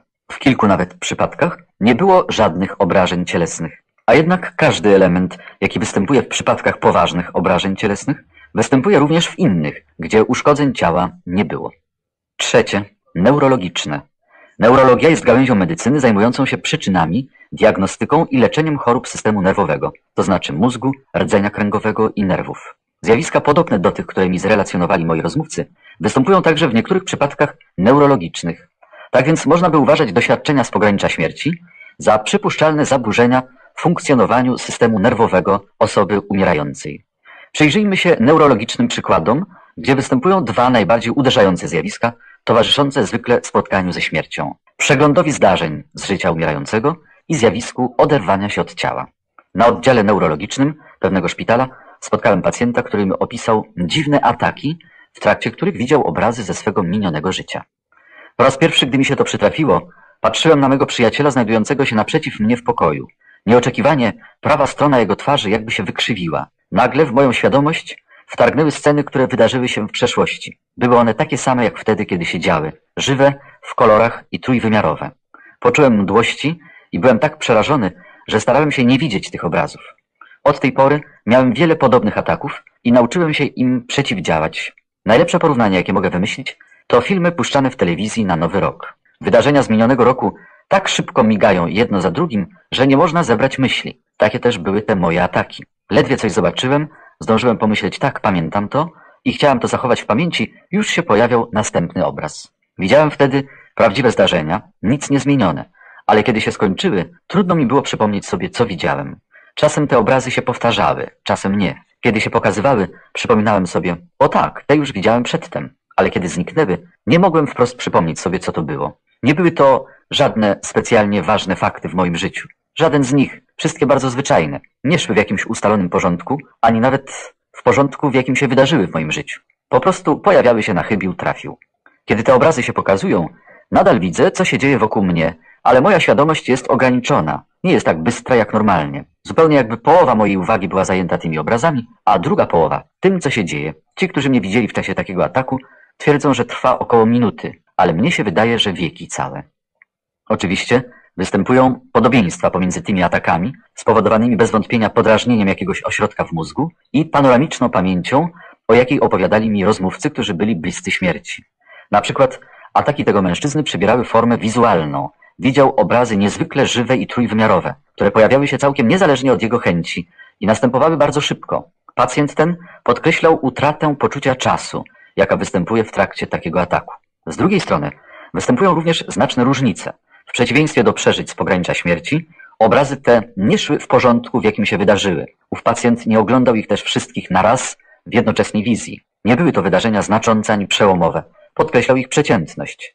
Nie zostały mu więc przedstawione po to, by go osądzić czy nauczyć czegoś. Wielu moich rozmówców, którzy otarli się o śmierć, podkreśla, że po tym przeglądzie mogli zapamiętać wydarzenia ze swego życia z większą wyrazistością i bardziej dokładnie niż przedtem. Natomiast ten człowiek oświadczył, że nie mógł zapamiętać poszczególnych obrazów migających w czasie ataku. Neurologia zna przeżycia podobne do oderwania się od ciała.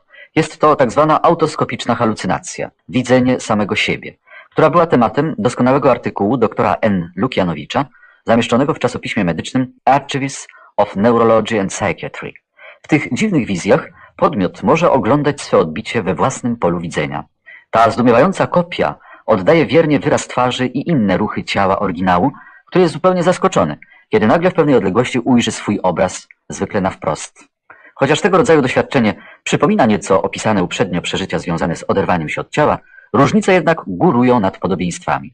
Autoskopiczny fantom zawsze jest żywy, czasem nawet zdaniem podmiotu bardziej żywy i świadomy niż on sam, podczas gdy dla tych, którzy oderwali się od ciała, było ono czymś równie pozbawionym życia, jak skorupa. Autoskopiczny podmiot może słyszeć swojego sobowtóra, jego rozkazy, napomnienia itd. W czasie przebywania umierającego poza ciałem jest ono widoczne w całości, chyba że częściowo przykryte albo schowane. Natomiast autoskopiczny sobowtór często widziany jest tylko od pasa czy szyi w górę. W rzeczywistości autoskopiczne sobowtóry mają o wiele więcej cech wspólnych z tym, co nazwałem ciałem duchowym, niż z ciałem fizycznym, oglądanym przez osobę umierającą. Autoskopiczne sobowtóry, chociaż nieraz występują w kolorach, częściej opisywane są jako twory mgliste i bezbarwne. Podmiot może widzieć, jak jego obraz przechodzi przez zamknięte drzwi czy inne fizyczne przeszkody bez najmniejszych trudności. Przytoczę tu opis oczywistej autoskopicznej halucynacji, jaki mi przekazano. Była ona o tyle wyjątkowa, że chodziło o dwie osoby, a nie o jedną. Na dwa lata przed naszym ślubem, latem około godziny 11 wieczorem, odwoziłem moją narzeczoną do domu otwartym wozem sportowym. Zaparkowałem go na słabo oświetlonej ulicy przed jej domem i oboje byliśmy zdumieni, kiedy równocześnie podnieśliśmy wzrok i zobaczyliśmy wielkie obrazy nas samych, od pasa w górę, siedzących obok siebie na dużych, rozłożystych drzewach, które rosły na tej ulicy o jakieś 130 stóp na wprost nas. Obraz ten był ciemny, były to prawie sylwetki i nic przez nie nie widzieliśmy, ale były to nasze dokładne kopie. Żadne z nas nie miało trudności z rozpoznaniem siebie. Te sylwetki poruszały się, ale nie naśladowały naszych ruchów, bo myśmy siedzieli sztywno, obserwując je. Robiły rzeczy następujące. Mój obraz wziął książkę i pokazywał ją obrazowi mojej obecnej żony, a ona pochyliła się i przeglądała uważnie książkę. Kiedy tak siedzieliśmy, najpierw ja opowiadałem przez chwilę narzeczonej, co robią te nasze sylwetki i to zawsze się zgadzało z tym, co ona widziała. A potem zmienialiśmy się. Ona mówiła, co widzi i znowu ja widziałem to samo. Siedzieliśmy tak przez dłuższy czas, co najmniej przez pół godziny, obserwując to zjawisko i rozmawiając o nim. Sądzę, że moglibyśmy tak przesiedzieć całą noc. Jednak moja narzeczona musiała wracać do domu, więc wreszcie poszliśmy razem po schodach prowadzących na wzgórze, na którym stał jej dom. Kiedy wróciłem, znowu zobaczyłem obrazy. Były tam nadal, kiedy odjeżdżałem. Nie było to nasze odbicie od przedniej szyby. Dach samochodu był opuszczony i przez cały czas patrzyliśmy ponad przednią szybą. Żadne z nas nie było też pijane. Nadal zresztą nie pijemy, a było to na trzy lata, zanim usłyszeliśmy o LSD czy innych narkotykach. Mimo późnej pory nie byliśmy też zmęczeni, a więc nie zasnęliśmy i to nie był sen. Byliśmy trzeźwi, czujni, zdumieni i podnieceni, kiedy wspólnie obserwowaliśmy te obrazy i rozmawialiśmy o nich. Oczywiście halucynacje autoskopiczne, podobnie jak zjawisko oderwania się od ciała, związane są pod pewnymi względami z przeżyciami z pogranicza śmierci. Nawet jeśli jednak skupilibyśmy się na wszystkich punktach podobieństwa i całkowicie wykluczyli różnice, fakt, że te halucynacje istnieją, nie wytłumaczyłby nam występowania zjawiska oderwania się od ciała. Powód jest prosty. Nie ma również wyjaśnienia halucynacji autoskopicznych. Różni neurologowie i psychiatrzy podawali wiele sprzecznych wyjaśnień, ale sprawa nadal jest dyskutowana i jak dotąd żadna teoria nie zwyciężyła. Dlatego też uważanie zjawiska oderwania się od ciała za halucynację autoskopiczną byłoby zastąpieniem jednej zagadki inną. Wreszcie jeszcze bardzo istotny punkt w dyskusji co do neurologicznego wyjaśnienia zjawisk z pogranicza śmierci. Kiedyś natrafiłem na przypadek, w którym pozostały szczątkowe zaburzenia neurologiczne spowodowane śmiercią. Dolegliwość ta była drobna, polegała na częściowym porażeniu niewielkiej grupy mięśni z jednej strony ciała. Chociaż często zapytywałem moich rozmówców, czy nie mieli tego rodzaju pozostałości, znam tylko ten jeden przypadek neurologicznej dolegliwości w wyniku zetknięcia się ze śmiercią. Wyjaśnienia psychologiczne. Współczesna psychologia nie osiągnęła jeszcze tej dokładności i precyzji, jakie są udziałem innych nauk. Psychologowie nadal podzieleni są na zwalczające się szkoły i różnią się poglądami, metodami badawczymi oraz zasadniczą interpretacją istoty umysłu. I dlatego psychologiczne tłumaczenia doznań z pogranicza śmierci są odmienne w zależności od szkoły myślenia, do której należy osoba interpretująca. Zamiast rozważać wszelkie możliwe, przedstawię kilka, z którymi spotykałem się najczęściej podczas moich odczytów i to, które moim zdaniem jest najbardziej interesujące. Odcinek dziesiąty. Poprzednio wspomniałem o dwóch najczęściej występujących typach wyjaśnień psychologicznych. O tych, które zakładają, że albo występuje świadome kłamstwo, albo podświadome upiększanie. Poniżej pragnę omówić dwa inne. Pierwsze, badania nad izolacją. We wszystkich dyskusjach, jakie prowadziłem na temat moich badań, nikt nie tłumaczył zjawisk przeżywanych w stanach bliskich śmierci wnioskami wysnutymi z badań nad izolacją. Jednak w ramach tej właśnie stosunkowo młodej i szybko rozwijającej się gałęzi nauki o zachowaniu zostały zbadane i osiągnięte w warunkach laboratoryjnych zjawiska najbliższe doświadczeniom osób umierających. Badania nad izolacją polegają na tym, że poddaje się obserwacji naukowej umysł i ciało osoby, która zostaje odosobniona w taki czy inny sposób. Na przykład nie ma żadnych kontaktów z innymi ludźmi albo wykonuje monotonną, ustawicznie powtarzającą się czynność przez dłuższy czas. Dane zostały zebrane w różnoraki sposób. Wiele informacji dostarczają zapiski doznań samotnych badaczy podbiegunowych albo rozbitków. W ostatnich dziesięcioleciach uczeni próbowali badać podobne zjawiska w warunkach laboratoryjnych. Znane jest dobrze doświadczenie, kiedy pewnego mężczyznę, który zgłosił się ochotniczo, zawieszono w zbiorniku z wodą o temperaturze ciała. Oczy mu zawiązano, uszy zatkano, by miał wrażenie całkowitej ciemności i ciszy. Ramiona umieszczono w rurach, wskutek czego został pozbawiony normalnych odczuć ruchowych i zmiany pozycji. W tych czy innych warunkach całkowitego odcięcia od świata zewnętrznego niektórzy ludzie doświadczali niezwykłych psychicznych przeżyć, z których wiele przypominało te, o jakich pisałem w rozdziale drugim. Pewna kobieta, która samotnie spędziła dłuższy czas w pobliżu bieguna północnego, miała panoramiczną wizję wydarzeń ze swego życia. Rozbitkowie przez wiele tygodni dryfujący w małych łódeczkach po morzu opisują swoje halucynacje, jak zostają uratowani, czasem przez nieziemskie istoty, podobne do duchów albo zjaw. To nieco przypomina świetliste istoty albo duchy zmarłych, które spotkało wielu moich rozmówców. Inne zjawiska, podobne do tych z pogranicza śmierci, które występują w relacjach osób odizolowanych, są następujące. Zaburzenia poczucia czasu, uczucie częściowego oderwania się od ciała, brak chęci powrotu do cywilizacji, poczucie jedności z wszechświatem. Poza tym wiele osób, które były zupełnie same z powodu rozbicia statku albo innego podobnego wydarzenia, powiada, że gdy po paru tygodniach absolutnego odizolowania wróciły do cywilizacji, skala ich wartości uległa głębokiej przemianie. Twierdziły one, że miały potem świadomość większego wewnętrznego bezpieczeństwa. Ta reintegracja osobowości wyraźnie przypomina uczucia, których doświadczyło wielu przywróconych życiu. Pewne aspekty procesu umierania są podobne do niektórych doznań podczas izolacji. Bliscy śmierci pacjenci często przez pewien czas są odizolowani, unieruchomieni w szpitalnych salach reanimacyjnych, nieraz w warunkach, gdzie dźwięki i światło są przytłumione i nie ma odwiedzin z zewnątrz.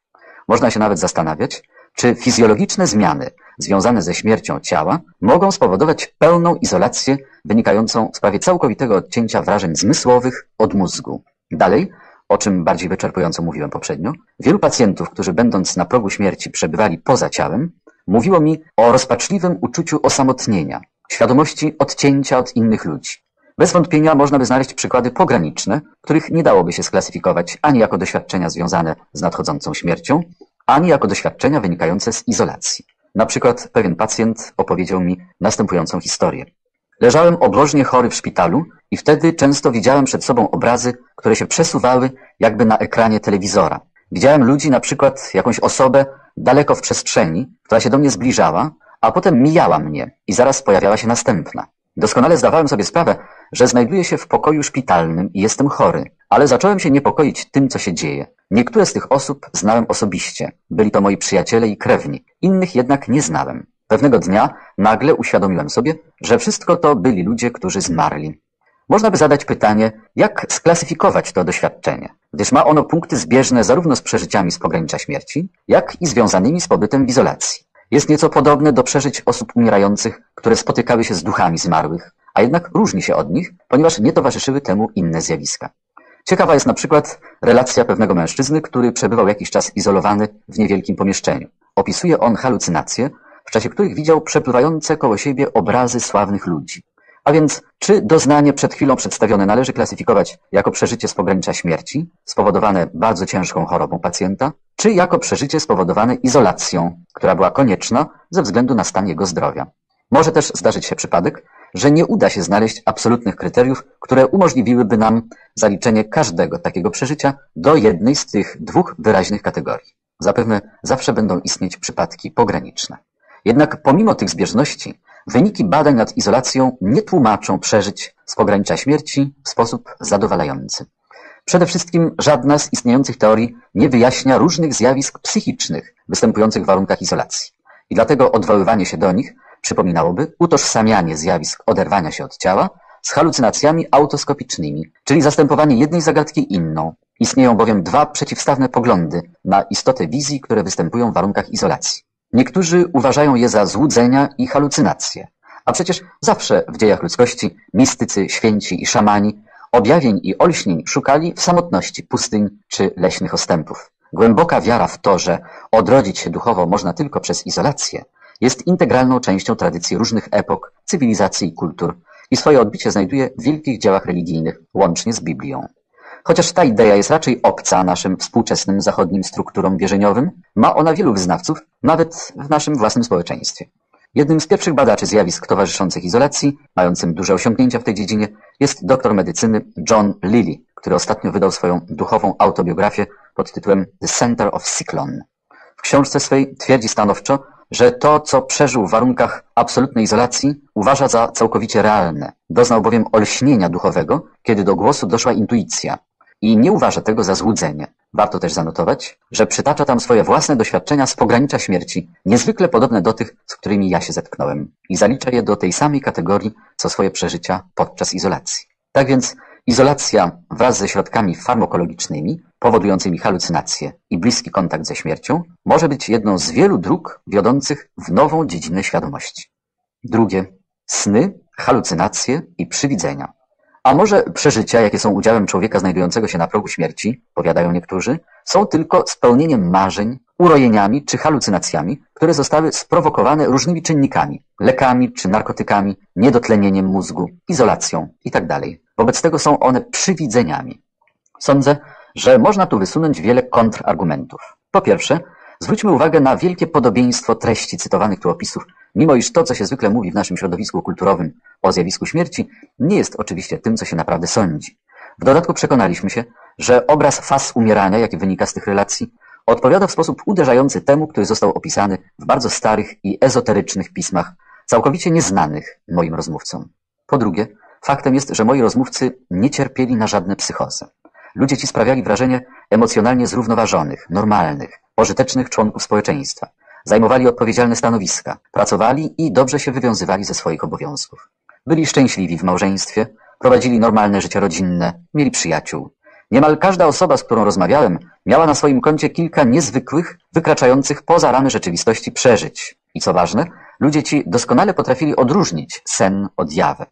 A jednak moi interlokutorzy, kobiety i mężczyźni, określają to, czego doznali nie jako sen, ale wydarzenie. Wszyscy bez wyjątku zapewniali mnie w trakcie naszych rozmów, że ich przeżycia nie były snem, ale zdecydowanie czymś realnym. Wreszcie faktem jest, że można znaleźć dowody potwierdzające niektóre wypadki oderwania się od ciała. Chociaż zobowiązania wobec moich rozmówców powstrzymują mnie od przytoczenia nazwisk i szczegółów identyfikujących, widziałem i słyszałem tyle, że ciągle jestem zdumiony i oszołomiony. Twierdzę z głębokim przekonaniem, że każdy, kto tak jak ja wejrzy w przeżycia z pogranicza śmierci w sposób zorganizowany, z pewnością napotka zdumiewające i oczywiste ich potwierdzenie, a przynajmniej, jak sądzę, znajdzie dość faktów, żeby się zastanowić, czy te zjawiska, tak dalekie od majaków sennych, nie należą do zupełnie innej kategorii. Na koniec pragnę tu podkreślić, że przytoczone wyjaśnienia nie są po prostu intelektualną abstrakcją. Są także pod pewnymi względami wypadkową osobowości tych, którzy je głoszą. Ludzie jak gdyby uczuciowo identyfikują się z kanonami wyjaśnień naukowych, które sobie przyswoili czy wypracowali. W trakcie moich licznych odczytów na temat zebranych przeze mnie relacji osób, które zetknęły się ze śmiercią, proponowano mi różnego rodzaju interpretacje. Jedni za słuszne uważali wyłącznie założenia fizjologii, farmakologii i neurologii, nawet wtedy, kiedy wszystko przemawiało przeciw takiemu właśnie wyjaśnieniu.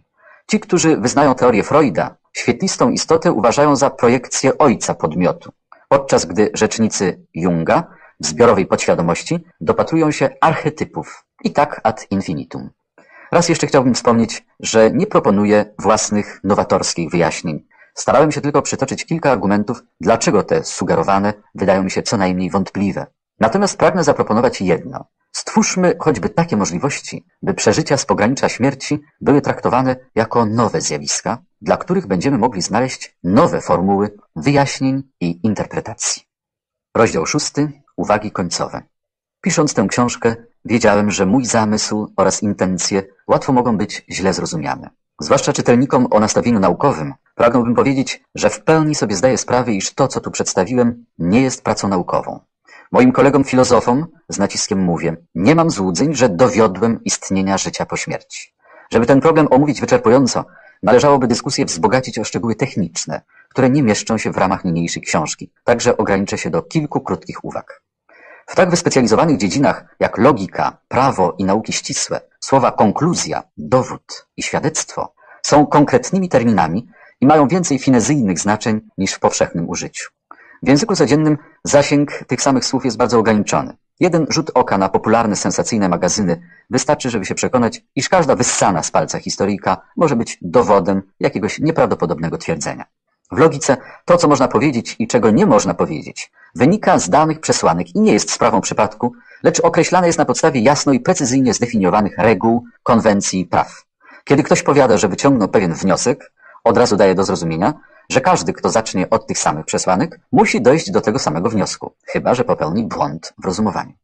Z tych uwag widać jasno, dlaczego nie chcę wyciągać jakichkolwiek wniosków z moich badań i dlaczego nie próbuję potraktować ich jako dowodu odwiecznego przekonania, że istnieje życie po śmierci ciała. Jednak uważam, że relacje o przeżyciach z pogranicza śmierci są niezwykle ważne. Pragnąłbym tylko znaleźć jakąś pośrednią metodę ich interpretacji. Metodę, która z jednej strony nie odrzuci ich, dlatego że nie stanowią one naukowego czy logicznego dowodu, z drugiej nie potraktuje jako sensacji, zaliczając je do mętnych twierdzeń, że są dowodem na istnienie życia po śmierci. To, że obecnie nie możemy dostarczyć dowodu, nie jest skutkiem ograniczeń wynikających z istoty tych przeżyć. Może te ograniczenia istnieją po prostu w powszechnie przyjętych kanonach myśli naukowej i logicznej. Może w przyszłości perspektywy naukowców i logików będą inne. Pamiętajmy, że historycznie rzecz biorąc, metodologia logiki i nauki nie była systemem ustalonym i statycznym, lecz dynamicznym, rozwijającym się. Cóż mi więc pozostało? Wnioski, świadectwa, dowody? Nie. Coś znacznie mniej konkretnego. Uczucia, pytania, analogie, zdumiewające fakty, które trzeba wyjaśnić. W rzeczywistości należałoby pytać, jak moje badania wpłynęły na mnie osobiście, a nie jakie wnioski z nich wyciągnąłem. Odpowiedź mam jedną. Kiedy patrzę na kogoś, kto relacjonuje swoje doświadczenia, których nie można właściwie przelać na papier, po prostu wierzę mu. Dla tych ludzi ich przeżycia, kiedy byli bliscy śmierci, są czymś rzeczywistym, a ja, obcując z nimi, utwierdziłem się również w tym mniemaniu. Zdaję jednak sobie sprawę, że jest to wzgląd psychologiczny, a nie logiczny. Logika jest czymś jednoznacznym, a rozważania psychologiczne nie są w ten sam sposób jednoznaczne. Pod wpływem danego zespołu okoliczności jedna osoba może się zmienić tak, a druga zupełnie inaczej. To kwestia predyspozycji i temperamentu. I nie chciałbym, by moje własne reakcje na te zagadnienia były regułą normującą czyjś tok rozumowania. W świetle tego ktoś mógłby spytać, jeśli interpretacja tych doznań jest sprawą tak krańcowo subiektywną, po co je badać? Sądzę, że jedyną tu odpowiedzią będzie podkreślenie raz jeszcze, jak bardzo powszechnie ludzie interesują się istotą śmierci. Uważam, że w tym wypadku wszelkie próby rozjaśnienia niewiedzy muszą dać dobre wyniki. Trzeba rzucić światło na ten problem, gdyż jest to konieczne dla przedstawicieli różnych zawodów i dziedzin nauki. Potrzebuje tego i lekarz, który zna obawy i nadzieje umierającego pacjenta, jak też duchowny, pomagający swym wiernym wyjść na spotkanie śmierci. Potrzebują tego również psychologowie i psychiatrzy, ponieważ dla wypracowania skutecznej w zastosowaniu i godnej zaufania metody terapii zaburzeń uczuciowych muszą wiedzieć, co to jest duch i czy może istnieć poza ciałem. Jeśli nie może, wtedy terapia psychologiczna musi położyć nacisk wyłącznie na metody fizyczne, a więc lekarstwa, terapię szokami, chirurgię mózgu itd. Z drugiej strony, jeśli są dowody, że duch może istnieć poza ciałem, i to całkiem niezależnie, wtedy terapia zaburzeń umysłowych musi stać się wreszcie czymś zupełnie odmiennym. Bardziej niż o problemy naukowe i zawodowe chodzi tu o coś innego, o problemy osobiste, bowiem to, czego dowiemy się o śmierci, może zmienić całkowicie nasz styl życia. Jeśli doznania, jakie opisywałem, okażą się prawdziwe, będzie to miało bardzo wielki wpływ na to, co każdy z nas robi ze swym życiem gdyż wtedy w całej rozciągłości potwierdzi się przekonanie, że nie potrafimy w pełni zrozumieć doczesnego życia, jeśli nie spojrzymy na to, co znajduje się poza nim.